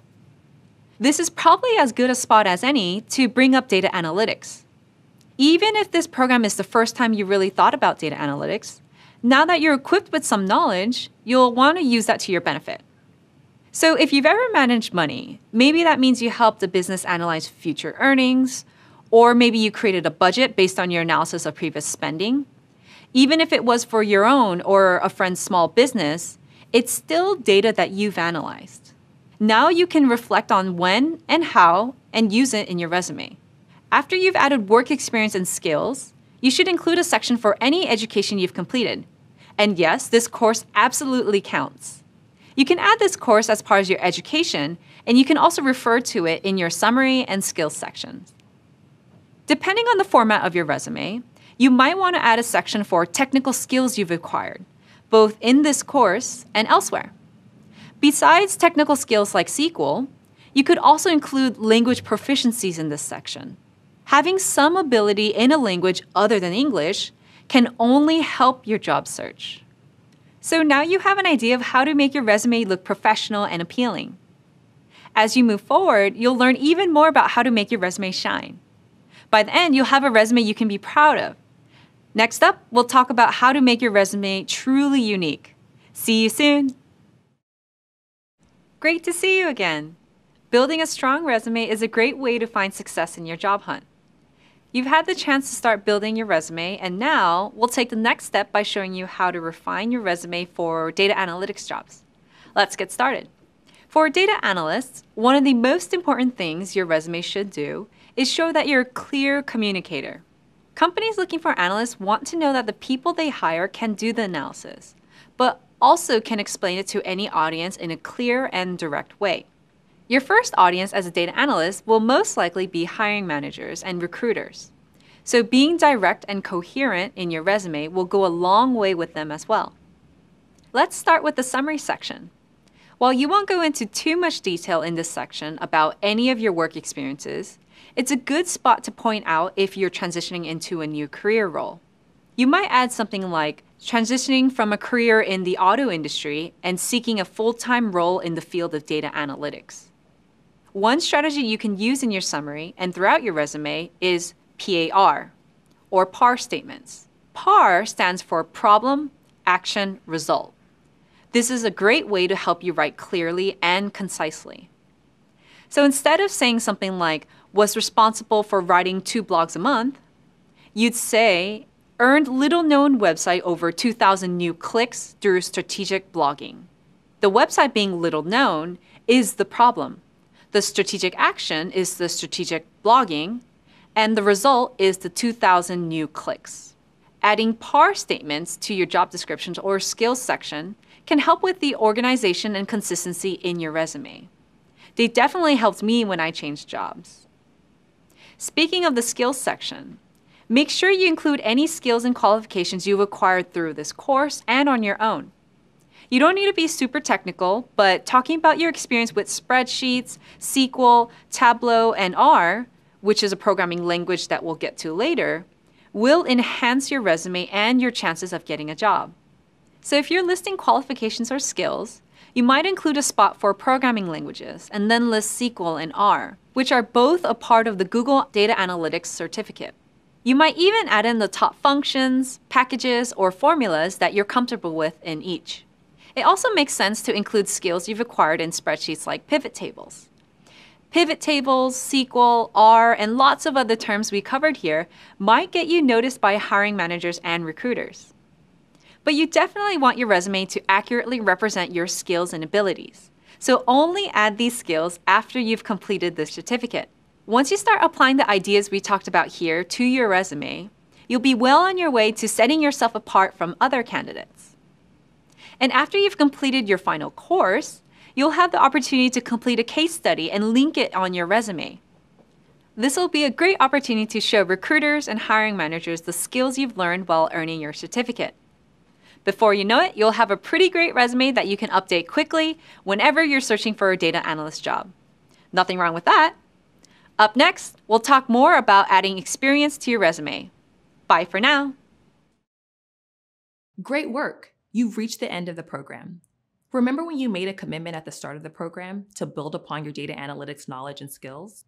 Well, after all of your hard work and dedication, you fulfilled that promise.